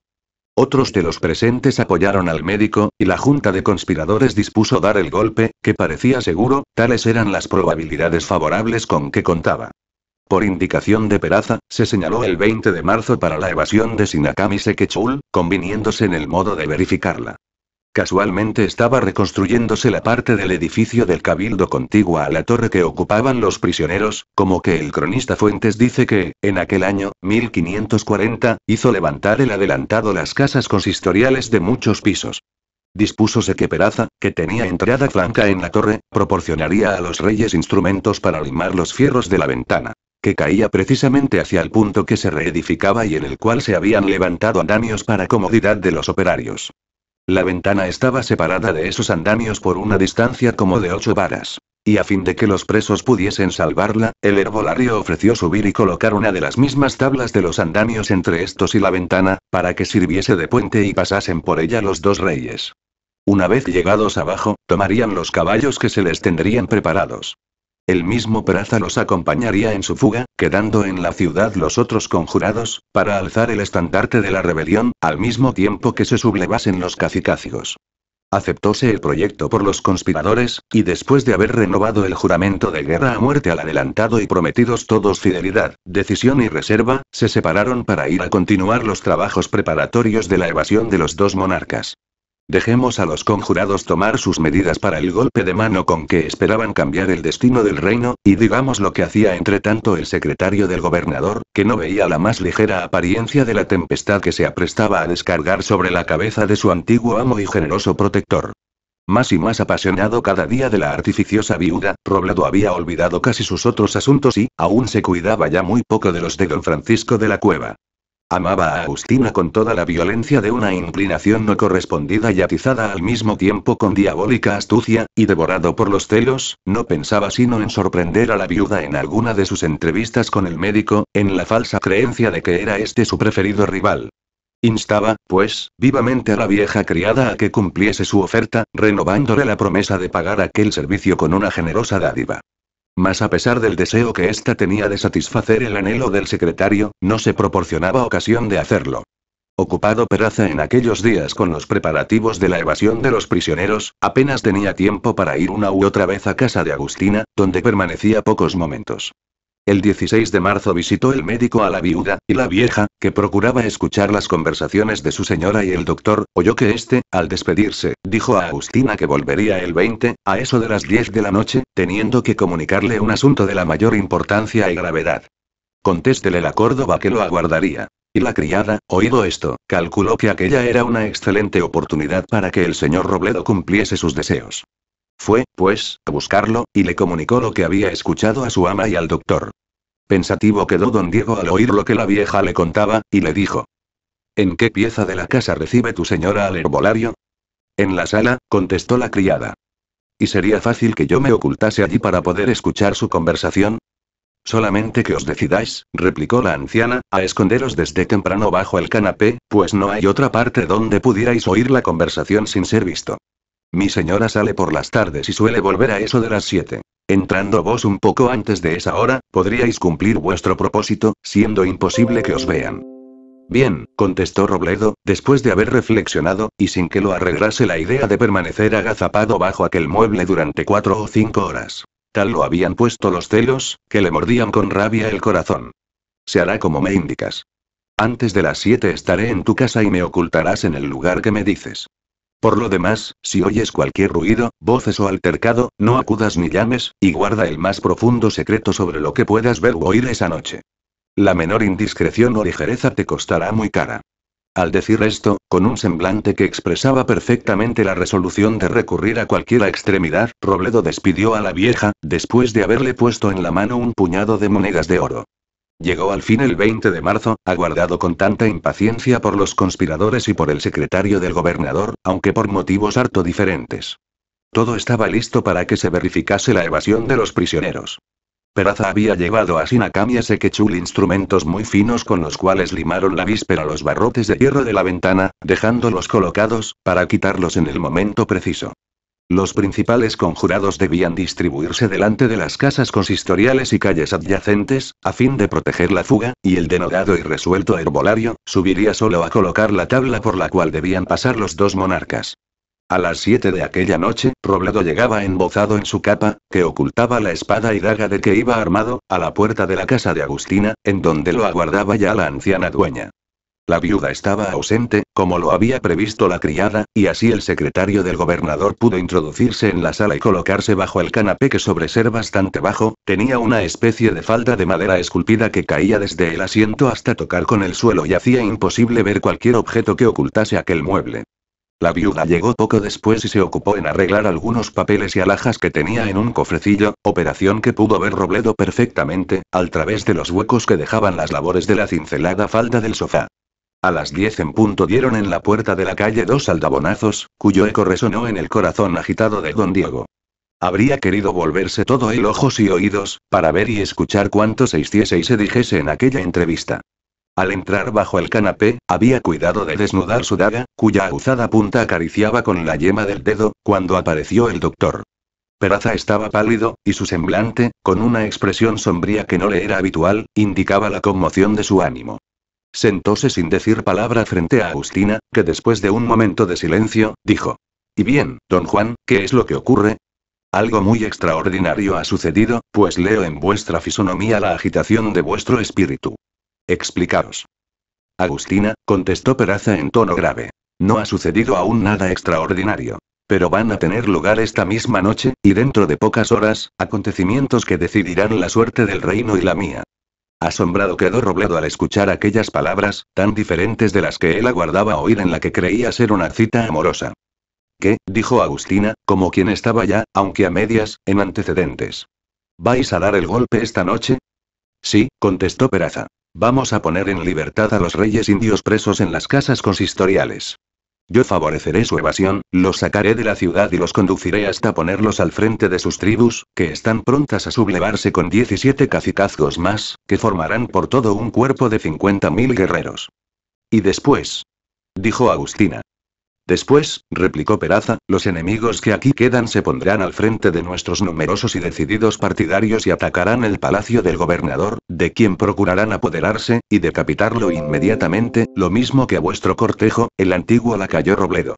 Entretanto, yo embestiré la ciudad a la cabeza de los indios. El corazón de Robledo palpitaba con violencia y un sudor frío comenzó a inundar su frente. No que lo hubiese atemorizado la inesperada revelación que acababa de escuchar, pues aquel hombre no contaba entre sus defectos la pusilanimidad, sino que temblaba a la idea de no tener tiempo de frustrar los planes de los conjurados. Estuvo a punto de resolverse a salir y matar al médico allí mismo. Pero reflexionó y prefirió aguardar a que acabase de explicar los pormenores del complot, con esperanza de que mencionase los nombres de los otros conjurados. Pero aquella esperanza se frustró. El herbolario dijo únicamente cuáles eran los pueblos con cuyos caciques se contaba, refirió otros pormenores poco importantes del plan y cayó los nombres de los demás comprometidos, quizá por ser ya conocidos de Agustina. Después de haber hecho aquella relación, añadió Peraza. Amiga mía, os he iniciado en el grave secreto de los importantes acontecimientos que van a tener lugar desde esta misma noche. Ahora, réstame pediros un favor y es el objeto principal con que os he dado cita para esta conversación. Decid, don Juan, contestó la viuda. Sabéis que podéis contar con mi amistad. Gracias, Agustina. Lo sé, y en esa confianza os entrego esta llave, que encierra mis papeles de familia y otros documentos importantes. Si, lo que no espero, fracasa nuestro proyecto y me veo obligado a huir, acudiréis a mi casa, abriréis mi papelera y tomaréis un paquete atado con una cinta verde. Es una memoria en que están consignadas mis observaciones sobre el filtro que tiene la virtud de inspirar el amor. Allí está explicada la manera de administrarlo y por qué no produjo sus efectos naturales en don Pedro de Portocarrero. Tomaréis esos papeles y la redoma, que encontraréis allí también y contiene el precioso licor. Haced de uno y otro el uso que más os plazca. Encontraréis otro paquete atado con un cordón azul, cerrado y sellado. Contiene mis papeles de familia. Suplícoos que, si muero, lo arrojéis al fuego sin abrirlo. Diciendo esto, Peraza, no poco conmovido, se levantó y se despedía ya de Agustina. Pero ésta lo detuvo, y le dijo. Don Juan, cumpliré con exactitud vuestras recomendaciones, si llegaré el caso desgraciadamente. Pero no creo que así suceda. Vuestras disposiciones están perfectamente tomadas y pienso que el éxito más feliz coronará la empresa. Ahora, oíd una idea que me ha ocurrido. Deseo acompañaros esta noche y ayudar a la evasión de los prisioneros. Vos, Agustina. Dijo Peraza, sorprendido. ¿Vos queréis ir a mezclaros con los conjurados? ¿Y por qué no? Tengo valor para eso y para mucho más, y sabéis que mi espíritu se complace en el peligro y en los lances aventurados. Así, estoy resuelta a ir con vos y voy a vestir un traje completo de caballero, que me ha servido ya otras veces. Aguardadme, que pronto estoy de vuelta. Dicho esto, y sin dar tiempo a que Peraza le hiciese nuevas observaciones, entró Agustina en su alcoba, dejando al médico asombrado de aquella resolución atrevida y extravagante. Robledo, que lo había escuchado todo, pensó de nuevo si le convendría salir y asesinar al doctor. Pero anhelando siempre descubrir a los otros conjurados, que sin duda se retirarían si veían que no llegaba Peraza a la hora convenida, resolvió no moverse y dejar correr las cosas, calculando que saliendo inmediatamente después que el médico y Agustina, tendría tiempo sobrado para impedir la evasión de los prisioneros y capturar a todos los conspiradores. Aguardó, pues, con paciencia el desenlace de aquel drama. Agustina no tardó mucho en presentarse completamente transformada en un bizarro caballero. Vamos, dijo a Peraza. Son las once, tenemos aún una hora. El médico quiso todavía disuadirla de su empeño. Pero viendo que nada lograba, tomó su partido y salió de la sala, seguido de la disfrazada viuda. No bien hubo oído Robledo el golpe de la puerta de la calle que cerraron Peraza y Agustina, salió con presteza de su escondite, y tropezó con un objeto pequeño que llamó su atención. Era la llave de la papelera del herbolario, que Agustina había dejado caer al suelo, y que no recogió por olvido. Apoderóse de ella don Diego, y se dirigió a la puerta de la calle, a toda prisa. Tiró del cerrojo, quiso abrir, pero inútilmente. La viuda había tenido la precaución de dejar asegurada la casa, y había echado la llave. El secretario bramó de coraje, y dio voces a la criada, que acudió inmediatamente. Una luz. Gritó Robledo, trae una luz. Llegó la vieja una bujía. Robledo vio que la puerta estaba con llave, y en su impaciencia quiso romper la cerradura con la punta de su daga. Empeño inútil. El arma saltó hecha pedazos. Don Diego cerró los puños y dio con ellos un golpe formidable a la puerta, que ni aún se conmovió. Visto lo cual, gritó desesperado. Todo se ha perdido. Maldición. Capítulo 14. Mientras el pobre Robledo bramaba de coraje, al ver que la viuda lo había dejado preso, sin pensarlo, en aquel momento decisivo, ella y su compañero se dirigían hacia las casas consistoriales encontrando en diferentes puntos escalonados a los conspiradores, que habían acudido a cubrir los puestos que se les asignaran.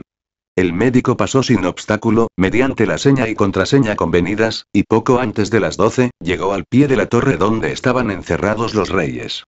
Dos embozados aguardaban allí, con tres caballos enjaezados. Peraza les habló en voz baja y los despidió, enviándolos a cubrir una esquina inmediata, y confió el cuidado de los córceles al fingido caballero que lo acompañaba. Despojóse de su capa y de su espada, para estar más ligero, y conservó solamente una daga. Enseguida, comenzó a trepar por los andamios poco a poco, procurando a tientas afianzar bien los pies, pues la noche era obscurísima y la altura a que debía subir como de 20 varas. Llegó al fin a la cima sin contratiempo alguno. Con la daga cortó las cuerdas que ataban una tabla y la colocó entre la ventana y el andamio. Dio un ligero silbido, e inmediatamente desaparecieron los barrotes de la ventana de la torre, y salió el joven Sekechul, precediendo a su anciano compañero, a quien daba la mano, para ayudarlo a pasar el improvisado puente. Sin decirles palabra, Peraza fue descendiendo como una culebra, seguido de los dos reyes. Habrían bajado unas diez varas, cuando se oyó a lo lejos un fuerte y agudísimo silbido, como el que se da con un silbato de metal. Peraza se estremeció, y dijo a sus compañeros. Apresuraos, que hay novedad. Ese silbido es un aviso que nos da alguno de nuestros centinelas avanzados. No había acabado el doctor de pronunciar aquellas palabras, cuando resonó otro silbido aún más fuerte y más próximo, seguido de otro y otro, que no dejaron ya al médico la menor duda de que estaban descubiertos. Sin desalentarse, resolvió tentar a la fortuna, y ver si aún podían escapar. Bajad deprisa, exclamó, no perdáis momento, nos va la vida en ello. Cuando dijo esto, ya tocaba el suelo con los pies. Sekechul estaba a unas cinco varas de distancia. Pero Sinakam, que descendía con más dificultad, se hallaba a diez varas de la tierra. El anciano quiso bajar apresuradamente, puso un pie en falso, perdió el equilibrio y cayó a plomo, tendido a los pies de Peraza. El rey lanzó un agudo grito. Se había fracturado una pierna. Viejo imbécil. Dijo el doctor. Va a ser causa de que caigamos en poder de esos malvados. Quiso levantarlo para hacerlo montar en un caballo, pero el desgraciado exhaló las más lastimosas quejas. El médico vio que era imposible moverlo y dijo a Sekechul. Es necesario abandonarlo. Huyamos. Oigo el rumor de los que se acercan a prendernos. No, contestó el joven Quiche con tranquilidad. Huye tú y sálvate. Yo seguiré la suerte de mi compañero. Y se sentó resueltamente al lado de Sinakam. Pues quedad con todos los diablos, dijo el doctor impaciente, y montando en un caballo, mientras Agustina subía en otro, echó a correr seguido de la viuda. No habían andado 50 pasos, cuando se encontraron frente a un pelotón de arcabuceros, que gritaron alto. Apuntando sus armas al pecho de los fugitivos. Peraza vio que era inútil toda resistencia, apeóse del caballo, lo cual hizo también la viuda acercándose al que mandaba la partida de tropa, dijo. Estamos rendidos. Haced de nosotros lo que más os plaza. Conducid a estos hombres, dijo entonces el que iba a la cabeza de los arcabuceros. Al oír aquella voz harto conocida del médico y de Agustina, exclamaron ambos asombrados. Robledo. ¿En dónde están esos perros indios? dijo el secretario del gobernador, dirigiéndose a Peraza. Allí, contestó el herbolario con indiferencia, al pie de los andamios. Robledo envió diez soldados a prender a los reyes y los condujeron, llevando entre cuatro a Sinacam, que bramaba de dolor. Caminad, dijo Robledo, haciendo que se adelantasen los que conducían a los caciques, quedándose él atrás con el doctor y la disfrazada viuda.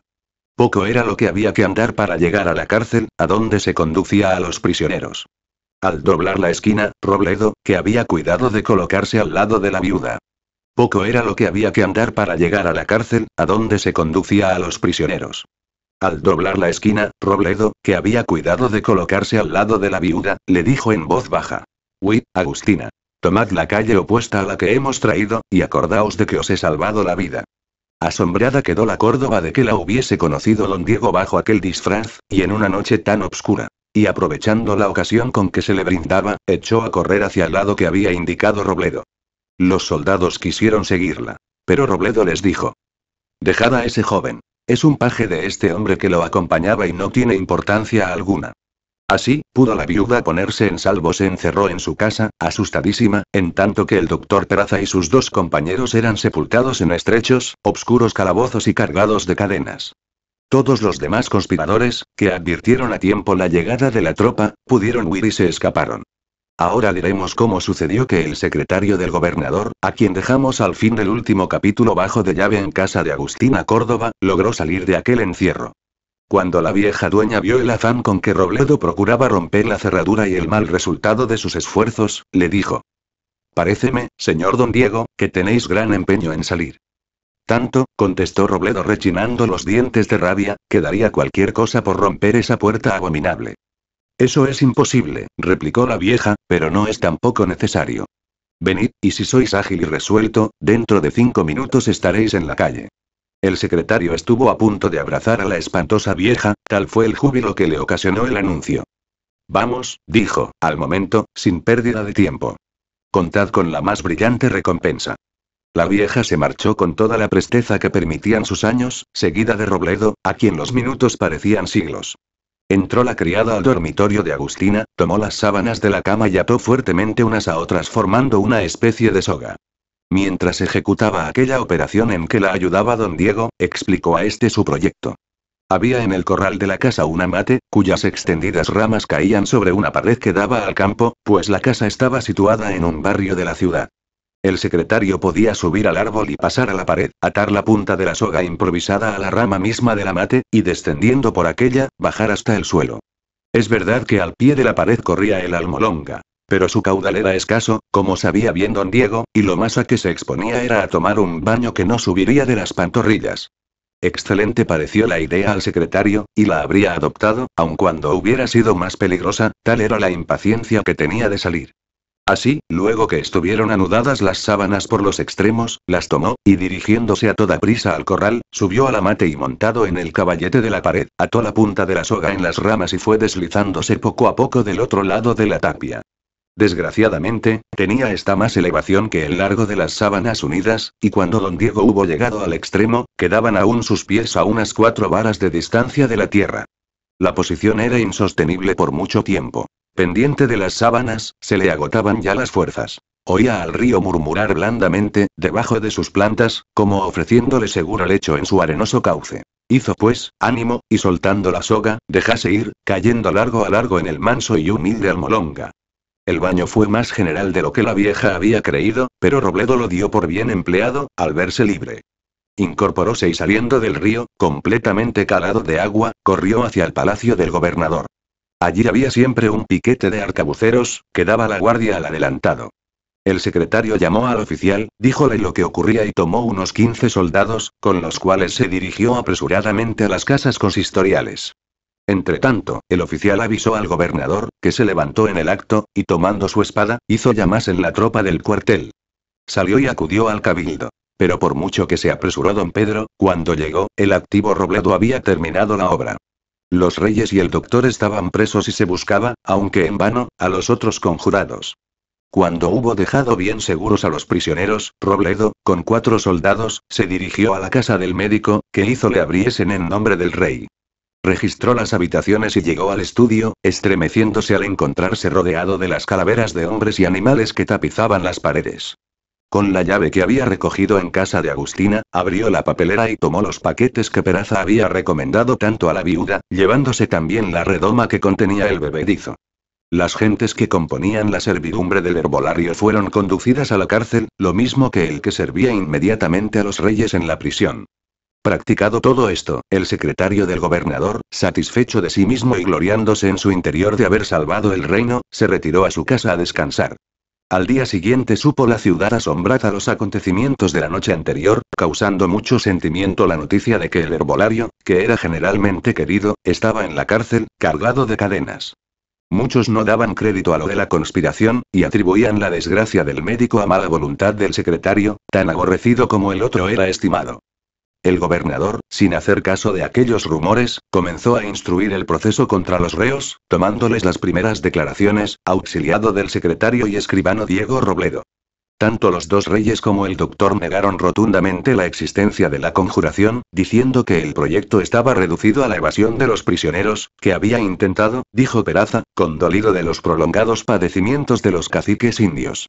Estos, por su parte, sostuvieron que ignoraban si el herbolario contaba con otras personas para favorecer su fuga, no sabiendo tampoco si sus planes se extendían a más. Y que, brindándoseles la libertad, la habían aceptado. Inútiles fueron las tentativas que en los días subsiguientes se hicieron para averiguar los nombres de los otros españoles comprometidos en el complot, visto lo cual, se dispuso a apelar al tormento, conforme a la ley y a la costumbre, exceptuándose al viejo Sinacam, cuya situación no permitía se le sujetase a aquella prueba cruel. El día 25 de marzo, entró el adelantado en la cárcel, seguido del escribano y del verdugo, e hizo sacasen a Perraza del calabozo, y que lo despojaran de sus vestidos. Se le colocó en el potro, fuertemente atado de pies y manos, y le envolvieron el cuerpo con cordeles. El verdugo comenzó la operación del tormento, apretando las cuerdas por medio de un tórculo. A cada vuelta, los cordeles penetraban más y más en las carnes del desventurado, que bramaba de dolor. Entretanto, el escribano asentaba impasible sus declaraciones.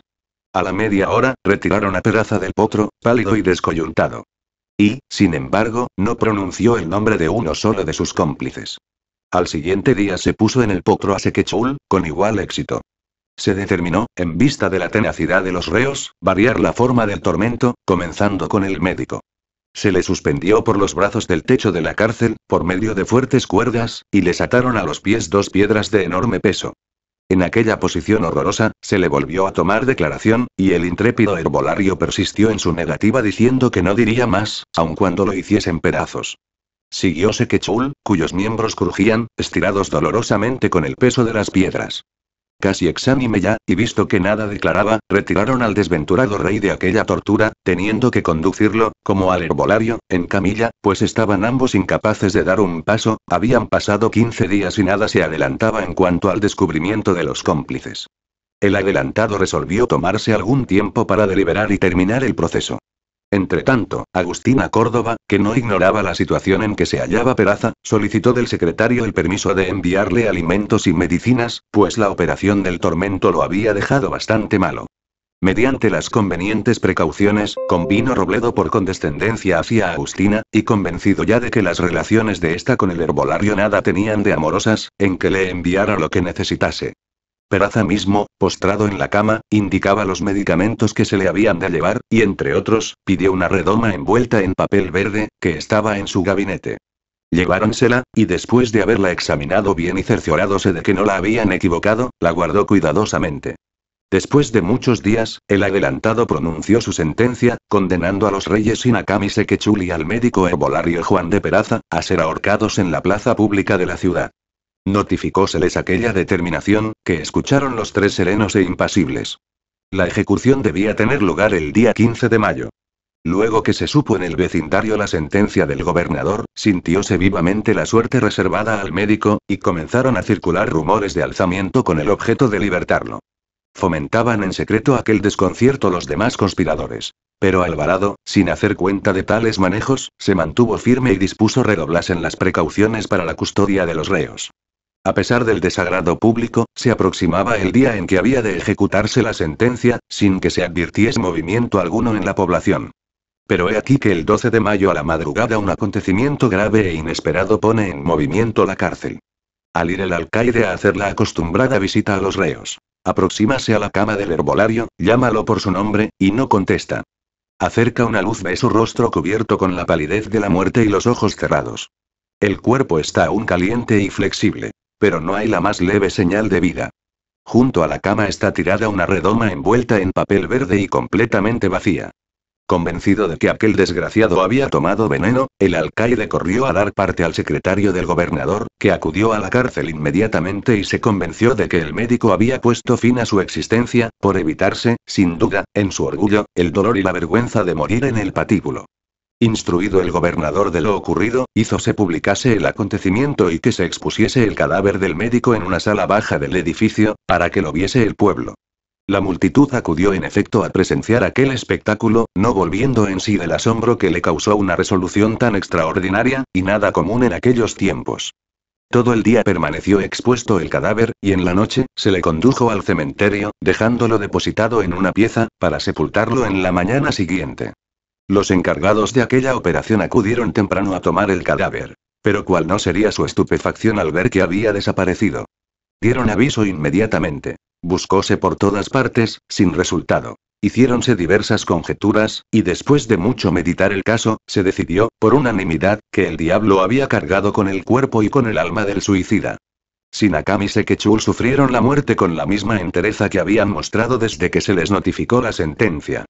El 15, en medio de un gran concurso de gente, subieron al patíbulo los reyes de los cachiqueles y los quiches, que murieron como paganos, no habiendo querido abjurar sus falsas creencias, a pesar de las exhortaciones de los buenos religiosos que los visitaron en sus últimos días.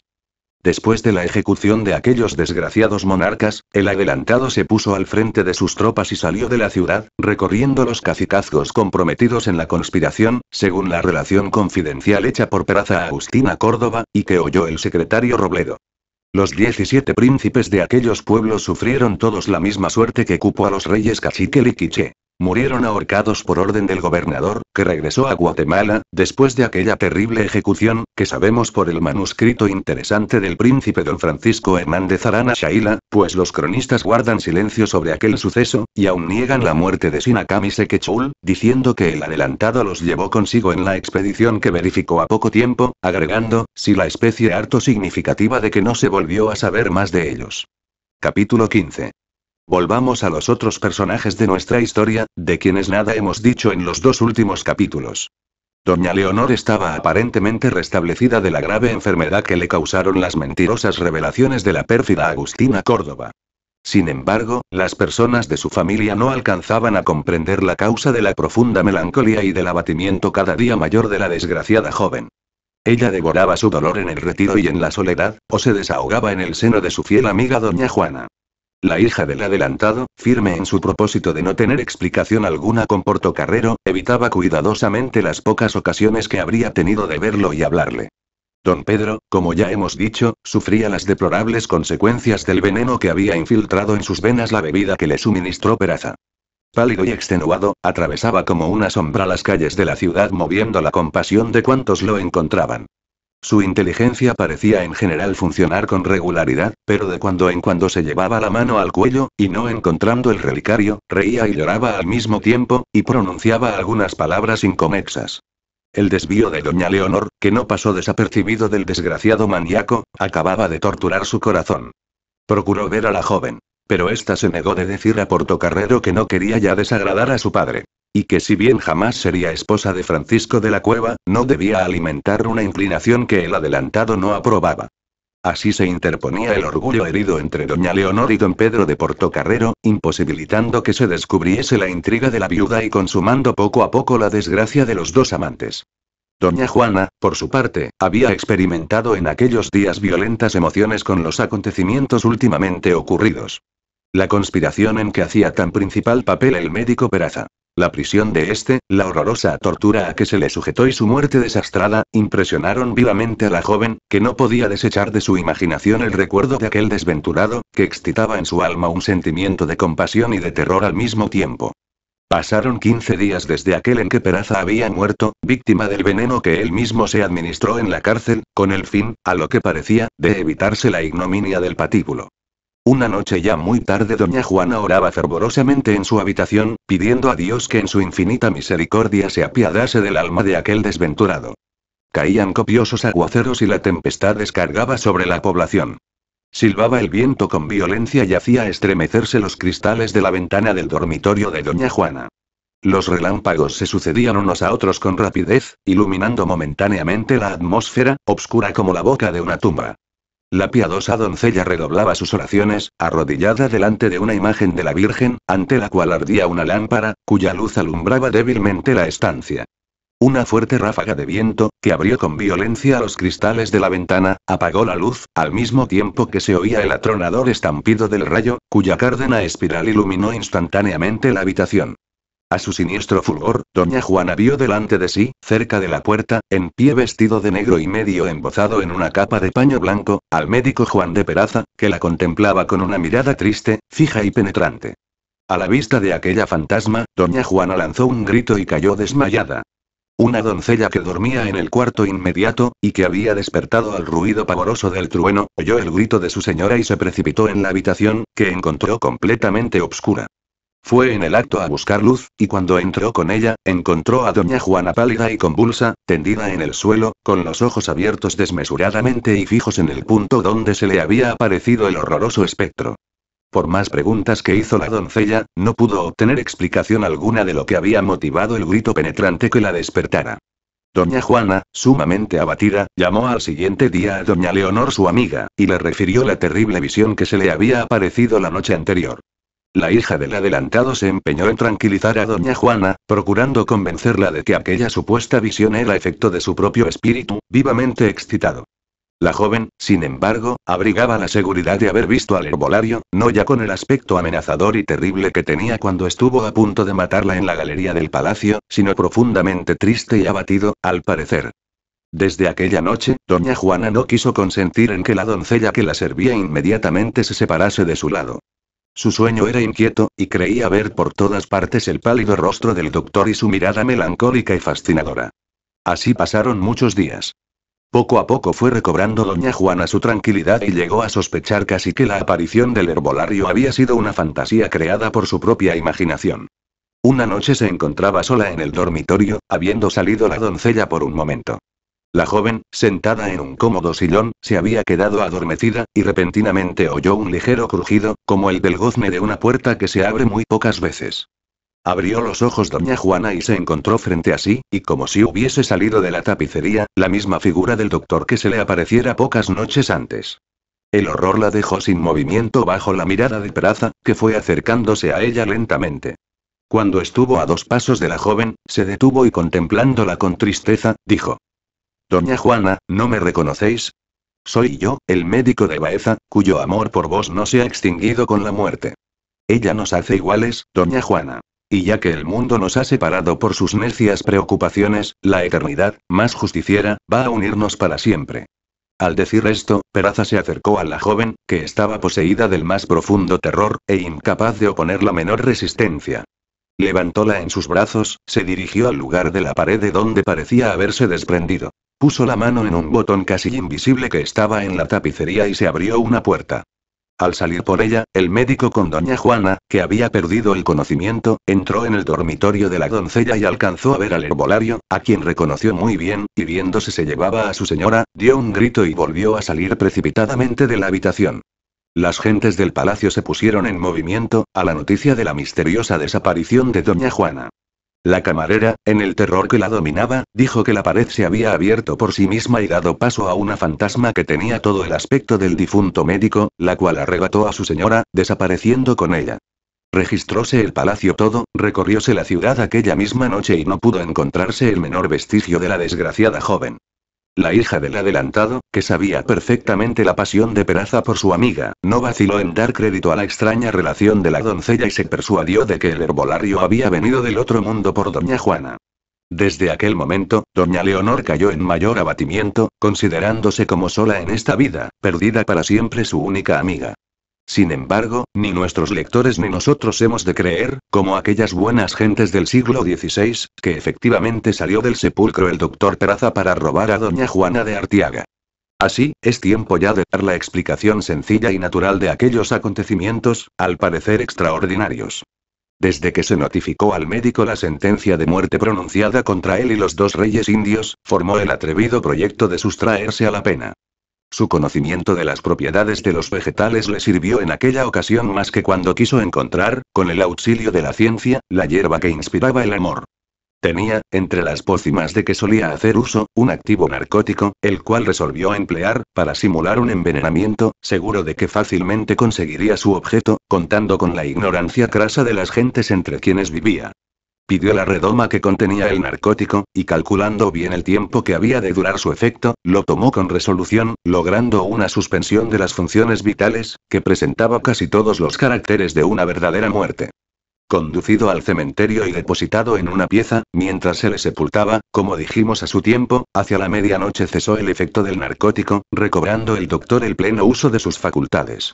Sin gran dificultad pudo salir del recinto del cementerio, rodeado por una pared muy baja, y encontrándose en la calle, se dirigió a su casa, que estaba completamente abandonada, habiéndose reducido a prisión a las personas de la servidumbre. Encontró cerrada la puerta principal, lo que le causó no poca desazón, pero habiendo acudido a la excusada, que como dijimos, tenía la casa, tuvo la fortuna de encontrarla abierta y entró por ella, dirigiéndose desde luego al subterráneo donde acostumbraban celebrar sus juntas los conspiradores, seguro de que en aquel punto nadie daría con él aun cuando registrasen la habitación de arriba abajo. Por lo demás, ese peligro era harto remoto pues decidido por la opinión pública que el diablo había cargado con el herbolario en cuerpo y alma, nadie se había de tomar el trabajo de buscarlo.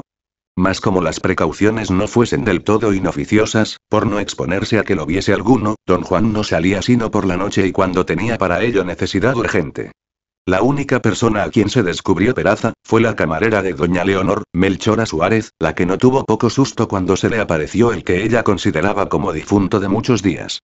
Con trabajo logró el doctor tranquilizarla y convencerla de que no era una fantasma del otro mundo, sino el mismo herbolario en carne y hueso el que le hablaba.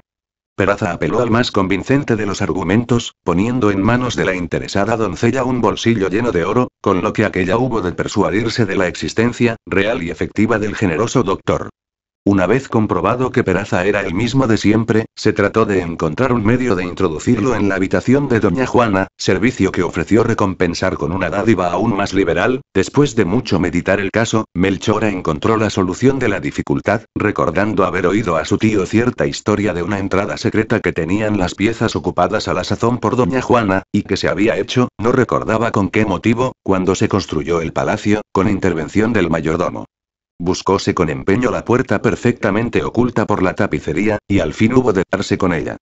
Caía a unos cuartos por entonces deshabitados, y por medio de una escalera, también oculta, se bajaba al patio interior, que tenía puerta al jardín, que daba al campo. Fácilmente se hizo Melchora de la llave alta puerta y la entregó al herbolario, que pudo así introducirse dos veces en el palacio y llegar hasta el dormitorio de la joven, sin que persona alguna lo advirtiese. La primera fue bajo los fuertes aguaceros y la recia tempestad, que contribuyeron a hacer más romántica la aparición del herbolario. Él iba decidido a apoderarse de doña Juana. Pero la llegada de la camarera de esta, impidió la ejecución de aquel designio. Más afortunado la segunda vez, pudo Peraza, a favor del espanto que causó su sola presencia a doña Juana, y dándose la apariencia de un alma de la otra vida, ejecutar el rapto. Perdido el conocimiento, la sacó del palacio, y montando en un ligero caballo que tenía, preparado cerca de la puerta que daba al campo, en un momento llegó a su casa. Cuando doña Juana volvió en sí, se encontró con el obscuro subterráneo, a donde la condujo el herbolario. Al verse enterrada viva en aquella tumba, la desgraciada joven se entregó a la más horrorosa desesperación. Peraza, en pie delante de doña Juana, la contemplaba con alegría satánica, sin que los gritos y lamentos de la infeliz hiciesen, al parecer, la menor impresión en aquella alma de bronce. Dio lugar a que desahogase algún tanto la pena que la oprimía, y lo habló en estos términos. Al fin, doña Juana, estamos reunidos para siempre. Ya lo veis. En vano habéis huido de mí. La tumba misma parece haberme arrojado de su seno para que os separe del mundo de los vivos y os traiga a participar de la soledad a que me encuentro condenado. Muerto en opinión de todos, lo estaré en realidad para todos, menos para vos. Debo declarároslo para que cese el horror que mi presencia os inspira. El fin trágico de mi existencia ha sido una ficción, y el hombre a quien veis aquí, no es un espectro aterrador, sino el mortal que os ha consagrado su vida y cuyo único afán será de hoy más, haceros llevadera la suerte que os está reservada. Reflexionad con calma y tomad vuestro partido. De aquí no saldréis jamás. Estáis en mi poder, sola, indefensa, y nadie podrá interponerse entre los dos. Pero, tranquilizaros. Yo no quiero hoy obtener por la violencia lo que al fin me habéis de conceder con vuestra plena voluntad.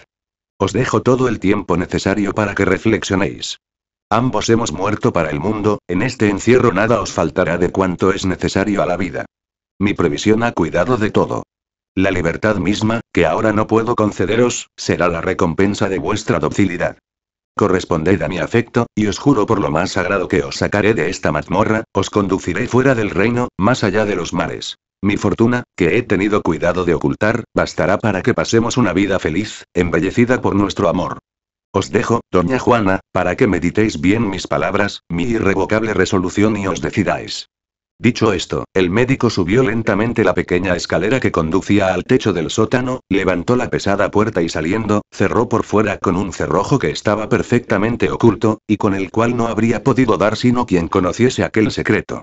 El largo discurso del doctor, lejos de tranquilizar a doña Juana, sirvió únicamente para darle a conocer todo el horror de su situación, ignoraba absolutamente cuál era el sitio en donde se encontraba.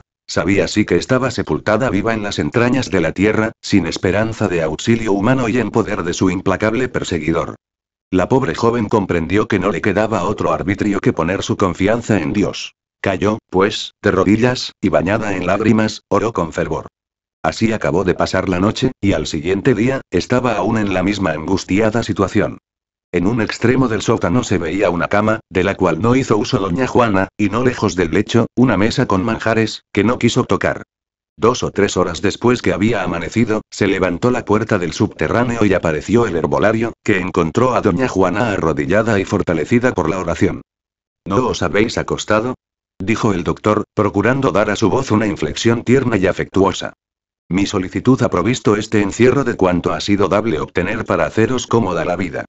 Resignaos, doña Juana, y no expongáis vuestra salud. Don Juan, contestó la joven con tranquilidad, la vida me es indiferente y prefiero mil veces la verdadera muerte a estar enterrada viva y a tener que sufrir la odiosa presencia del inhumano autor de mi desdicha. Aquellas palabras no irritaron al herbolario, que las recibió como un desahogo natural de la impaciencia que causaba a la orgullosa dama el verse en poder de su desdeñado amante. Seguro de la posesión de doña Juana, confiaba en que el tiempo y la necesidad obligarían su altivez y le concediese de grado lo que él creía poder obtener por fuerza. Así, se sonrió al escuchar las amargas reconvenciones de la joven, y le dijo. Veo que no habéis reflexionado bien sobre lo que os dije anoche. El destino os ha puesto en mis manos, doña Juana. Habéis de ser mía al fin. No me obliguéis a emplear la violencia. Jamás. Contestó la joven con arrogante dignidad. Jamás. Desprecio tus amenazas y desafío tu furor. Miserable villano que pretendes abusar de la debilidad de una mujer. Yo tengo aquí, lejos del mundo y de los hombres, un defensor que no permitirá lleves a cabo tus perversos designios. Peraza cruzó los brazos sobre el pecho, y con aparente tranquilidad, dijo a doña Juana. ¿Y quién es ese protector invisible que te defenderá de mí? Dios. exclamó la joven con acento de firme confianza. Dios. Exclamó el escéptico herbolario, Dios. Y sonrió desdeñosamente. Bien, añadió, veremos si Dios tiene poder para sacarte de aquí. Te doy 24 horas para que te resuelvas. Y volviendo la espalda de doña Juana, salió del subterráneo, dejando a la joven en la mayor agitación. Capítulo 16. Así pasó el día entero doña Juana, sin querer tomar alimento alguno, ni reposar un solo instante sus fatigados miembros. Contaba con angustia las horas que le había concedido aquel malvado, y puesta su confianza en Dios, se preparaba a la lucha, lucha terrible, en que esperaba salir triunfante, con el auxilio del que tiene en su mano el corazón y las pasiones de los hombres. Llegó la noche y creció la ansiedad de la infeliz joven, que calculaba iba acercándose el momento en que tendría necesidad de toda la energía de su alma para imponer al implacable herbolario. Doña Juana redoblaba sus fervientes oraciones y pedía a Dios la muerte, con tal de evitarse aquella espantosa prueba. El insomnio y la falta de alimentos, unidos a la angustia que le oprimía el corazón, hacían vagar la imaginación de la doncella, de uno en otro pensamiento, como el ave fatigada que, perseguida por el cazador, salta de rama en rama, sin considerarse segura en parte alguna. Serían las doce cuando doña Juana creyó oír que levantaban la pesada puerta que cerraba la entrada del sótano, y un frío glacial recorrió instantáneamente todos sus miembros. Su corazón latía con violencia y la sangre circulaba por sus venas, como las olas del mar embravecido con la tempestad. De pronto no volvió a escuchar ruido alguno, y comenzaba a creer que el que le había parecido oír, sería una ilusión de su espíritu agitado. Cuando a la luz de la lámpara que alumbraba día y noche el subterráneo, vio bajar la escalera a un hombre, y tras él otro y otro, hasta que entraron en la mazmorra unos ocho o diez individuos embozados. Luego que estuvieron todos adentro, descubriéronse y doña Juana, estupefacta, reconoció al tesorero real Francisco de Castellanos, al veedor Gonzalo Ronquillo, al comendador Francisco de Zorrilla, al regidor Gonzalo de Ovalle y a otros sujetos principales de la ciudad. Eran los conspiradores, que procuraban reanudar la conjuración y escogían como el punto a propósito para reunirse, el subterráneo, que conocían perfectamente, de la casa de Praza, abandonada después de la prisión y supuesta muerte del herbolario. Pasada la primera impresión de asombro, doña Juana sintió la más viva alegría, considerando que Dios enviaba a aquellos caballeros para que fuesen sus libertadores. Levantóse con trabajo del suelo en donde estaba arrodillada, y caminando lentamente, pues se hallaba fatigada y falta de fuerza, salió al encuentro a los que se dirigían al fondo del subterráneo. Júzguese cuál sería la sorpresa de estos, al ver avanzar la que parecía una fantasma. Retrocedieron espantados, buscando la escalera. Deteníos, por el amor de Dios. exclamó doña Juana, juntando las manos en actitud suplicante. Deteneos. Al oír aquella voz, que no les era desconocida, el tesorero real, y sus compañeros cobraron ánimo y fijándose en el rostro de la joven, que estaba ya cerca de ellos, exclamaron asombrados.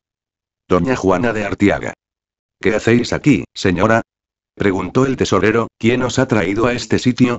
¿Sabéis en dónde estáis? Perdonad, don Francisco, contestó la doncella, si no respondo desde luego a vuestras preguntas. Salvadme, sacadme de aquí, y todo lo sabréis. Pero por Dios, no perdáis ni un momento. Las horas corren con rapidez, el momento terrible se acerca y él vendrá, vendrá, no lo dudéis, porque me lo ha dicho. Y yo estaré sola y sin más auxilio que el de Dios para defenderme. Al decir esto, la pobre joven se puso a derramar abundantes lágrimas. Los caballeros se veían unos a otros y les asaltó la idea de que aquella mujer había perdido el juicio. No podían explicarse cómo se encontraba encerrada en aquel subterráneo, cuya existencia conocían ellos solos y el difunto médico Peraza. Habían oído cierto rumor de la desaparición de doña Juana. Pero las circunstancias que acompañaron a aquel suceso extraordinario se habían mantenido reservadas. Por lo que apenas unas pocas personas de la intimidad del gobernador y de su familia sabían lo que dijo la camarera de doña Juana acerca del herbolario. El tesorero y sus amigos perdíanse, pues, en conjeturas, y no sabían qué creer, ni qué partido tomar. La joven repetía sus instancias de que la sacasen de aquel sitio, lloraba y suplicaba de una manera capaz de conmover a cualquiera que abrigase un corazón de hombre. El tesorero y los otros se retiraron a un extremo del sótano y discutieron en voz baja lo que convendría hacer. Aunque sin acertar con la solución del enigma de la presencia de doña Juana en aquel encierro, la generalidad de los caballeros fue de opinión de sacarla y conducirla a la puerta del palacio del gobernador, con ciertas precauciones. Solo el insensible y duro veedor Gonzalo Ronquillo se oponía, diciendo que el paso era peligroso, que aquella mujer denunciaría a sus libertadores y que valía más dejarla correr su suerte en aquella mazmorra. Los demás desecharon con disgusto esa cruel proposición y a fin de convencer a Ronquillo, le hicieron observar que, para poder continuar reuniéndose en aquel sitio, necesitaban desembarazarse de un testigo importuno como doña Juana. Resolvióse, pues, sacarla en el acto y Castellanos, acercándose a la joven, le dijo. ¿Sabéis, doña Juana, cuál es el sitio en donde os encontráis? No, don Francisco, respondió la doncella. Sé únicamente que es una tumba en donde se me ha enterrado viva. Bien, dijo Castellanos. Vamos a salvaros, pero jurad que a nadie en este mundo diréis que nos habéis visto y que nos debéis el haber salido de este subterráneo. Lo juro, exclamó doña Juana. Lo juro por el alma de mi madre. Venid, pues, dijo el tesorero. Sacó su pañuelo del bolsillo y vendó con él los ojos a la joven, a quien sacaron del sótano dos de los caballeros, pues casi no podía dar un paso. Al salir, preocupados por aquella extraña aventura, olvidaron cerrar la puerta que daba entrada al subterráneo, y se dirigieron a la excusada de la casa, saliendo todos con doña Juana. Entretanto, Peraza, que estaba acostado en su dormitorio, y que, agitado por sus malos designios, no podía conciliar el sueño, creyó oír un ligero rumor en el corral donde estaba la boca de la cueva, y habiéndose levantado, se dirigió con presteza al subterráneo. Sucedió esto en el momento en que Castellanos y sus compañeros, acababan de salvar la puerta excusada que daba a la calle, Peraza no vio, pues, nada, ni encontró a nadie en el corral. Pero al llegar a la boca de la mazmorra y al ver la puerta abierta, un sudor frío corrió por todos sus miembros. Bajó precipitadamente la escalera y entró en el subterráneo. Buscó por todas partes a doña Juana, y viendo que había desaparecido, lanzó un grito de rabia. Mas no era aquel el único castigo que el cielo reservaba al herbolario. Sucedió que el tesorero y los suyos, apenas habían pasado de la puerta excusada, cayeron en la cuenta de que había quedado abierta la del sótano, y considerando que eso no era conveniente, se dispuso que uno de tantos fuese a cerrarla. Ofrecióse a hacerlo ronquillo y regresó a toda prisa. La pesada puerta estaba efectivamente abierta. Levantóla don Gonzalo y después de haberla dejado caer, echó el cerrojo, muy ajeno de imaginar que sellaba la losa del sepulcro de su amigo y compañero de conspiración, el médico herbolario Juan de Peraza. Hecho esto, corrió a reunirse con los que conducían a doña Juana, que se dirigían al palacio del adelantado. Ronquillo observó que dos embozados seguían de lejos con cautela el grupo de los caballeros, y luego que se reunió con ellos, les dio aviso de aquella circunstancia, que los hizo sospechar que se les expiaba por los agentes del gobernador. Luego que llegaron con doña Juana a la puerta del palacio, quitaronle la venda de los ojos y se retiraron, después de haber oído de la joven las palabras más expresivas de gratitud y reconocimiento. Enseguida conferenciaron un momento y resolvieron no volver jamás al sótano de la casa de Peraza, eligiendo algún otro punto para sus reuniones. Aquella determinación fue la sentencia de muerte del herbolario. Cuando advirtió este que había desaparecido doña Juana, después de haber permanecido largo rato entregado a la desesperación y perdiéndose en conjeturas sobre la evasión de la joven, dispuso volver a su habitación y pasar allí lo que faltaba de la noche. ¿Cuál no sería su estupefacción y pánico, al encontrar cerrada la puerta que acababa de dejar abierta? Empujó con toda la fuerza de que era capaz la pesada trampa. Pero sus esfuerzos fueron, como debían serlo, completamente inútiles. El cerrojo estaba echado por fuera y nada habría alcanzado a romper aquella fuerte cerradura. Cuando el médico se hubo convencido de que le era imposible arrancar la puerta, su espíritu activo y emprendedor se puso a discurrir algún medio para salir de aquella mazmorra. Combinó mil proyectos y los desechó uno en pos de otro, por impracticables. Desesperado casi de encontrar arbitrio para obtener la libertad, sentóse en la última grada de la escalera y fijó los ojos en la lámpara que alumbraba débilmente el sótano. Discurría, al ver aquella luz trémula y vacilante, que así iría consumiéndose su existencia, hasta extinguirse para siempre en la sombra de la muerte. Pero repentinamente la vista de aquella débil luz le sugirió una idea, en la que creyó encontrar la salvación que había buscado en vano en otros proyectos. Esa idea era la de servirse de aquella tenue llama para encender algunos objetos combustibles y quemar con ello la puerta, al menos en cuanto fuese necesario para poder sacar la mano y correr el cerrojo que la cerraba. La alegría renació en su corazón, y animado con aquella esperanza, a que daba cuerpo su anhelo, comenzó a poner en ejecución el pensamiento. Colocó la mesa en que estaban los manjares que doña Juana no había tocado, debajo de la lámpara, subió y la descolgó con el mayor cuidado. Paso a paso, a fin de que no se apagara con el viento que él mismo agitaba al andar, iba el doctor hacia la puerta, reteniendo hasta el aliento, tal era el cuidado con que procuraba la conservación de aquella débil llama. No tiene un padre mayor solicitud por la vida de un hijo débil y enfermizo, que la que ponía el doctor para que no se extinguiese la oscilante luz, que a cada paso que daba, parecía próxima a escaparse del pábilo. Pudo al fin subir con felicidad hasta el último escalón, colocó la lámpara y fue a tomar la ropa de la cama para quemarla y aplicarla a la puerta.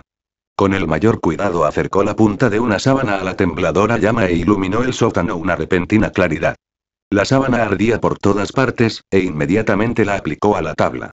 Por desgracia, la madera estaba húmeda, pues el agua de las lluvias que caía sobre la puerta por la parte de afuera, había penetrado toda la tablazón. Las llamas no hacían, pues, el menor efecto en ella. Consumióse la sábana, sin resultado, y después tomó la otra, que apenas chamuscó la superficie. Sin desalentarse por eso, el doctor continuaba la operación, resuelto a consumir toda la ropa de la cama y después, si era preciso, hasta la última pieza de sus vestidos. Pasó algunas horas en aquel afanoso trabajo, y de repente la sangre se heló en sus venas de terror al observar que el líquido que alimentaba la llama estaba casi todo consumido y apenas quedaría combustible para mantener la luz durante diez minutos. Quemó una almohada y la aplicó a la puerta, sin que prendiese el fuego la madera. El aceite estaba concluido, la llama iba a expirar, cuando apareció una pequeña chispa en la tabla. El doctor se propuso alimentarla con el aire que él mismo respiraba, y habría querido comunicarle vida con el aliento. Al encenderse la chispa, la luz de la lámpara se extinguió. Brillaba en la profunda obscuridad del sótano el punto rojizo que formaba la chispa, que iba creciendo muy lentamente. El herbolario, inclinado sobre ella, hacía esfuerzos inauditos para mantenerla.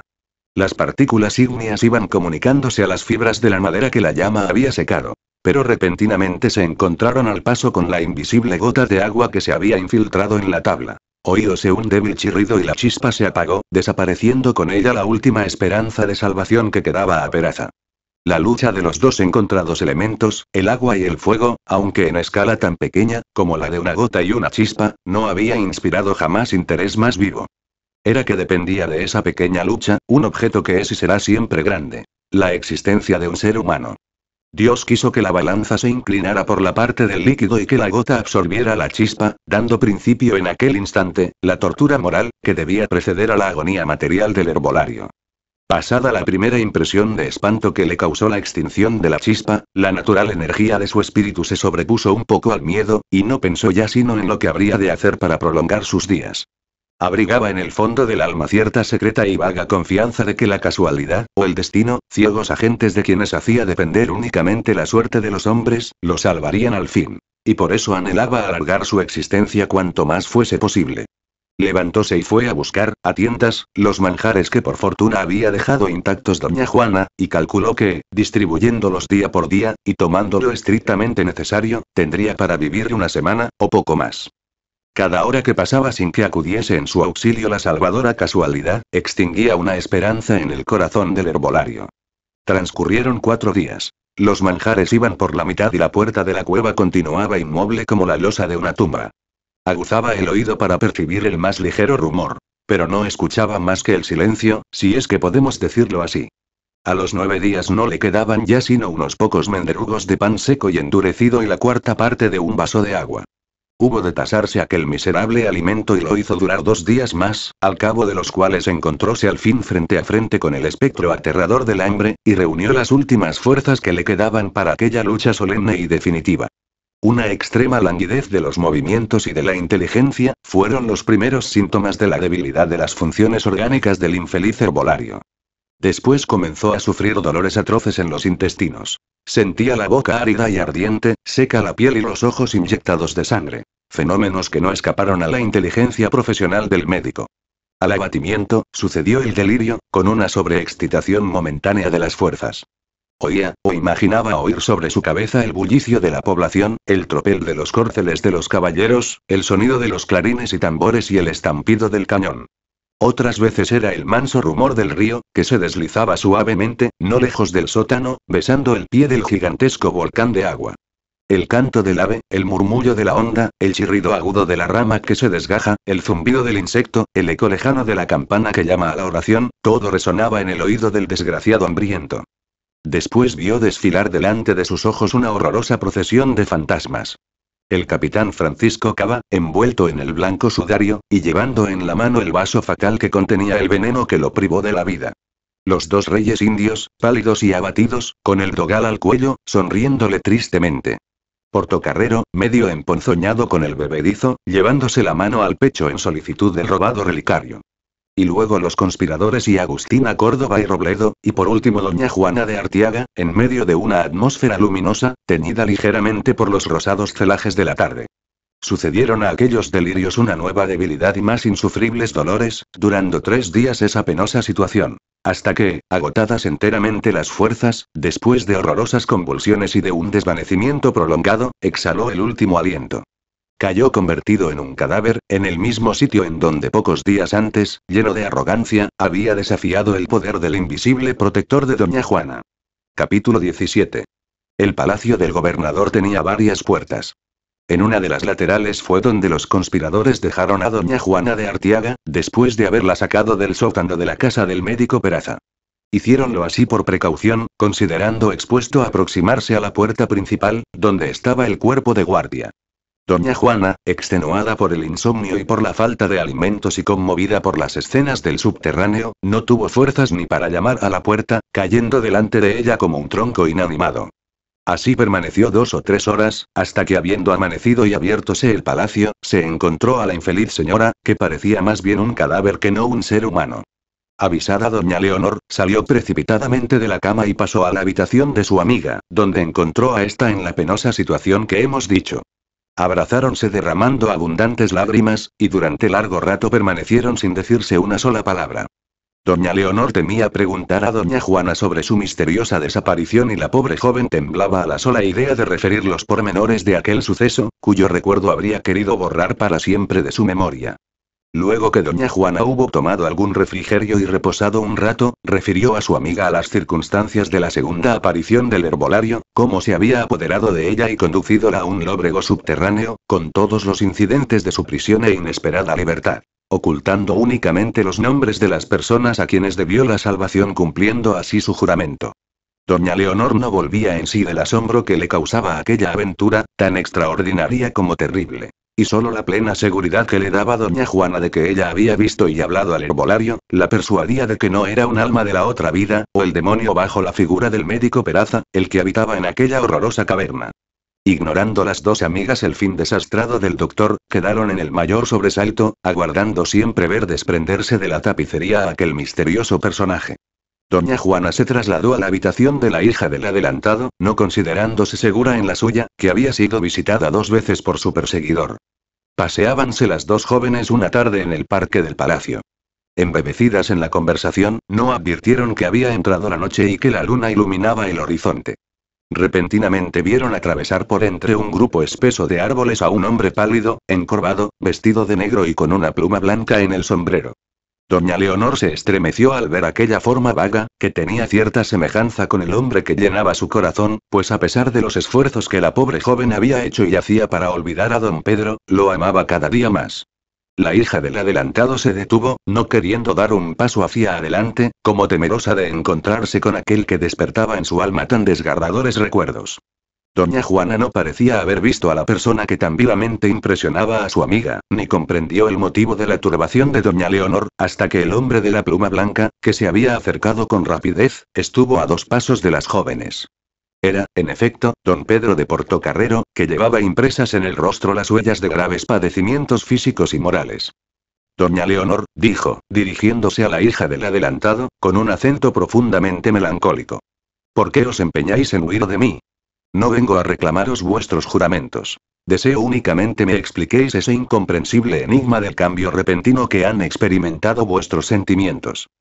Ya os he mandado a decir, don Pedro, contestó la joven con voz entrecortada y balbuciente, que el único motivo de la resolución que he tomado, es el disgusto con que mi padre ve la inclinación que os tengo, quiero decir que os he tenido.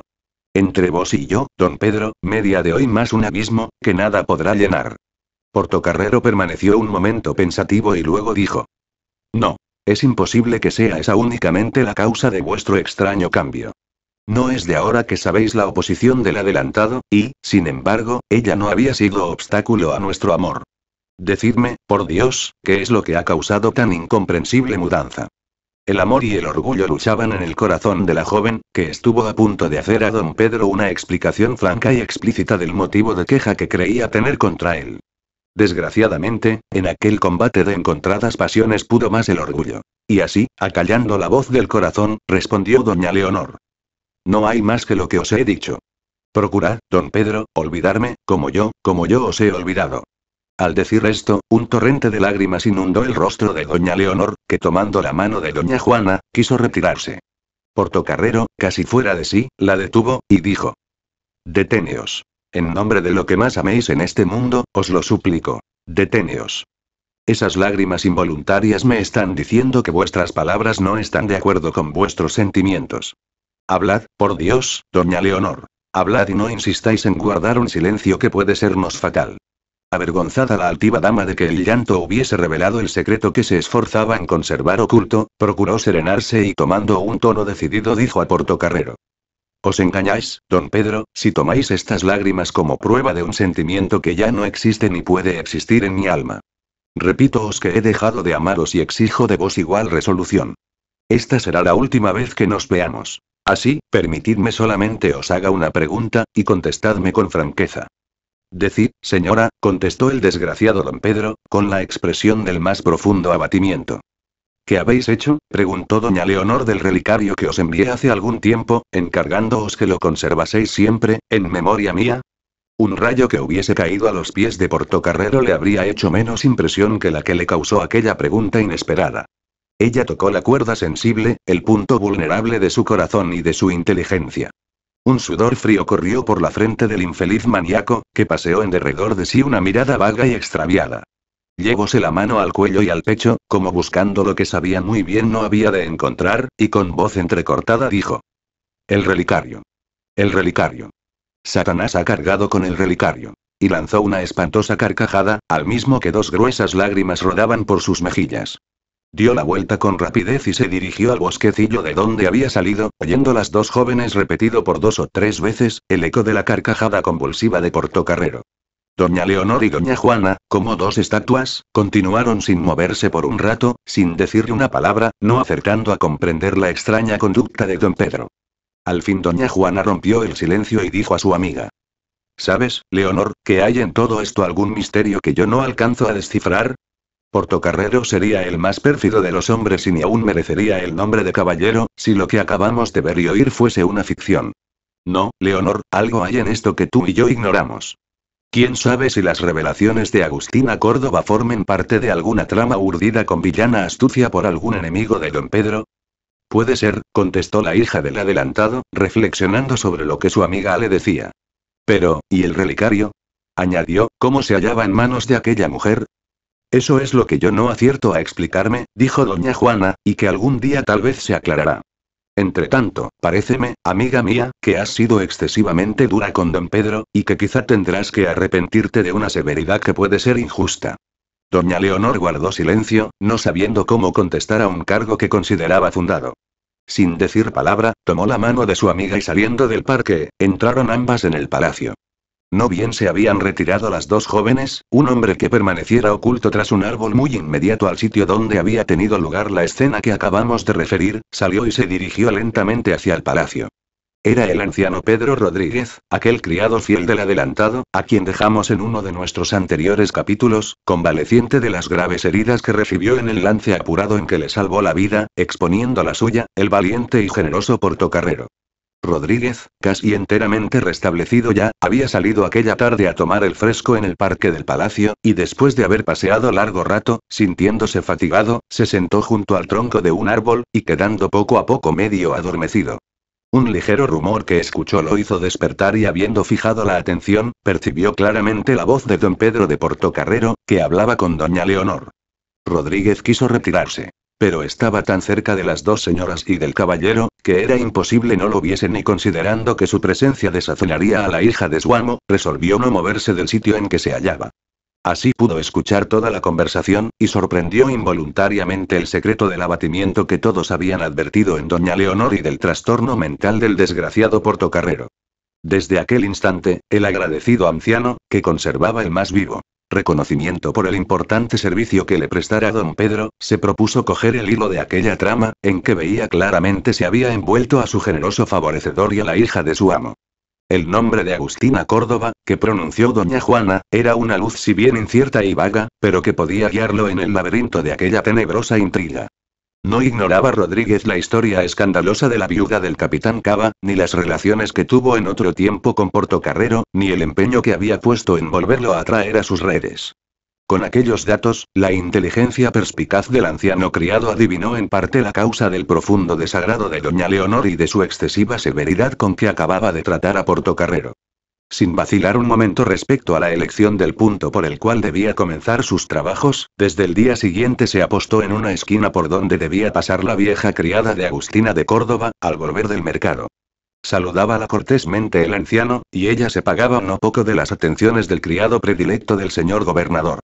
Del saludo diario se pasó al fin a la conversación, y a los cinco días, la señora Margarita, que así se llamaba la dueña, y el señor Rodríguez charlaban como dos amigos íntimos, refiriéndose mutuamente la vida y milagros de sus amos. Las confidencias del taimado viejo se reducían a cosas insignificantes, a las cuales daba mucha importancia, por referirse a grandes señores. Y en cambio, ella iba poniendo a Rodríguez al corriente de algo que no había pretendido averiguar. Así, supo la pasión del secretario Robledo por Agustina, los celos que aquel había tenido del médico Peraza, la escena del escondite, la salida por la pared la noche en que iba a verificarse la evasión de los reyes indios y la circunstancia de haber acompañado a la viuda, en traje de caballero, al herbolario. Pero desgraciadamente, todas aquellas noticias, si bien muy interesantes, no eran precisamente lo que el anciano deseaba saber, por lo que se propuso continuar sondeando a la comunicativa dueña. Margarita, le dijo un día Rodríguez con aparente sencillez, ¿sabéis lo que yo no puedo comprender aún? Es que vuestra ama, la linda viuda del capitán Cava, haya olvidado al hermoso y noble portocarrero, por un hombre como el secretario, que todo tendrá menos las prendas que las damas desean encontrar en sus galanes. Olvidado, decís, señor Rodríguez. Contestó la vieja. ¿Y quién os ha dicho que mi señora no ame aún a Pedro? Yo os aseguro, que él solo llena su alma, y que, si recibe favorablemente a don Diego, es, es porque mi alma es así, y no gusta de desechar a un cortejo como el secretario del gobernador. Pero, ¿y Portocarrero? Dijo Rodríguez, parece que no corresponde a ese amor y que su inclinación lo lleva más bien hacia otra parte.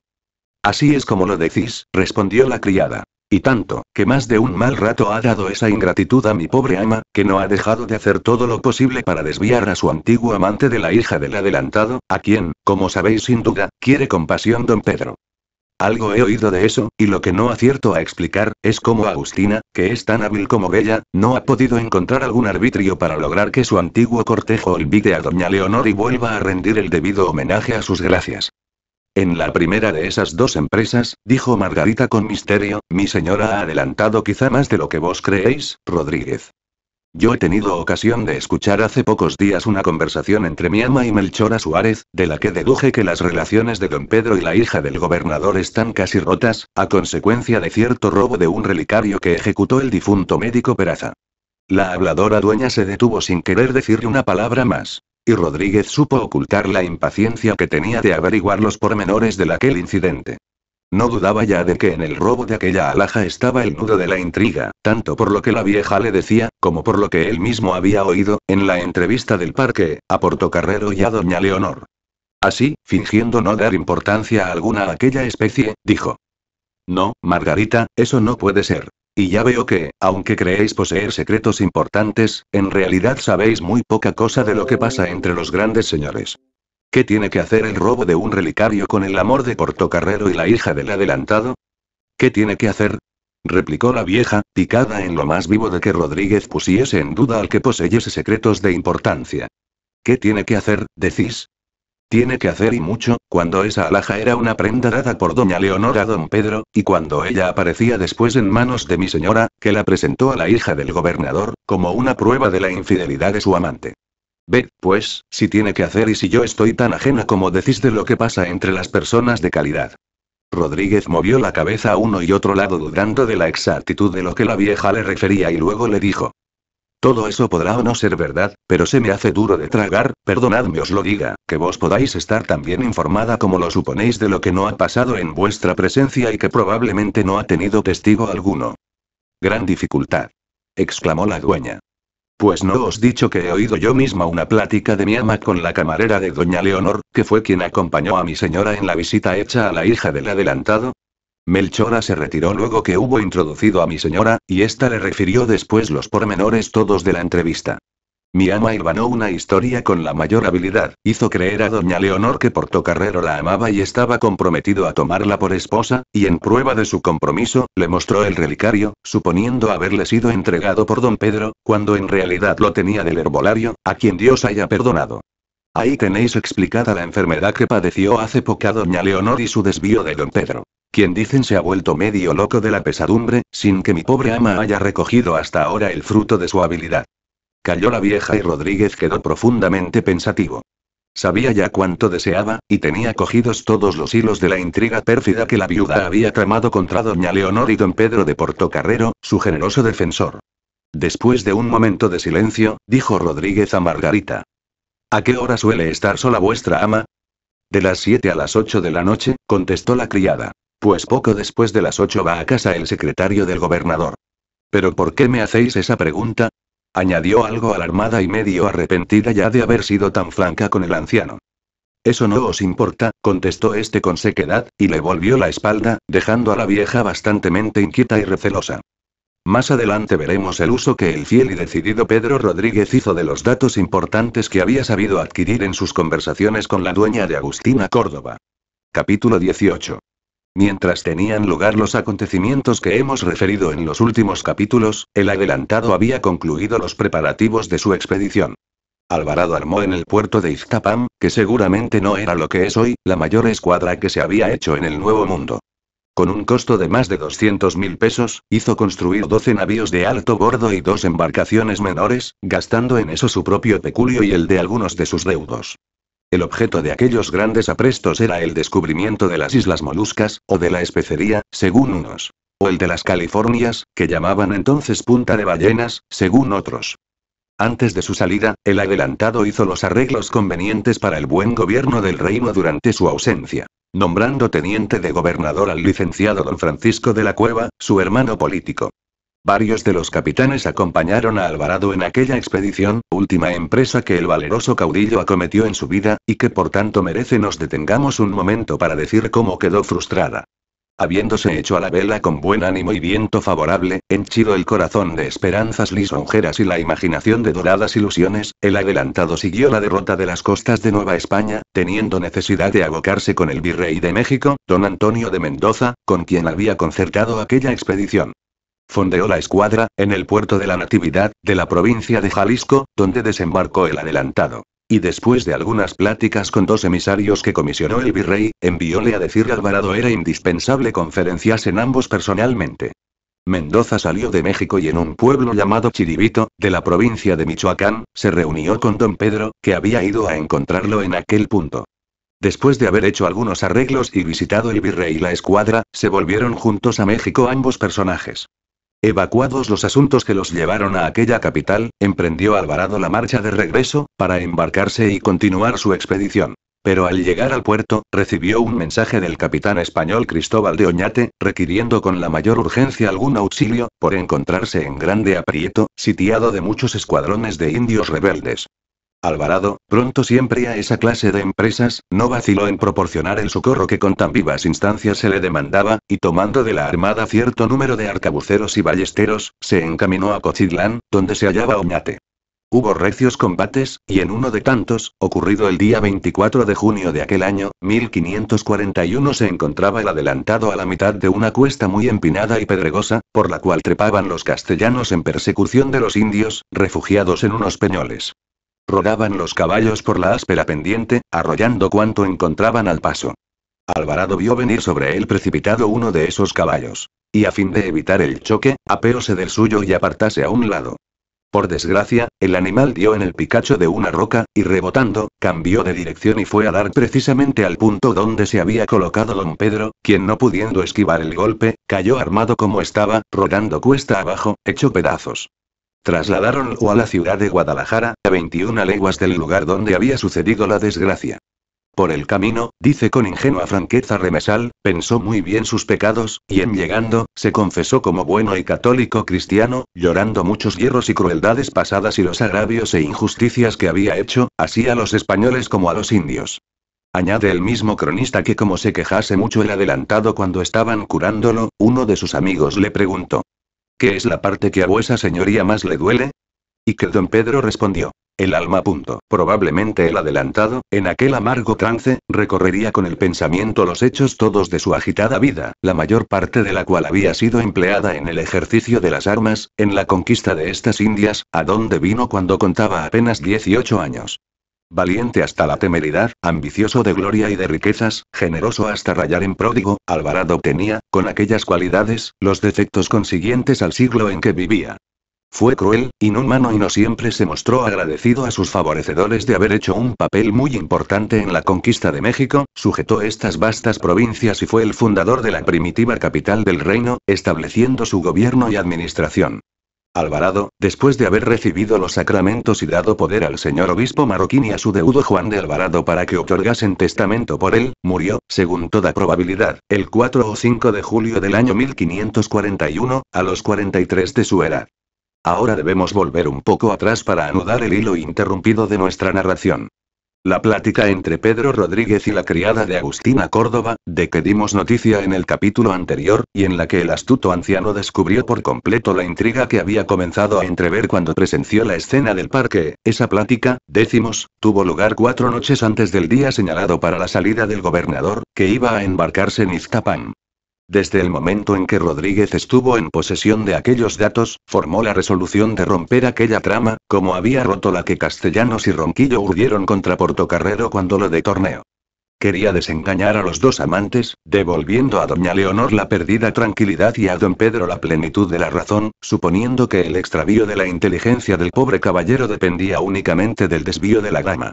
El anciano se proponía arrancar a la viuda una confesión paladina, una prueba de su calumnia tan clara y convincente, que no dejase la menor duda de la inocencia de don Pedro en el ánimo de doña Leonor.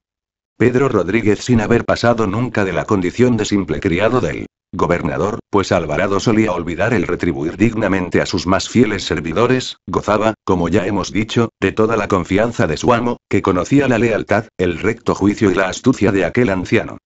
Así, dábale frecuentemente comisiones delicadas e importantes, que el adelantado no fiaba ni a su secretario mismo. Desde que se había descubierto la conspiración abortada en la noche del 20 de marzo, Alvarado, que nada pudo averiguar ni por las declaraciones de los reyes indios y del médico Peraza, por otro medio alguno, acerca de las demás personas ni comprometidas en la conjuración, había encargado a Rodríguez procurarse indagar quienes formaban parte del complot, previniéndole se entendiese con él directamente sobre aquel asunto. Aquella circunstancia favoreció los proyectos de Rodríguez, a quien la charla de la criada de Agustina Córdoba había revelado cosas que él no sospechaba. Abocóse, pues, con el gobernador, en conferencia secreta, y le dijo haber adquirido, por una casualidad, datos seguros de que la viuda del capitán Francisco Cava estaba comprometida en la conjuración que había acompañado, disfrazada, al médico Peraza, cuando éste fue a procurar la evasión de los caciques, y que, según toda probabilidad, aquella mujer debía saber bien quiénes eran los demás conspiradores y todos los detalles del complot. Rodríguez concluyó pidiendo al adelantado un mandamiento de prisión contra la viuda, del cual haría un uso prudente, si por el interrogatorio que se proponía hacerle, descubría en efecto que fuese culpable. Sin la menor vacilación extendió don Pedro la orden que le pedía el anciano, y firmándola y sellándola en toda regla, se la entregó, encargándole no dejase de darle cuenta cuanto antes del resultado del paso que se proponía dar. Ofrecióselo Rodríguez, y sin pérdida de tiempo, se dirigió a casa de Agustina Córdoba. Habiendo llamado a la puerta, salió a abrir Margarita, quien se sobresaltó mucho al ver a Rodríguez, temiendo fuese a hacer algún mal uso de las especies que con tanta ligereza le había referido. Buenas noches, señora Margarita, dijo el anciano. ¿Qué queréis? ¿A quién buscáis? respondió la dueña alarmada. ¿A quién busco? A la señora de la casa.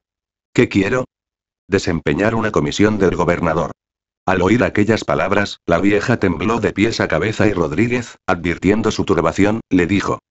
Tranquilizaros. Ni a vuestra ama, ni a vos se os seguirá perjuicio alguno de esta visita.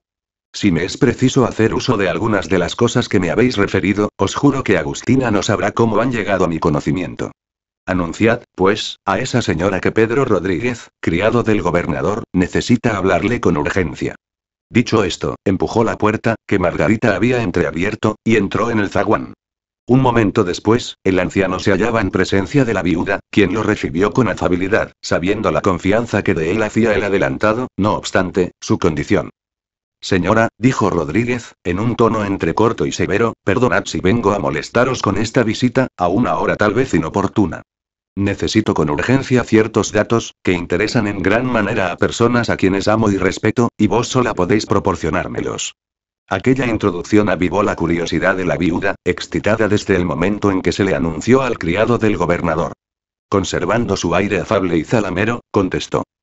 El señor Rodríguez es dueño de venir a mi casa a cualquier hora, seguro de ser siempre tan bien recibido como él lo merece. Y en cuanto a los datos de que me habla, debe decirme desde luego en qué puedo complacerlo. Rodríguez inclinó la cabeza en señal de agradecimiento, y dijo. Antes de que os manifieste lo que vengo a pediros, permitidme os refiera una historia, que quizá podrá interesaros. Una señora tan distinguida por su elevada estirpe como por las cualidades con que Dios quiso favorecerla, era amada con idolatría por un caballero, de nobilísima alcurnia, y en quien las prendas personales aventajaban a lo ilustre del nacimiento. Agustina arrugó el entrecejo al escuchar aquellas palabras, y redobló la atención con que escuchaba al criado del gobernador. Este, sin parecer advertir el efecto que hacía en la viuda la narración que había principiado, continuó de esta manera. La joven señora correspondía con todas las fuerzas de su alma a aquel afecto. Y si bien obstáculos independientes de la voluntad de ambos se oponían a la realización de sus deseos, ni el tiempo ni las dificultades habían alcanzado a disminuir en lo más pequeño aquella inclinación.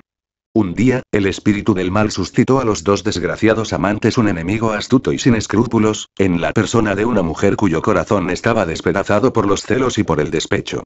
La viuda, a quien no podía ya caber la menor duda del sentido de las palabras de Rodríguez, le dijo con la mayor irritación. Para contarme esa conseja habéis venido aquí, señor Rodríguez. ¿Qué me importa a mí vuestra necia fábula de esos dos enamorados? Más de lo que imagináis, señora, replicó el anciano con mucha calma. Ruegoos que me escuchéis hasta el fin y no me interrumpáis. La pérfida mujer, continuó Rodríguez, envidiosa de la felicidad de la joven señora, queriendo apartar de ella al caballero, urdió una intriga diabólica, para hacer creer a aquella que su amante le era infiel.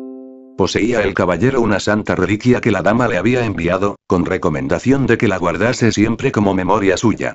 El caballero conservaba aquel tesoro con religiosa fidelidad. Pero al fin tuvo la desgracia de perderlo.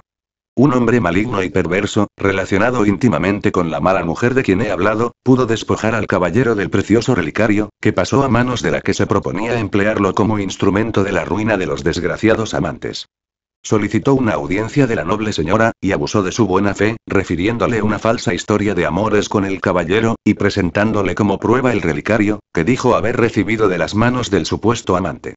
La consecuencia de tan odiosa trama ha sido que la joven, sin dejar de amar al inocente caballero, ha ocultado su amor en el fondo del alma, se consume y desfallece cada día más, y fingiendo un cambio que su corazón ha experimentado, rechaza a su amante, cuyo espíritu, debilitado ya por la enfermedad, no pudiendo resistir a tan violentas emociones, ha caído en una peligrosa demencia.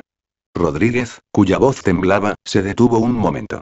Agustina cambiaba colores, mordíase los labios hasta hacer saltar la sangre y enterraba las uñas afiladas de su mano derecha en las mórbidas carnes de su brazo izquierdo.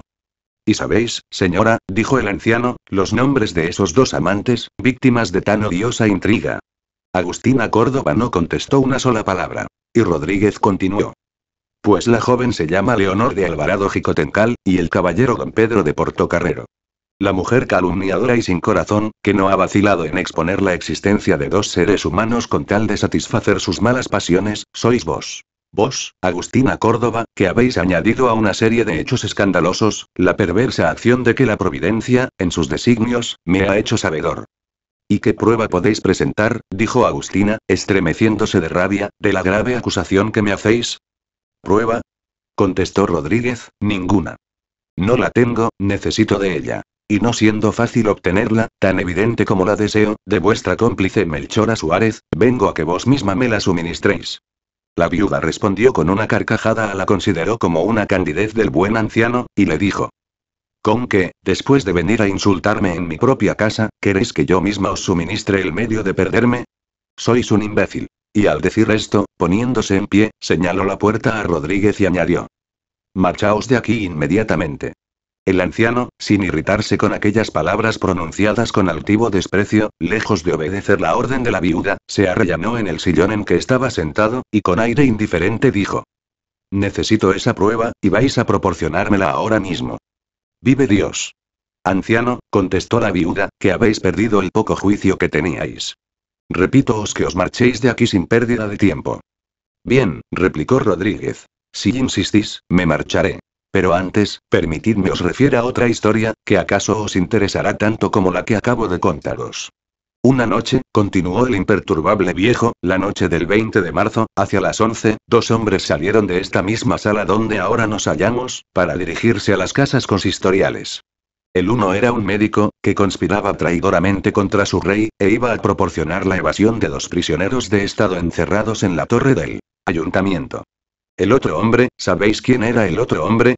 Preguntó Rodríguez. Y como la viuda, que se había puesto pálida como un muerto, no contestase una sola palabra, añadió.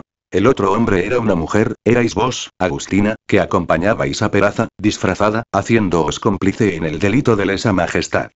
De pronto pudo quedar oculto aquel hecho. Pero hoy ha llegado a conocimiento del gobernador, quien me ha dado, señora, la penosa comisión de prenderos. Ved este papel. Diciendo esto, Rodríguez mostró el mandamiento de prisión a Agustina Córdoba, que se puso a temblar, poseída del mayor espanto.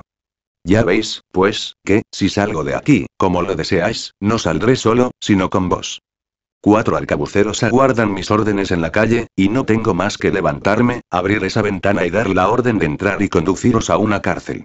Al decir esto, Rodríguez se había levantado, en efecto, y dirigiéndose a la ventana que daba a la calle, que comenzó a abrir. La viuda se precipitó tras él y dijo. Por el amor de Dios, deteneos. No llaméis y decidme qué debo hacer, qué es lo que exigís de mí. Rodríguez volvió a su asiento, y sacando un papel del bolsillo, dijo. Lo que tenéis que hacer, es firmar este papel en que declaráis, bajo juramento que calumniasteis a Portocarrero, que es falso cuanto referisteis a doña Leonor y que el relicario lo visteis del médico Peraza, que lo robó a don Pedro. Jamás. exclamó la viuda con indignación. Jamás firmaré semejante declaración. Entonces, dijo Rodríguez, preparaos a seguirme. Y volvió a dirigirse a la ventana. La viuda dejó caer la cabeza entre sus dos manos, dando un rugido como el que lanzaría una fiera acosada por los cazadores. Repentinamente una idea atravesó su imaginación, y levantándose con presteza, dijo a Rodríguez. Estoy decidida, dadme ese escrito, voy a firmarlo. Bien, contestó el anciano. Entregó el papel a Agustina, que se acercó a una mesa donde había recado de escribir, y tomando la pluma, lo firmó con su nombre y apellido, y lo devolvió a Rodríguez. ¿Estáis satisfecho? preguntó la viuda. Sí, contestó Rodríguez, podéis estar tranquila. Tened, pues, la bondad, replicó esta, de despedir a esos hombres, cuya presencia cerca de mis balcones podría dar lugar a rumores perjudiciales a mi reputación. No veo en ello el menor inconveniente, contestó Rodríguez. Y abriendo la ventana, hizo una seña, convenida de antemano. Aproximóse uno de los soldados y recibió la orden de retirarse. Mientras Rodríguez cerraba la ventana, la astuta viuda corrió hacia la puerta de la sala, cuya llave estaba en la cerradura, por la parte de afuera, y cerrando con precipitación, echó la llave, dejando prisionero al anciano, con el papel en el bolsillo. Lo primero que hizo Rodríguez fue precipitarse tras la viuda para impedirle que echase la llave. Pero cuando llegó a la puerta, era demasiado tarde. Entonces corrió a la ventana, abrió, y buscó a los arcabuceros. Ya habían doblado la esquina y desaparecido. Entonces el anciano, impaciente al verse burlado por la viuda, se sentó en el sillón para reflexionar sobre lo que debería hacer. Habrían pasado diez minutos de aquella escena, cuando resonaron dos recios aldabonazos en la puerta de la calle. La viuda misma corrió a abrir. Era Robledo. En dos palabras lo impuso de lo que pasaba, diciéndole que Rodríguez la había obligado con amenazas a firmar, un papel que la perdería para siempre y que reanudaría las relaciones de Portocarrero con doña Leonor. El secretario escuchó aquella relación con mucha calma, y cuando Agustina le dijo, en conclusión, que era indispensable arrancar aquel documento a Rodríguez, Robledo, sin decir palabra, sacó un papel del bolsillo y mostrándolo a Agustina, dijo. ¿Será este el papel que deseáis recobrar?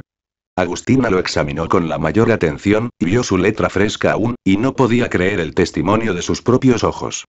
Era el mismo que ella acababa de firmar. Capítulo 19. Luego que Agustina Córdoba se hubo convencido de que el papel que le presentaba Robledo era efectivamente el mismo que ella había firmado un momento antes, sin volver en sí del asombro que le causaba el verlo en manos de don Diego, y proponiéndose informarse después de cómo era que estaba en su poder, pensó en el mandamiento de prisión contra ella que tenía Rodríguez y dijo a Robledo. Verdaderamente, don Diego, que sois un hombre admirable y casi estoy por teneros miedo, considerándoos como hechicero. Vos adivinasteis los pormenores de la conjuración y me conocisteis en una noche obscura, bajo el disfraz de caballero, y ahora veo en vuestro poder un papel que acabo de firmar, que yo misma he entregado a un hombre que tengo encerrado en esa sala. Para vos nada hay difícil. Sabed, pues, que ese mismo hombre tiene en sus manos una orden para prenderme, firmada y sellada por el gobernador, y es necesario que a cualquiera costa nos apoderemos de ella. Al escuchar aquellas palabras, Robledo pareció alarmarse un poco, y dijo, una orden para prenderos. ¿Y qué puede haber motivado esa medida? Es muy sencillo, don Diego, contestó Agustina. El adelantado sabe ya que tuve la imprudencia de acompañar a Peraza, disfrazada, la noche en que iban a evadirse los reyes indios y me manda capturar como cómplice del delito de lesa majestad. El secretario frunció las cejas y dijo. Eso es grave, y veo que no comprendéis todo el alcance de semejante cargo. Pero ¿quién puede haber hecho esa denuncia al gobernador? añadió. Yo me he guardado de decirle una palabra sobre que os hubieseis mezclado en la conjuración. Preguntadlo a ese viejo, respondió Agustina, que es quien me lo ha dicho, mostradme la orden de prisión. Ya sospechaba yo, dijo Robledo como hablando consigo mismo, que el adelantado daba a Rodríguez comisiones delicadas e importantes, recelándose de mí. Ese hombre es peligroso, añadió, y es necesario ponerlo en parte donde no pueda volver a usar de sus mañas. Decís, continuó, dirigiéndose a la viuda, que tiene en su poder el mandamiento de prisión. Sin la menor duda, respondió Agustina. Yo misma lo he visto. Y a no ser que lo haya perdido como este papel, que solo el diablo puede haberle arrancado, aún debe tenerlo en el bolsillo. Bien está, dijo Robledo, con aire meditabundo. Afortunadamente, dentro de pocas horas van a cambiar las cosas y mi posición será aún más importante. A las 10 de esta misma noche toma posesión del gobierno como teniente de gobernador don Francisco de la Cueva, que me debe ese nombramiento, y mi influencia no tendrá rival. Será mi primer cuidado el recompensar el celo del señor Pedro Rodríguez, estad segura de ello. Entre tanto, cuidad de que no vaya a escaparse. De eso yo os respondo, contestó Agustina. La puerta de la sala es fuerte, y aun cuando lograra salir de esa pieza, quedaría encerrado dentro de la casa, pues voy a echar la llave en cuanto os retiréis. Ya. Dijo de Diego, que recordó probablemente la noche en que él mismo se había escapado por las tapias del corral. No os fiéis en que la puerta de la calle esté con llave. Cuidad de que no salga de la sala y nada más. Dicho esto, Robledo, que tenía entre manos graves negocios, uno de ellos la posesión del teniente de gobernador, se despidió de Agustina, ofreciendo volver a la madrugada. Preocupado con las ideas que le dominaban, el secretario dejó sobre la mesa del cuarto donde había tenido la conversación con Agustina, el papel que ésta había firmado. Lo recogió la viuda y lo guardó cuidadosamente en su seno. Cuando iba ya a salir don Diego, volvió y dijo a Agustina. Como tengo que venir hacia el amanecer. ¿Y acaso a esa hora vos y Margarita estaréis dormidas? Me ocurre que me entreguéis la llave de la puerta de la calle, para abrir cuando vuelva, sin necesidad de llamar. Perfectamente, contestó la viuda, voy a darosla. Mas al decir esto, se quedó suspensa, y exclamó. ¿Qué estoy diciendo, necia de mí? Si la llave está en mi alcoba, que comunica únicamente con la sala. Pues buena la hemos hecho, replicó Robledo, si ese hombre logra, por cualquier casualidad, evadirse de la sala. Eso no es fácil, dijo Agustina. Evacuad pronto vuestros negocios y volved cuanto antes.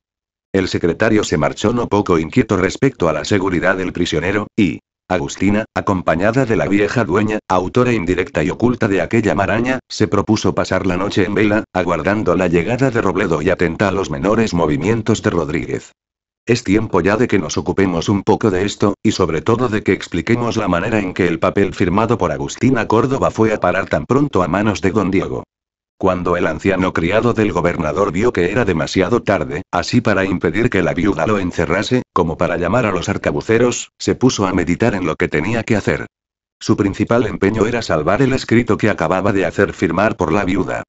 Temía, con razón, que Robledo llegase de un momento a otro, recordando que la dueña le había dicho que era a eso de las ocho de la noche que acostumbraba el secretario visitar a su señora. Calculó que advertido Robledo de lo que ocurría, podría llamar auxilio, hacerlo registrar y apoderarse del papel que tanto importaba conservar. Ocultarlo en alguno de los muebles de la sala o en sus propios vestidos, era exponerlo a que mediante la minuciosa pesquisa que se haría, cayese, más tarde o más temprano, en manos de Robledo o de la viuda. Imaginó entonces que, llegando el secretario, si lograba hacerlo creer que había quemado el papel y le entregaba el mandamiento de prisión contra Agustina, lo dejaría ir en paz, sin molestarlo. Hecho este raciocinio, sacó del bolsillo un papel cualquiera y lo quemó en la llama de la vela que alumbraba la sala, cuidando de que se conservasen las cenizas en el suelo. Enseguida, abrió la ventana y arrojó a la calle el escrito firmado por Agustina, seguro de que podía recogerlo luego que se viese libre. Pero él no contaba con la casualidad, que, dígase lo que se quiera, hace siempre un gran papel en este mundo. Quiso esta que Robledo pasase delante de la ventana en el momento preciso en que Rodríguez lanzaba el papel, que fue a darle casi en la cara. Tomólo don Diego, sin que lo advirtiese el anciano, porque la noche era obscurísima. Pero el secretario sí pudo conocer a Rodríguez, a favor de la luz que iluminaba la sala y se escapaba por la abierta ventana.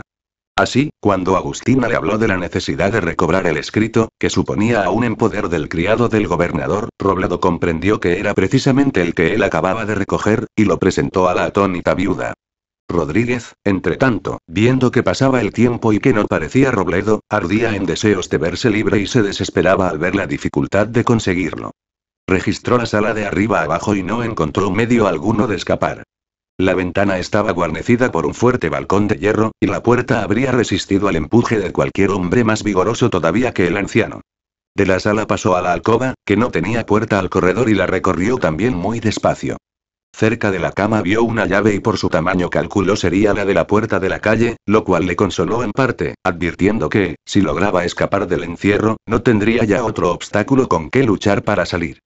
Redobló, pues, los esfuerzos de su imaginación, y al fin de tanto cavilar, creyó haber encontrado el medio de recobrar la libertad. Había en el dormitorio de Agustina un armario grande, que casi tocaba con el techo. Rodríguez acercó una mesa y colocó encima una silla y subió sobre el armario, hizo esfuerzos para levantar alguna de las tablas del desván. Pero desgraciadamente todas estaban fuertemente clavadas. Entonces, con su daga, arma de que jamás se desprendía y que había tenido especial cuidado de llevar aquella noche, comenzó a horadar una tabla. Al principio de la operación en el momento en que Robledo salía de la casa, esto es, hacia las nueve de la noche. A las doce, después de tres horas de incesante trabajo, el anciano había abierto un agujero por el cual podía introducir cómodamente la cabeza. Pero eso no bastaba. Era necesario continuar hasta abrir una cavidad suficiente para dar paso a todo el cuerpo. Siguió, pues, la obra con el mayor empeño, y a eso de la una y media, había abierto un hueco por el cual podía introducir los hombros. La dificultad estaba, pues, allanada. Radiante de alegría, Rodríguez bajó del armario, tomó la vela que por cierto estaba próxima a concluirse. Volvió a subir e introduciéndose por el agujero, se encontró en el desván. Conociendo perfectamente la estructura de las casas de la clase de la de Agustina Córdoba, el anciano calculó que, siguiendo por el desván, llegaría hasta dar sobre la cocina, que no estaría entablada, y que, hallando algún arbitrio para bajar al suelo, sin la menor dificultad se encontraría ya en los corredores, pues no era probable hubiesen cerrado con llave la puerta de la cocina. Animado con aquella esperanza, iba avanzando, alumbrándose con la moribunda luz del cabo de vela que llevaba en la mano. Repentinamente se encontró detenido y sin poder dar un paso más. Había topado con una de esas obras de albañilería que se construyen sobre las paredes maestros y que llamamos mojinetes. El anciano estuvo a punto de desesperarse y casi resolvía ya abandonar la empresa y retroceder. Pero tocando la pared, advirtió que no era de una construcción sólida, y que se desmoronaba con facilidad. Cobró ánimo y haciendo uso de la daga, comenzó a abrir un nuevo agujero. El hierro encontraba menos obstáculos que los que lo había opuesto la tabla del desván, y al cabo de una hora estaba abierto un boquerón por el cual pasó Rodríguez. Desgraciadamente, al terminar aquella operación, la luz se extinguió y el anciano quedó completamente a obscuras. Sin desalentarse por eso, continuó su marcha, caminando a tientas y con mucha precaución temiendo dar con las vigas de la cocina, donde la falta del entablado podría precipitarlo de arriba abajo. Pero por fortuna vio de repente una indecisa y débil claridad, por la cual fue guiándose hasta llegar sin riesgo ni tropiezo, a la orilla del envigado de la cocina. La claridad, que había ido deshaciéndose más y más pronunciada, a medida que avanzaba el anciano, era producida precisamente por el fogón, que Margarita no había cuidado de apagar aquella noche, enteramente ocupada como se hallaba con los graves acontecimientos que ocurrían en la casa. Rodríguez fue pasando de una a otra vida, hasta situarse encima del pollo de la cocina, no lejos del fuego. Calculó la distancia y tomando en cuenta la altura del pollo y la de su propio cuerpo, con los brazos levantados, comprendió que, asiéndose de la vida, sus pies vendrían a quedar como a una vara del piso del pollo. El cálculo era exacto. El anciano pudo, pues, descender sin la menor dificultad, y en un momento se encontró en la puerta de la cocina, que efectivamente estaba abierta. Cuando Rodríguez pasó al corredor de la casa, serían las 3 de la mañana. Agustina, sentada en un sillón delante de la puerta de la sala, velaba al prisionero, y Margarita, no lejos de ella, se había quedado dormida. Júzguese cuál sería la sorpresa de la viuda al ver delante de sí al que ella consideraba también guardado en el encierro. Lanzó un grito que despertó a la vieja al ver aquella figura, creyó sería cosa de la otra vida y se santiguó dos o tres veces. Rodríguez, sin decir palabra, se dirigió a la puerta de la calle, sin que las dos mujeres se atreviesen a oponerse a su paso. Abrió y salió a buscar el papel, que dejaba atrás, bien seguro en el seno de Agustina. Así se aleja el hombre, frecuentemente del objeto de su anhelo y pasa junto a él, sin que una voz interior le advierta de la proximidad de lo que realizaría sus más ardientes esperanzas. Buscó y rebuscó en vano por todas partes, y cuando se hubo convencido de que no estaba ya el papel, se encaminó sin pérdida de tiempo al cuartel de los arcabuceros. Habló al oficial de guardia, mostróle la orden de prisión contra Agustina Córdoba y le pidió cuatro soldados para ejecutarla. No puso dificultad el oficial, en vista de la firma y sello del adelantado. Y Rodríguez, seguido de los arcabuceros, volvió a toda prisa a casa de Agustina. La puerta permanecía abierta, pues la viuda y Margarita no habían cuidado de ir a cerrarla aturdidas con la sorpresa que les causó la evasión del anciano. Así, pudo este entrar hasta donde se hallaba la viuda, cuya inquietud era visible. Conducida a esta mujer, dijo Rodríguez. Agustina suplicó, lloró, quiso hacer resistencia. Pero todo fue inútil. Pidió se lo permitiese cambiar de traje, con la mira de ganar tiempo y ver si llegaba Robledo. Pero el anciano permaneció inexorable. No consintió más detención que la precisa para que la criada fuese a buscar un abrigo para su señora. Hecho esto, repitió la orden de marcha, y caminando él adelante, seguía a Agustina y luego los arcabuceros. La dueña, dando gritos lastimosos y arrancándose los cabellos, iba tras la comitiva. Abrió la puerta Rodríguez, y al poner el pie fuera del umbral, encontróse frente a un grupo de hombres armados. El que capitaneaba aquella partida tendió la espada desnuda, hasta tocar el pecho del anciano, diciendo: Deteneos. Rodríguez conoció por la voz al secretario Diego Robledo y Agustina dio un grito de alegría. El anciano, con la orden del adelantado en la mano, dijo: Paso, en nombre del rey. Estoy encargado por el gobernador de la prisión de esta mujer. Robledo, levantando en alto otro papel, contestó. En nombre del rey, y cumpliendo con una orden del gobernador, hago prisionero a este hombre, y puso la mano sobre el hombro de Rodríguez. Los arcabuceros que acompañaban a este permanecieron perplejos un momento, pero habiéndose dado a conocer el secretario y viendo también que toda resistencia sería inútil, ante el número de hombres que mandaba Robledo, se incorporaron, sin decir palabra, a sus compañeros, dejando al anciano a discreción de su enemigo. Retiraos, dijo el secretario dirigiéndose a la viuda. Y luego, dirigiéndose a Rodríguez, añadió en voz baja. Vos ganasteis dos partidas en favor de Portocarrero. La de las casas consistoriales y la de anoche. Yo gano una ahora. Aún me falta otra para que nos igualemos. Marchad. El anciano inclinó la cabeza sin contestar una sola palabra y fue conducido a la cárcel. Encerráronlo en un estrecho calabozo, como si fuese un criminal, después de haberlo despojado del mandamiento de prisión contra Agustina Córdoba. que se llevó Robledo. Debemos decir ahora cómo se manejó este para ganar la partida a Rodríguez, como él decía. Al salir de casa de don Agustina, don Diego sabía que dentro de pocas horas tomaría posesión don Francisco de la Cueva como teniente de gobernador. El adelantado debía salir en la madrugada del día siguiente.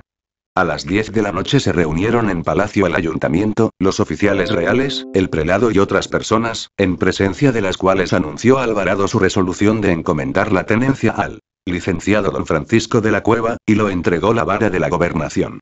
El teniente quedó recibido, disolviéndose el Congreso. Don Pedro fue a dar sus últimas disposiciones para la partida, y el nuevo gobernador, entrado ya en ejercicio, se retiró al gabinete con el secretario. le cuenta este con algunos negocios urgentes, y le habló de la necesidad de poner un correctivo pronto y eficaz a las maquinaciones del criado del gobernador Pedro Rodríguez, que intrigaba con empeño y descaro, a fin de procurar la reconciliación de don Pedro de Portocarrero con doña Leonor. Aquellas palabras tocaron la cuerda dolorosa en el corazón del licenciado, que recordó al momento que el anciano criado de su hermano político había estorbado sus planes en el incidente de la satisfacción a Ronquillo, atrevimiento que no le había perdonado don Francisco. Aprovechando aquella buena disposición, Robledo pintó a su manera la nueva intriga que decía había urdido Rodríguez, y le ponderó la urgencia de impedirle la llevase a cabo. Sin gran dificultad se convenció de ello el licenciado, y firmó una orden de prisión que el secretario llevaba ya extendida, encargándole únicamente que por prudencia no hiciese uso de ella, hasta la mañana siguiente, cuando ya el adelantado hubiese salido de la ciudad. Hízolo así el secretario. Pues apenas desfilaron las tropas que seguían al gobernador y traspusieron los suburbios de la población, tomó un piquete de 20 soldados y con ellos fue a capturar al anciano. Se esparció intencionadamente la voz de que el adelantado había dejado dispuesta la prisión de Rodríguez, y el vecindario tuvo muy a mal la que parecía una ingratitud. Solo doña Beatriz entendió el verdadero motivo de la determinación de su hermano. Mas como se oponía fuertemente a todo lo que pudiese favorecer las relaciones de doña Leonor y Portocarrero, nada objetó a la medida. Quedó pues, el pobre anciano sepultado en un calabozo, sin comunicación con persona viviente, víctima de su afecto a Portocarrero y doña Leonor y de las malas pasiones de Agustina Córdoba y del secretario Diego de Robledo. Capítulo 20. Dos servicios tan importantes el uno como el otro había prestado Robledo en poco tiempo a Agustina Córdoba, no obstante, lo cual y la asiduidad con que el secretario hacía la corte a la viuda, se mostraba esta más y más insensible al afecto de don Diego. Desesperábase este, sin encontrar arbitrio para vencer la resistencia de la dama, que, sin obtener una negativa formal, lo alentaba un día con esperanzas que al día siguiente se veían frustradas, para renacer de nuevo y quedar destruidas más tarde. Muchos días habían pasado desde la noche en que la astucia y diligencia de Robledo salvaron a Agustina de ser conducida a la cárcel, en virtud del mandamiento de prisión obtenido por Pedro Rodríguez. El secretario estaba ocupado en su escritorio, registrando diferentes papeles importantes, y por vigésima vez quizá tropezó con un paquete atado con una cinta verde, cuyo rótulo era el siguiente. Memoria sobre el bebedizo. Siempre que encontraba aquel escrito, desde que lo tomó en la papelera del difunto médico Peraza, el secretario lo arrojaba a un lado con desprecio, figurándose contendría algunas observaciones sobre una medicina cualquiera. Aquel día, cansado de estar viendo aquel legajo inútil a su juicio, creyó oportuno arrojarlo al fuego, e iba a poner por obra aquella determinación, cuando la vista del paquete mismo le trajo a la memoria las palabras del herbolario al recomendar a Agustina lo recogiese en su gabinete. Dijo que constaba en aquel escrito la razón por qué la bebida que contenía la redoma no había producido sus naturales efectos en don Pedro de Portocarrero. Aquel recuerdo bastó para que Robledo desistiese del propósito de arrojar al fuego el paquete, y para que más bien lo desenvolviese y se pusiera a leerlo, como lo hizo, con la mayor atención. A medida que iba don Diego avanzando en la lectura de la memoria del doctor Peraza, redoblaba el interés con que devoraba aquellas páginas. Estaba consignada en ellas la historia de la muchacha, que, habiendo tomado la bebida, se sintió súbitamente poseída de un entrañable amor por el hombre a quien antes detestaba la manera de confeccionar el filtro y de administrarlo, y, por último, lo sucedido con Portocarrero. Asegurando el médico que la circunstancia del relicario y la cortedad de la dosis habían sido las únicas causas de que no produjese en aquel caballero el efecto deseado. Una idea atravesó la imaginación de don Diego.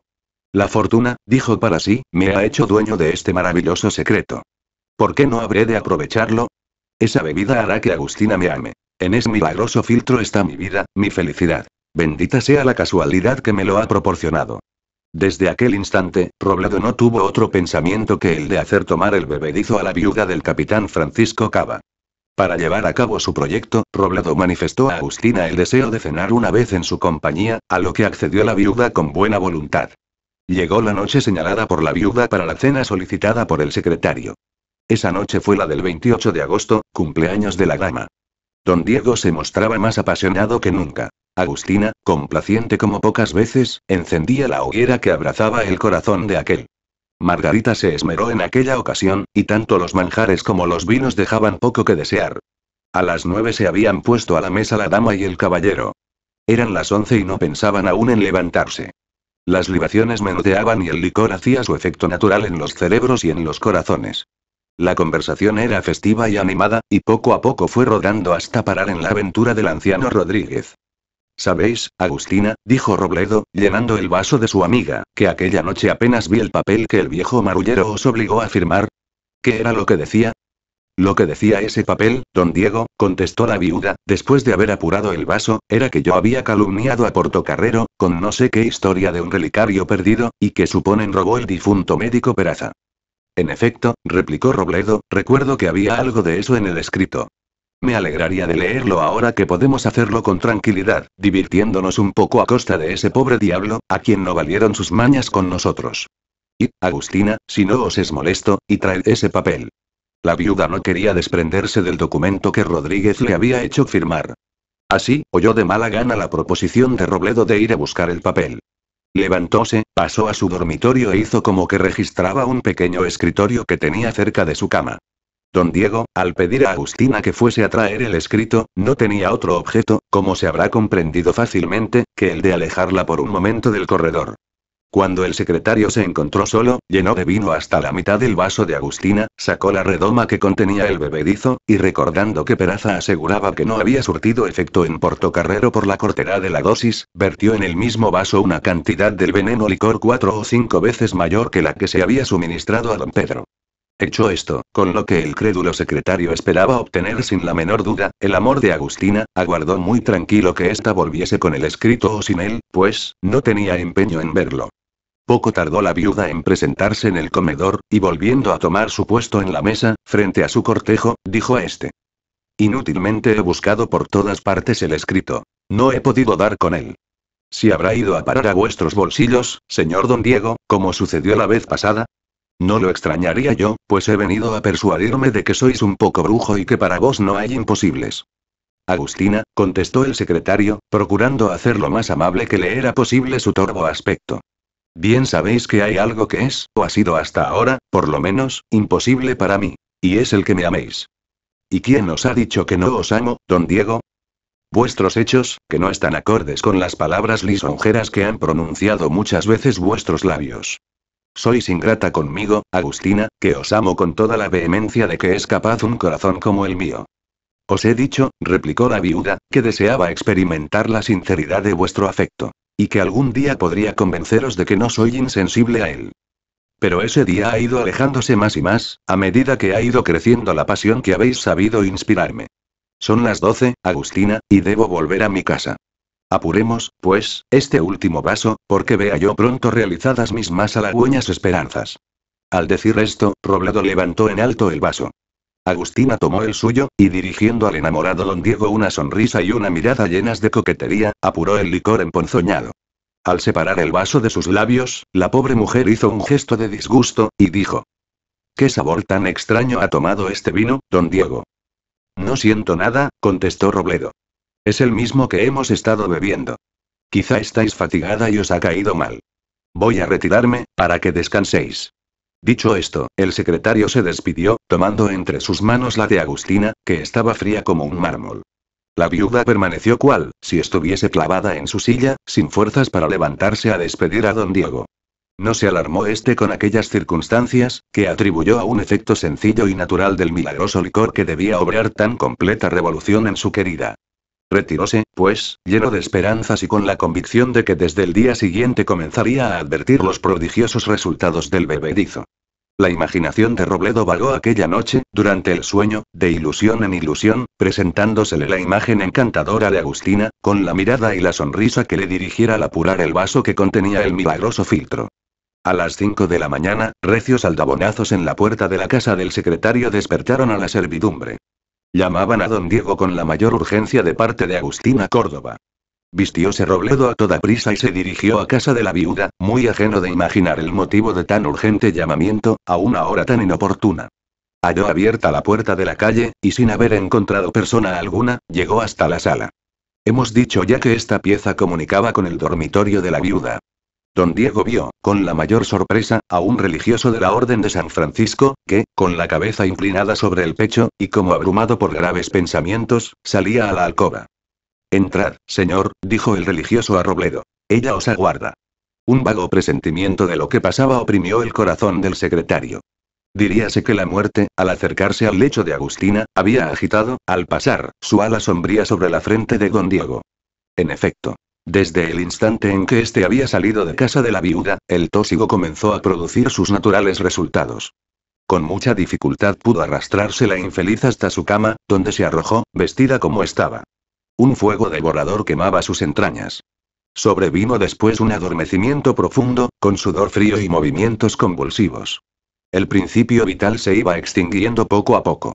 Llámose a un facultativo, que no pudo desconocer en la enfermedad los síntomas de un envenenamiento.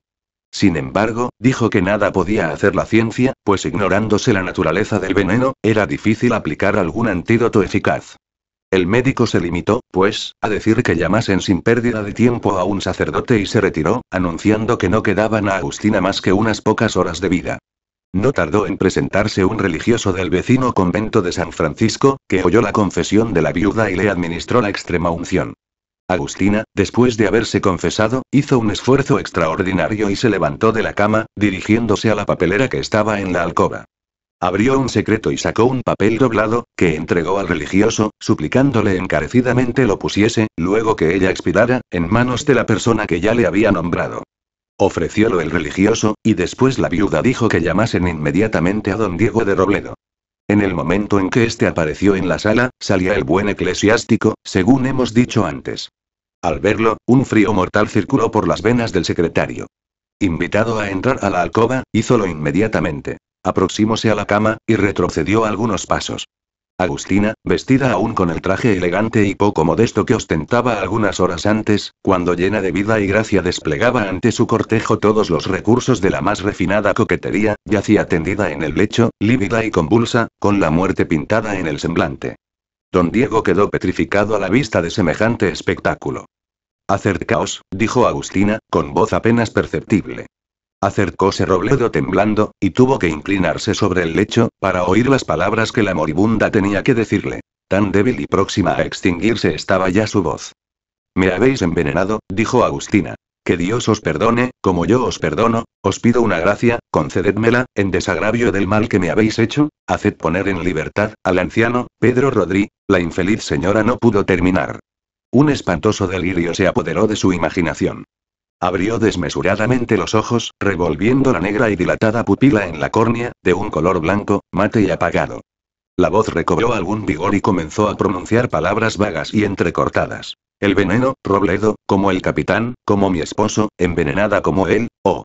La muerte, la muerte, abre los brazos para recibirme, ah. Dijo, dando un grito, agudo y desgarrador, y expiró. Robledo no pudo resistir espectáculo tan espantoso y cayó desmayado. Cuando volvió en sí se incorporó, dirigió involuntariamente una mirada al lecho. Encontró los ojos, aún abiertos, del cadáver, que parecían clavados en él, y salió precipitadamente de la habitación, procurando ahogar los sordos gemidos que se escapaban de su pecho. Don Diego se encerró en su casa, presa de una violenta calentura. Como una hora después de la muerte de Agustina Córdoba, a eso de las siete, un religioso de la Orden San Francisco se presentaba a la puerta del palacio del gobernador y solicitaba un momento de audiencia de la hija del adelantado, para quien llevaba, dijo, un mensaje importante. Era aquel sacerdote uno de esos hombres casi divinizados por la penitencia y por la vida contemplativa. La grave austeridad de su rostro estaba templada por el suave reflejo de ese fuego santo que se llama la caridad, que cuando, escondido en el fondo del corazón, irradia sobre la frente de un mortal, hace de este más que un ángel, lo hace la imagen viva del Salvador del mundo. El apostólico varón fue introducido en el gabinete de doña Leonor, que se presentó un momento después, suplicando al padre perdonase haberlo hecho aguardar. Padre mío, añadió la joven señora. Dícenme que me traéis un mensaje, ¿puedo saber de quién y cuál es? Hija mía, contestó el religioso con esa amable y respetuosa familiaridad que sientan también en boca de un anciano y de un ministro de Dios. Vengo, efectivamente, por un mensaje para vos, de parte de una persona que, en el momento en que os hablo, ha comparecido ya ante el Supremo Juez. Doña Leonor hizo un movimiento que denotaba la sorpresa y el espanto que le causaban aquellas palabras, y dijo.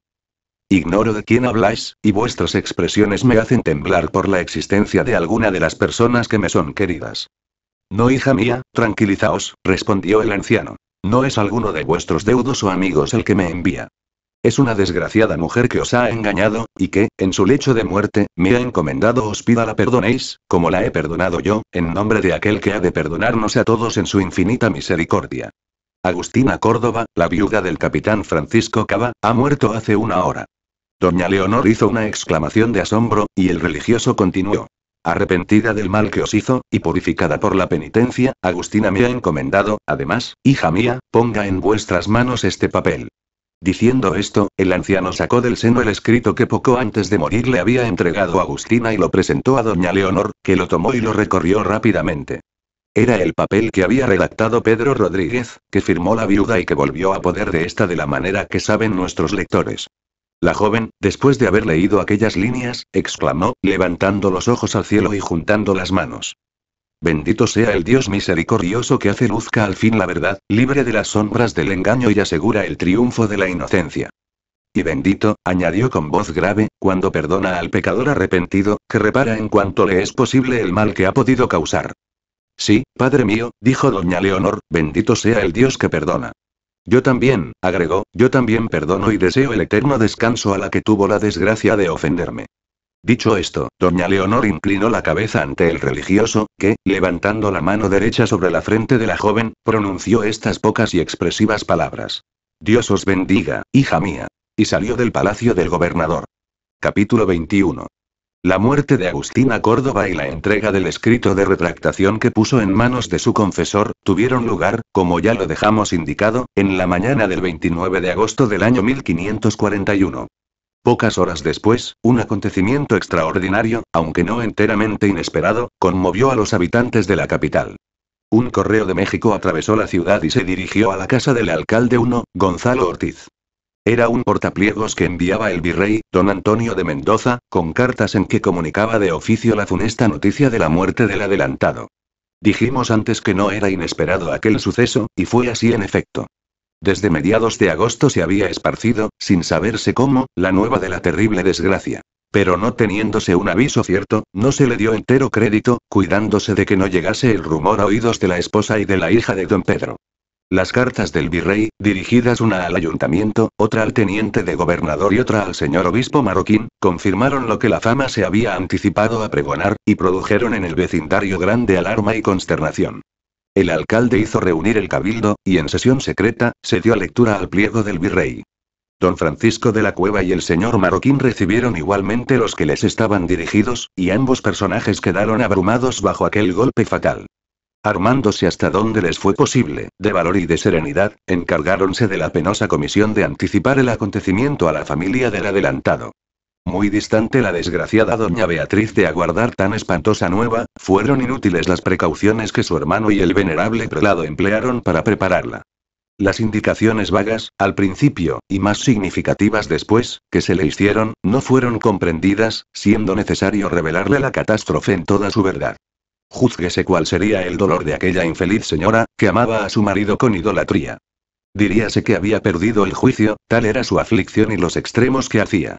No fue menos viva la pena de doña Leonor, si bien su carácter no le inspiró las demostraciones que hizo la viuda del adelantado. La joven, que acababa de probar la satisfacción más pura que en su vida había disfrutado, al ver en sus manos la prueba clara y convincente de la inocencia de su amante, comentaba con doña Juana la retractación de Agustina Córdoba, y se disponía a enviar un mensaje a Portocarrero, pidiéndole le perdonase la injusticia con que lo había tratado. Su decidido empeño, desde que se retiró el buen religioso que le entregara el papel, era satisfacer a don Pedro y asegurarle su invariable afecto. La terrible nueva de que era portador el correo del virrey de México, hizo lo olvidase todo, para pensar únicamente en llorar el fin prematuro y desgraciado de su padre. El ayuntamiento, terminada la sesión en que se dio lectura al pliego, mandó publicar oficialmente la noticia, y de acuerdo con el teniente de gobernador y con el obispo, se ocupó desde luego en disponer las solemnes honras fúnebres del ilustre difunto. Los caballeros de la ciudad vistieron luto espontáneamente, y las campanas de las iglesias hicieron oír pronto sus lúgubres clamores. El sentimiento fue general.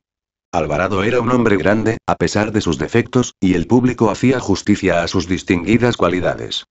Ocupáronse el 29 y el 30 en las disposiciones necesarias para los funerales, que debían durar nueve días. El 31 llamó la atención del vecindario el aspecto que presentaba el palacio del adelantado. Estaba todo pintado de negro, tanto por fuera como por dentro, habiéndose aprovechado un betún de aquel color, que dicen se encontraba en grande abundancia en las orillas del Almolonga. Las habitaciones estaban tapizadas y alfombradas con paños también negros, ofreciendo así el edificio todo un aspecto fúnebre, en armonía con el duelo que enlutaba el corazón de sus afligidos moradores. El prelado diocesano, que amaba al adelantado con afecto profundo y sincero, quiso honrar su memoria, y a su ejemplo, el clero secular y regular, contribuyó a solemnizar sus funerales. En tanto se verificaban estos, y pasada la primera impresión de sorpresa que causó la noticia cierta de la muerte de Alvarado, los ánimos comenzaron a agitarse, manifestándose las ambiciones que el decoro y debido miramiento a las circunstancias, habían tenido disimuladas durante los dos o tres primeros días. En las casas, en las calles y aún en los templos, durante los oficios fúnebres, no se hablaba de otra cosa que del nombramiento del sucesor de don Pedro, dividiéndose la ciudad en diferentes bandos. Y, sin embargo, cualquiera disposición que al efecto se tomase no podría dejar de ser provisional, en tanto proveía el rey la plaza vacante por la muerte del adelantado. Mas como eso no tendría lugar en algún tiempo y como, por otra parte, el que fuese nombrado provisoriamente tendría mucho ganado para ser provisto en propiedad, ponían grande empeño en aquella elección, que correspondía al ayuntamiento. Agitábanse los candidatos y redoblaban las intrigas en torno de los siete concejales de cuyos votos dependía la designación del gobernador. Deseaba el empleo don Francisco de la Cueva, que parecía con mejores derechos que otros a obtenerlo, por la confianza que mereciera a su difunto hermano político, y contaba con el voto de algunos de los capitulares. Pretendíalo el tesorero castellanos, y no faltaban otros candidatos, con más o menos probabilidades de buen éxito. El secretario del gobernador, Diego Robledo, a quien dejamos en nuestro último capítulo abrumado bajo el peso del homicidio que había cometido involuntariamente, a causa de la grande imprudencia con que empleó el filtro que encontró en el escritorio del herbolario, permanecía encerrado en su casa, impresionado vivamente por la muerte de Agustina, aunque sin parecer acordarse de la recomendación de esta, de procurar la libertad de Pedro Rodríguez. Cuando Robledo tuvo conocimiento de la noticia comunicada por el virrey de México, haciendo un grande esfuerzo sobre sí mismo, se levantó de la cama, y debilitado como estaba por la calentura, fue a conferenciar con el teniente de gobernador, cuyo partido abrazó desde luego con decisión, calculando ser el que mejor convenía a sus personales intereses. Abocóse Robledo con los miembros del ayuntamiento, y les hizo observar que don Antonio de Mendoza, en la carta en que participaba la desgraciada muerte del adelantado, prevenía, en nombre del rey, continuase en el mando de estas provincias el licenciado de la cueva, y que sería peligroso desairar aquella disposición del virrey de Nueva España. Con ese y otros argumentos apoyó don Diego sus instancias, en tanto que los otros alegaban no estar en obligación de obedecer aquella orden, una vez que el reino de Guatemala no dependía del virreinato de México, y su gobernador no había reconocido más superior que el rey. Divididos así los pareceres de los funcionarios y de los simples caballeros, se acercaba el día de la elección, sin haberse logrado un advenimiento sobre aquel punto importante. Los del partido del tesorero real amenazaban casi públicamente con trastornar el orden, si no era elegido el candidato que ellos deseaban, y los otros tomaban sus disposiciones para oponerse a aquellas tentativas. Uno de los más empeñados en la elección de castellanos, era el veedor Gonzalo Ronquillo, que tenía diferentes motivos para desear que el tesorero tomase la vara de la gobernación. La causa principal de aquel empeño era haber sabido el veedor, de una manera cierta, aunque bajo mucha reserva, que estaba para fallarse el proceso por hechicería que se le instruyera por la denuncia de Pedro Rodríguez. Proceso que había caminado con mucha lentitud, y al fin estaba al terminarse. Tenía don Gonzalo motivos fundados para temor que la resolución no le sería favorable, y así fiaba su salvación únicamente en el nombramiento de su amigo Castellanos, acusado de complicidad en el delito. En esa situación comprometida se hallaban las cosas el día 8 de septiembre, víspera de la elección, cuando don Francisco de la Cueva pasó al palacio del adelantado, habiéndolo llamado con urgencia su hermana doña Beatriz. Estaba esta señora retraída en un aposento completamente oscuro, llorando día y noche la pérdida de su marido, sin admitir consuelo. Cuando se presentó don Francisco, hizo encendiesen una lámpara, y suplicó a las señoras que la acompañaban que se retirasen, teniendo que hablar a su hermano de asuntos graves y reservados. Luego que estuvieron solos, doña Beatriz enjugó las lágrimas que inundaban sus mejillas y dijo a don Francisco, después de haberlo hecho se sentase junto a ella. Se me ha dicho, hermano mío, que reina grande inquietud en la ciudad, con ocasión del nombramiento del gobernador, que debe practicar mañana el ayuntamiento. Vos sabréis lo que hay en esto. Sí, Beatriz, contestó el licenciado, las opiniones están un poco divididas. Los fieles amigos de vuestro esposo desean que yo conserve el gobierno, en tanto que sus antiguos émulos, implacables aún después la muerte del adelantado, quisieran excluir a su familia de toda participación en el manejo de los negocios públicos. Ellos obran como quien son, contestó doña Beatriz, la culpa es de los que por miramientos indebidos han permitido a esos malos vasallos tener la osadía de conspirar contra la persona que representa aquí la autoridad del rey. Habéis olvidado las palabras que os dije el día en que llegamos a esta ciudad, con motivo de las intrigas que se tramaron en el ayuntamiento para no dar posesión al adelantado. No las recuerdo precisamente, replicó don Francisco, aunque no he olvidado que tuvisteis a mal la lenidad con que don Pedro trató a sus enemigos. Y esa lenidad es la que hoy nos perdería, a no estar yo de por medio.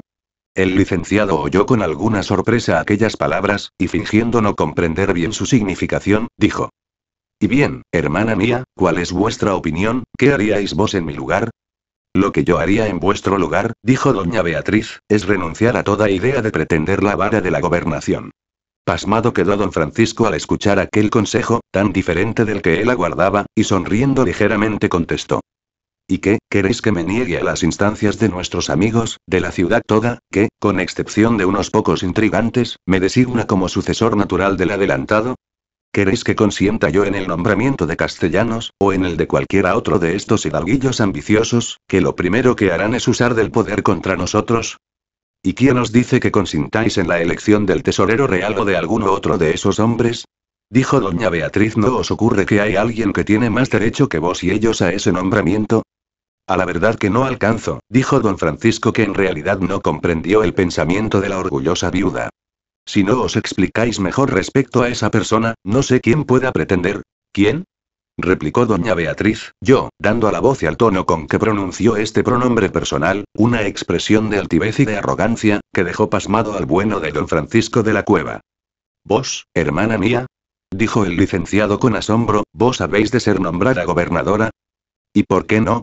Replicó doña Beatriz. No será la primera persona de mi sexo que gobierne un reino. Ya, contestó don Francisco. Bien sé que hay repetidos ejemplos en la historia, de mujeres que han empuñado las riendas del gobierno también o mejor que muchos hombres. Pero advertid que a esas mujeres las llamaba al mando supremo el derecho incontestable del nacimiento. Y a mí me llama el no menos sagrado del buen servicio de Dios, del rey y el bien de los vasallos que su majestad tiene en estas provincias. Es necesaria, don Francisco, hacer ver a don Antonio de Mendoza que el reino de Guatemala no depende más que del soberano, y nada tienen que hacer con él los virreyes de la Nueva España. Si a vos no os ha herido esa temeraria injerencia que el virrey pretende arrogarse, a mí sí, y no la consentiré. Así, digoos que, no obstante, la orden de aquel caballero, en que manda se os mantenga en la gobernación, yo debo ser nombrada. Pero, ¿y qué dirán los individuos del ayuntamiento, cuando sepan vuestra extraña pretensión? La saben, hermano mío, y están decididos a nombrarme. El señor obispo ha hablado a los alcaldes y regidores, y puedo aseguraros que la mayoría, por lo menos, votará por mí. ¿Es decir que es este un asunto decidido? Decidido, contestó doña Beatriz. Paréceme, entonces, dijo con mal humor don Francisco, que podría haberse excusado esta larga y enojosa conversación. Y diciendo esto, se levantó y salió del palacio, sin despedirse casi de doña Beatriz. El licenciado se encerró en su gabinete, e hizo llamar a Diego de Robledo, quien acudió inmediatamente. Refirióle aquel, punto por punto, la conversación que acababa de tener con doña Beatriz, con lo que tuvo no poca sorpresa el secretario. Reflexionó detenidamente, y dijo. Es necesario encontrar algún arbitrio, cualquiera que sea, para que vos quedéis con la gobernación. ¿Y cuál puede ser ese? preguntó el licenciado. Robledo, volvió a quedarse pensativo durante un breve rato, y de repente, como quien halla la solución de un enmarañado problema, exclamó. Ahí está. Ya lo encontré. Proponed a doña Beatriz una transacción que satisfará su amor propio y conciliará sus proyectos con la necesidad de que vos continuéis gobernando. Explicaos, dijo don Francisco con impaciencia. Convenid, dijo Robledo, en que sea ella nombrada, y proponedle que enseguida manifieste que no pudiendo por su sexo y situación actual ejercer personalmente tan grave y delicado cargo, os nombra subteniente, para que vos gobernéis en su nombre, reservándose, si lo exige, algunas atribuciones insignificantes. Bien pensado me parece, contestó don Francisco, pero ¿creéis que consentirá? Pienso que sí. Quizá es más la vanidad que el deseo de mandar personalmente la que induce a vuestra hermana a desear el nombramiento. La idea de que, como teniente suyo, le estaréis en cierto modo sometido, y de que en todo caso podrá recobrar el mando cuando lo juzgue conveniente, la halagará y la hará prestarse. Y luego. Y luego, dijo Robledo, veremos. El tiempo dará de sí y no faltará cómo hacer que vos y solo vos gobernéis siempre. Lo que importa es salir del apuro de momento. Para lo futuro, debéis contar con lo que yo podré hacer, y, sobre todo, con lo imprevisto. Si el licenciado de la cueva hubiese sido un hombre observador y más práctico en el conocimiento del corazón humano que en las leyes, habría adivinado todo lo que había de audacia y de perversidad en las últimas palabras pronunciadas por el secretario, que hemos cuidado de subrayar. Pero no pareció comprender su alcance, y contestó a Robledo. La idea me parece excelente, amigo mío, y hace honor a vuestra perspicacia. Voy a conferenciar sin pérdida de tiempo con doña Beatriz. Diciendo esto, don Francisco se dirigió al aposento donde estaba retraída la viuda. El licenciado, con toda la diplomacia de que era capaz, propuso el proyecto a doña Beatriz, como una idea que lo acababa de ocurrir y allanaría toda dificultad. Escúchole la viuda del adelantado con la mayor atención, y le dijo. Vuestro pensamiento, hermano mío, es de un hombre juicioso y discreto. Mi principal intento es, como ya os lo he dicho, hacer ver al virrey de México que él no puede dar órdenes al ayuntamiento de Guatemala, lo que se obtiene, desde luego, con mi nombramiento. Después, gobernad vos, como Dios os lo dé a entender, poniendo coto desde luego a los desmanes de nuestros enemigos, consultándome todos, todos, ¿lo entendéis? Todos los casos graves, y reservándome yo exclusivamente un solo punto. ¿Y cuál es ese punto que os reserváis? preguntó con timidez el licenciado. Los repartimientos de indios, contestó la señora. Era precisamente la prerrogativa más importante y delicada que tenían los gobernadores en aquellos tiempos. Así, don Francisco vio que su autoridad quedaría privada de su principal atribución y casi estuvo a punto de rehusar el arreglo. Pero recordó las últimas palabras de Robledo, y dijo a doña Beatriz. Bien. Se hará lo que gustéis. Mi único deseo es complaceros. Y se retiró, para ir a comunicar al secretario el resultado de la conferencia. Capítulo 22. Antes de referir lo que ocurrió acerca de la elección de la persona que debía suceder al adelantado en el gobierno del reino, diremos dos palabras respecto a uno de los principales personajes de nuestra historia, a quien perdimos de vista en los últimos capítulos, don Pedro de Portocarrero. Después de la escena que tuvo lugar en el parque del palacio, el pobre caballero se encerró en su casa, sucediendo el abatimiento más profundo a la violenta agitación que le causó la reconvención amarga que encerraba la pregunta que le dirigió doña Leonor respecto al relicario. Ni la noticia de la muerte desgraciada del adelantado, a quien tanto amaba, pudo sacar a Portocarrero del estupor en que quedó después de aquella conversación, abrumada su alma bajo el peso de su propio infortunio. Así, don Pedro no volvió a salir a la calle y sus fuerzas, muy agotadas ya, iban extinguiéndose cada día más. Nada sabía de las intrigas que algunos hombres, ambiciosos de honores y de mando y una mujer tan ambiciosa como los hombres, ponían en juego para obtener lo que el alma de Portocarrero habría visto seguramente con desdén y tedio. Pero no era ese el modo de considerar las cosas que tenían otros personajes de la ciudad. Así, vieron acercarse con zozobra y con la más viva inquietud el momento en que iba a decidirse aquella cuestión grave. El día 9 de septiembre de 1541, a las 8 de la mañana, después de haber asistido a misa de Espíritu Santo, reuniéronse los magníficos señores del Cabildo, como se titulaban, y el prelado diocesano, en sesión secreta, y conferenciaron detenidamente, antes de proceder al nombramiento del gobernador. La sesión fue larga y acalorada. Discutióse el mérito de los candidatos, expusiéronse las razones de conveniencia pública en que cada cual apoyaba su parecer, y habiéndose procedido a la elección, resultó nombrada gobernadora, por todos los votos, menos uno, la señora doña Beatriz de la Cueva, viuda del adelantado. El alcalde 1, Gonzalo Ortiz, fue el único de opinión contraria a aquel nombramiento, ofreciendo exponer sus razones por escrito, lo cual no llegó a verificar jamás, quedando en la célebre acta de aquella sesión una hoja en blanco, que estaba destinada a hacer constar el parecer del alcalde. Concluido el acto, el cabildo y el prelado se dirigieron al palacio de doña Beatriz, que espera ya, sin duda, a la ilustre corporación. El salón principal estaba todo colgado de negro, o iluminado con la luz de 30 o 40 bujías, que ardían en arañas y candelabros de plata. Introducido el ayuntamiento y el obispo, presentóse doña Beatriz, vestida de terciopelo negro, acompañada de su hermano don Francisco y seguida de varias damas, mayordomos, maestresalas y pajes de su servidumbre. Gonzalo Ortiz tomó la palabra, y en un breve discurso, hizo saber a doña Beatriz el acuerdo del cabildo y le pidió su aceptación, por convenir así, dijo, al servicio de Dios nuestro Señor y de su Majestad, y pacificación de los españoles y naturales de esta gobernación. La noble dama, revistiéndose de grave dignidad, contestó en voz clara y firme, que daba las gracias al ayuntamiento que aceptaba el cargo, con intención y celo de servir a su majestad en ello, en lugar del adelantado don Pedro de Alvarado, su marido, que es en gloria. Son las palabras textuales del acta.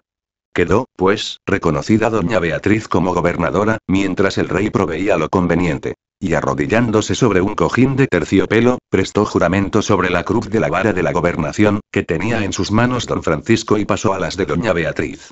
Enseguida otorgó esta las fianzas necesarias por derecho para el ejercicio del cargo, quedando todo contado por diligencia formal. Hecho esto la gobernadora expuso, que por causas que a ello la movían, determinaba nombrar por subteniente, al licenciado don Francisco de la Cueva, transmitiéndole todos sus poderes y facultades para el gobierno del reino, reservándose el proveimiento de indios, que ella sola haría. Entregó la vara de justicia a su hermano, que la recibió y aceptó el cargo, presentando juramento y dando fianzas. Firmó primero el acta la gobernadora, con estas notables palabras. Las inventura doña Beatriz. Y después de haber levantado la pluma del papel, una idea surgió en su imaginación, y con un movimiento rápido, pasó la pluma sobre el nombre Doña Beatriz, atravesándolo con una raya horizontal, quedando así tachado y por única firma. Las Inventura. Firmaron a continuación los capitulares, don Francisco de la Cueva y el señor obispo marroquín, y se retiraron, dejando a la viuda con su hermano y las personas de su servidumbre. Grande fue la sorpresa del vecindario cuando se publicó en la ciudad el resultado de la elección. Nadie esperaba que recayese el nombramiento en la viuda del adelantado. Que, si bien había delegado sus facultades en don Francisco, conservaba la propiedad del cargo y podía recobrar su ejercicio cuando lo creyera conveniente. Pero los que más se asombraron e irritaron con aquel acontecimiento fueron el tesorero real y sus partidarios. Su indignación no conocía límites y se reunieron inmediatamente para acordar lo que les correspondía hacer. Mostráronse todos decididos a desconocer la autoridad de la gobernadora y la del teniente, pretendiendo que aquella elección, hecha en una mujer, era nula y de ningún valor. Mas como calcularon que de nada serviría una sola protesta, resolvieron deponer de hecho a la gobernadora y al licenciado de la cueva, reduciéndolos a prisión, asumiendo el gobierno el tesorero real, mientras se daba cuenta al rey. Tomaron sus disposiciones con la mayor reserva para llevar a cabo aquel golpe de mano, y convinieron en que el día 11, a las 2 de la mañana, sorprenderían la guardia de palacio y se apoderarían de las armas.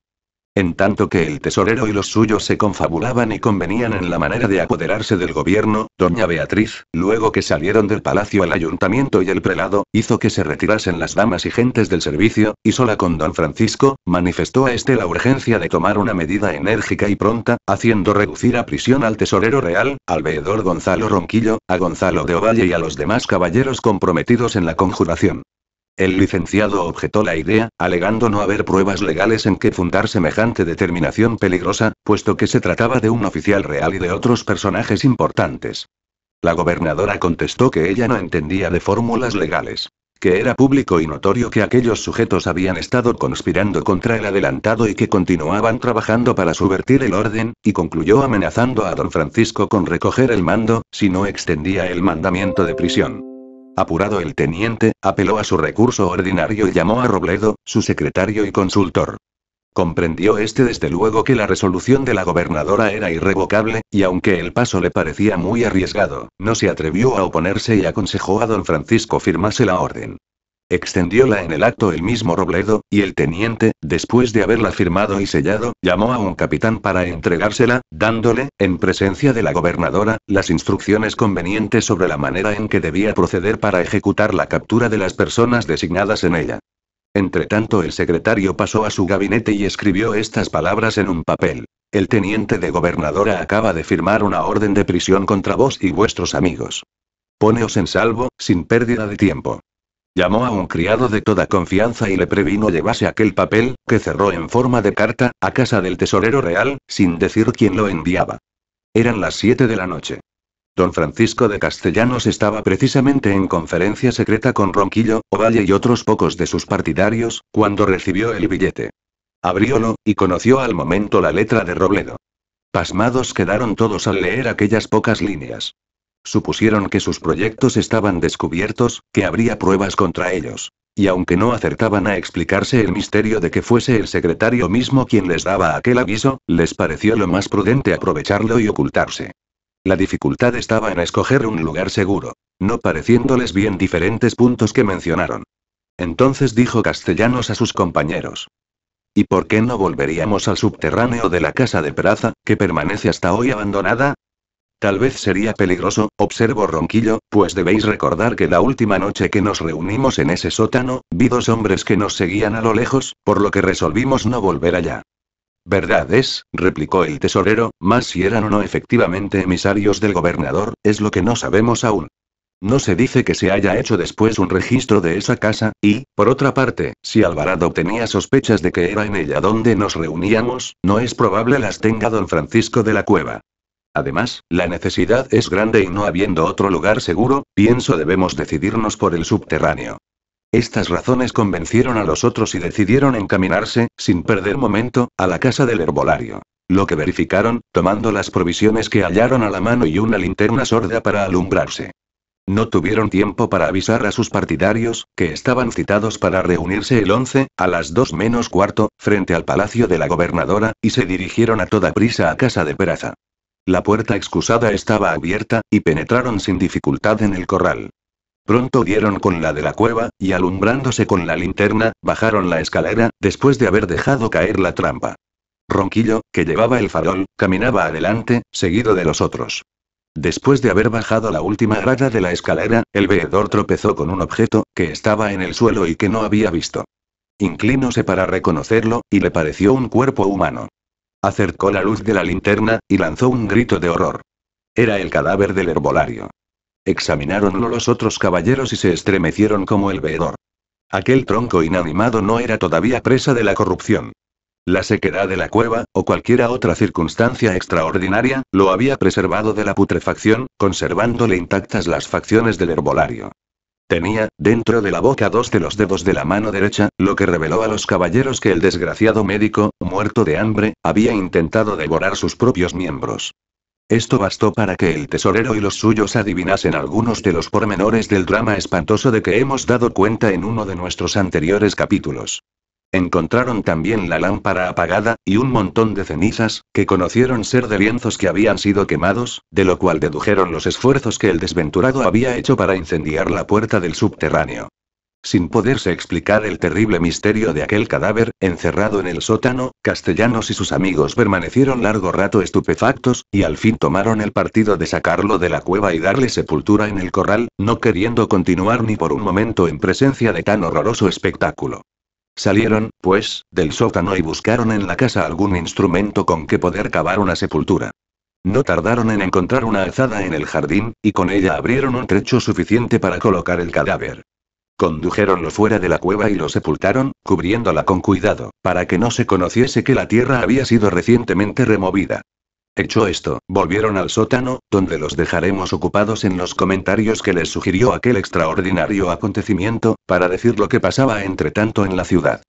Pocos momentos después que Castellanos y los otros jefes de la conspiración hubieron salido de la casa de aquel, una partida de arcabuceros la ocupaba y registraba minuciosamente, buscando con el mayor empeño al tesorero real.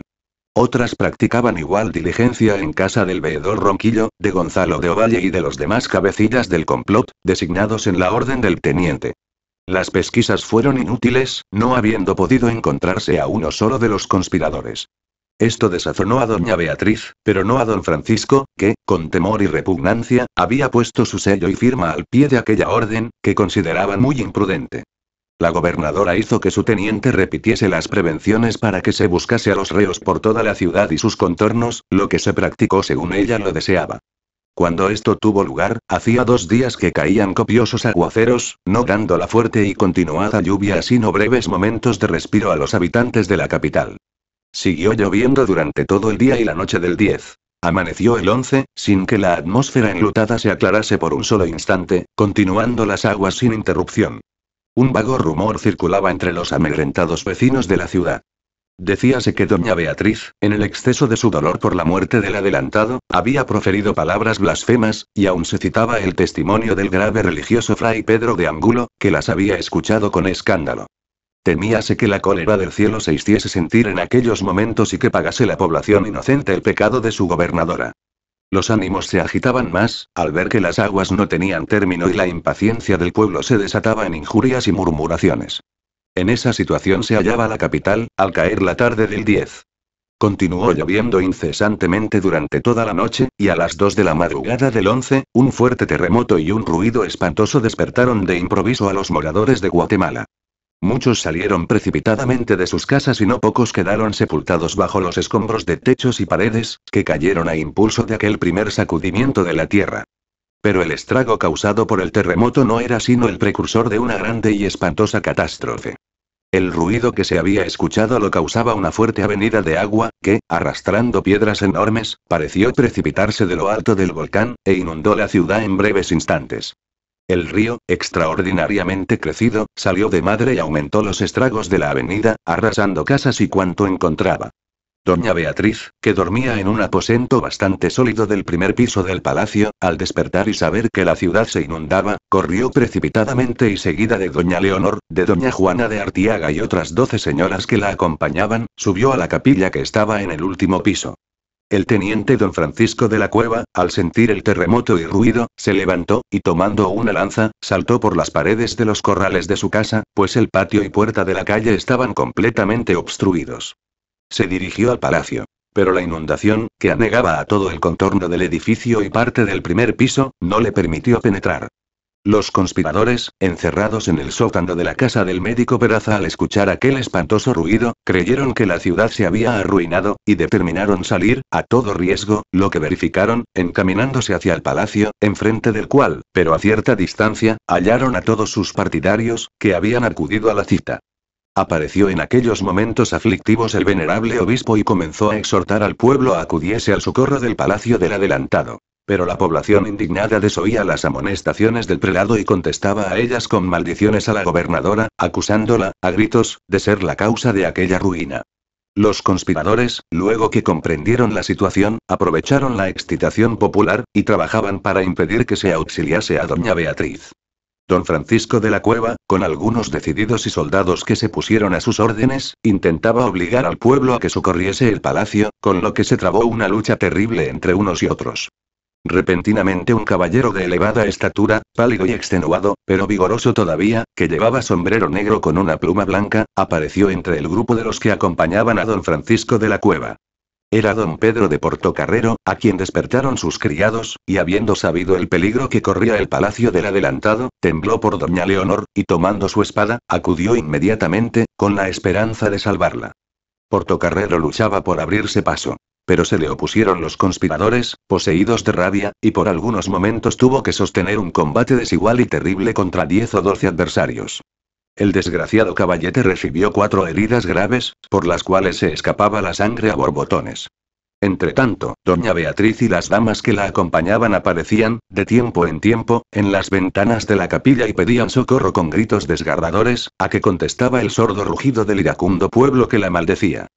Los relámpagos que rasgaban de vez en cuando el espeso velo que enlutaba la atmósfera, iluminaban con resplandor siniestro aquel horroroso espectáculo.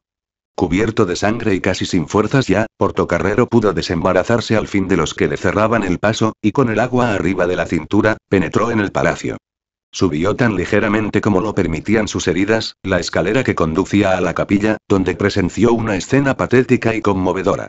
Doña Beatriz, subida sobre el altar, abrazaba los pies de la imagen de Jesucristo crucificado, y hacía en voz alta, acto de contrición, pidiendo a Dios perdón de sus pecados. Las damas, arrodilladas junto al altar, derramaban lágrimas y oraban con fervor. La hija del adelantado apoyada en el hombro de su amiga doña Juana, estrechaba contra sus labios mortecinos el relicario que había llevado al cuello por muchos días don Pedro de Portocarrero. Al acercarse este, doña Leonor lanzó un grito de alegría y exclamó. Bendita sea la misericordia de Dios, que no permite veros un instante antes de que nos separemos para siempre, pues veo que voy a morir. Diciendo esto, corrió al encuentro de don Pedro, cuya palidez y desfallecimiento pudo advertir a la luz de la lámpara que alumbraba la capilla. Portocarrero, con una sonrisa tristísima, contestó. No, Leonor, no sois vos la que vais a morir, vengo a salvaros. Al decir esto, reuniendo las últimas fuerzas que le quedaban, levantó en sus brazos a la joven y salió con ella de la capilla. Apenas había bajado la escalera don Pedro con doña Leonor, cuando un terremoto, aún más fuerte que el primero, hizo bambolear todo el edificio, oyendo el caballero y la joven un ruido espantoso sobre sus cabezas. La bóveda de la capilla había caído a plomo sobre la sinventura doña Beatriz, y las doce desgraciadas señoras que la acompañaban. La hija del adelantado volvió la cabeza, y al ver los escombros, que cubrían el pavimento de la capilla, perdió el conocimiento. Aquella catástrofe no pasó desapercibida de los que luchaban en la calle frente al palacio. Un grito de horror resonó en el grupo de los que estaban al lado de don Francisco de la Cueva y los conspiradores huyeron despavoridos. En aquel momento apareció, a unas 50 varas del palacio, el anciano Pedro Rodríguez.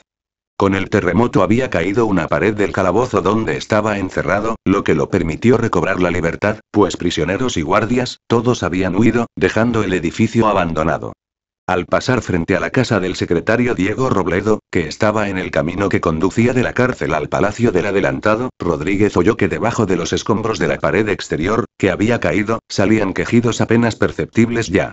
Acudió a salvar al desgraciado que yacía bajo las ruinas, y habiendo apartado los escombros con trabajo, descubrió al secretario mismo, que, cogido por la pared, y fracturados el pecho y la cabeza, estaba próximo a expirar.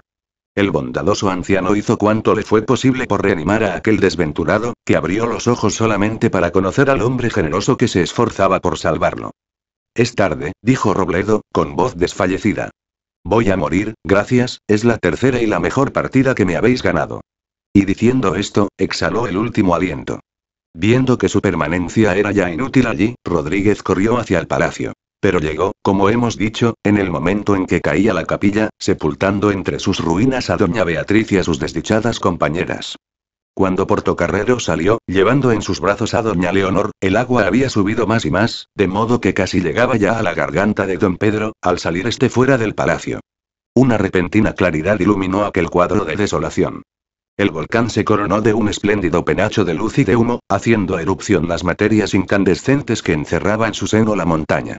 Viéronse por todas partes casas arruinadas y cadáveres de hombres y animales. Doña Leonor, al contacto del agua, que cubría parte de su cuerpo, abrió los ojos, al encontrarse en aquel lago, que amenazaba ya cubrir la cabeza de su amante, lo estrechó fuertemente contra su seno, y con la mano derecha, teniendo abrazado a don Pedro con la izquierda, se quitó el relicario y pasó la cadena alrededor del cuello de Portocarrero. Este no tenía ya fuerzas, sentía que se doblaban sus rodillas. Iba a caer. Puso sus labios fríos como el mármol en la frente de doña Leonor, y dijo, Adiós, Leonor, para siempre, adiós. Adiós, repitió la joven, a quien Portocarrero soltó en aquel momento, siéndole ya humanamente imposible sostenerla en sus brazos. La corriente del agua fue arrastrándola lentamente, en tanto que Portocarrero, estrechando el Agnus Dei contra sus labios, decía con voz lánguida y balbuciente. Cordero de Dios, que borras los pecados del mundo, ten misericordia de mí, misericordia de mí, repitió, y cayendo desfallecido, se hundió para no aparecer más. A la luz de la erupción del volcán, vio Pedro Rodríguez, a lo lejos, aquella triste escena, y lanzándose al agua salió al encuentro de doña Leonor, a quien, con gran trabajo, logró salvar, colocándola en lugar seguro. No bien había puesto el anciano a la joven encima de una piedra, la corriente del agua arrojó sobre las rodillas de esta un objeto que le hizo dar un grito de horror. Era el sombrero negro, adornado con una pluma blanca, que llevaba don Pedro de Portocarrero. Cuando aclaró el día, se advirtió que la ciudad estaba casi toda arruinada y se recogieron más de 600 cadáveres de los que habían perecido en la terrible catástrofe de aquella mañana, por siempre memorable. Entre los muertos pudo reconocerse al veedor Gonzalo Ronquillo, que, al huir, después de la caída de la capilla del palacio, no considerándose seguro en la ciudad, se salió fuera y fue a dar en un gran depósito donde se reunían las inmundicias de la población. Extrajéronse los restos de doña Beatriz, y fueron sepultados en la catedral, trasladándolos después a la de la antigua, donde reposaron por mucho tiempo junto con los del adelantado. Los de doña Juana de Artiaga y de las demás señoras, después de haber sido inhumados en la iglesia mayor, fueron trasladados a la de San Francisco, en 1580, colocándolos en la capilla mayor, al lado del Evangelio.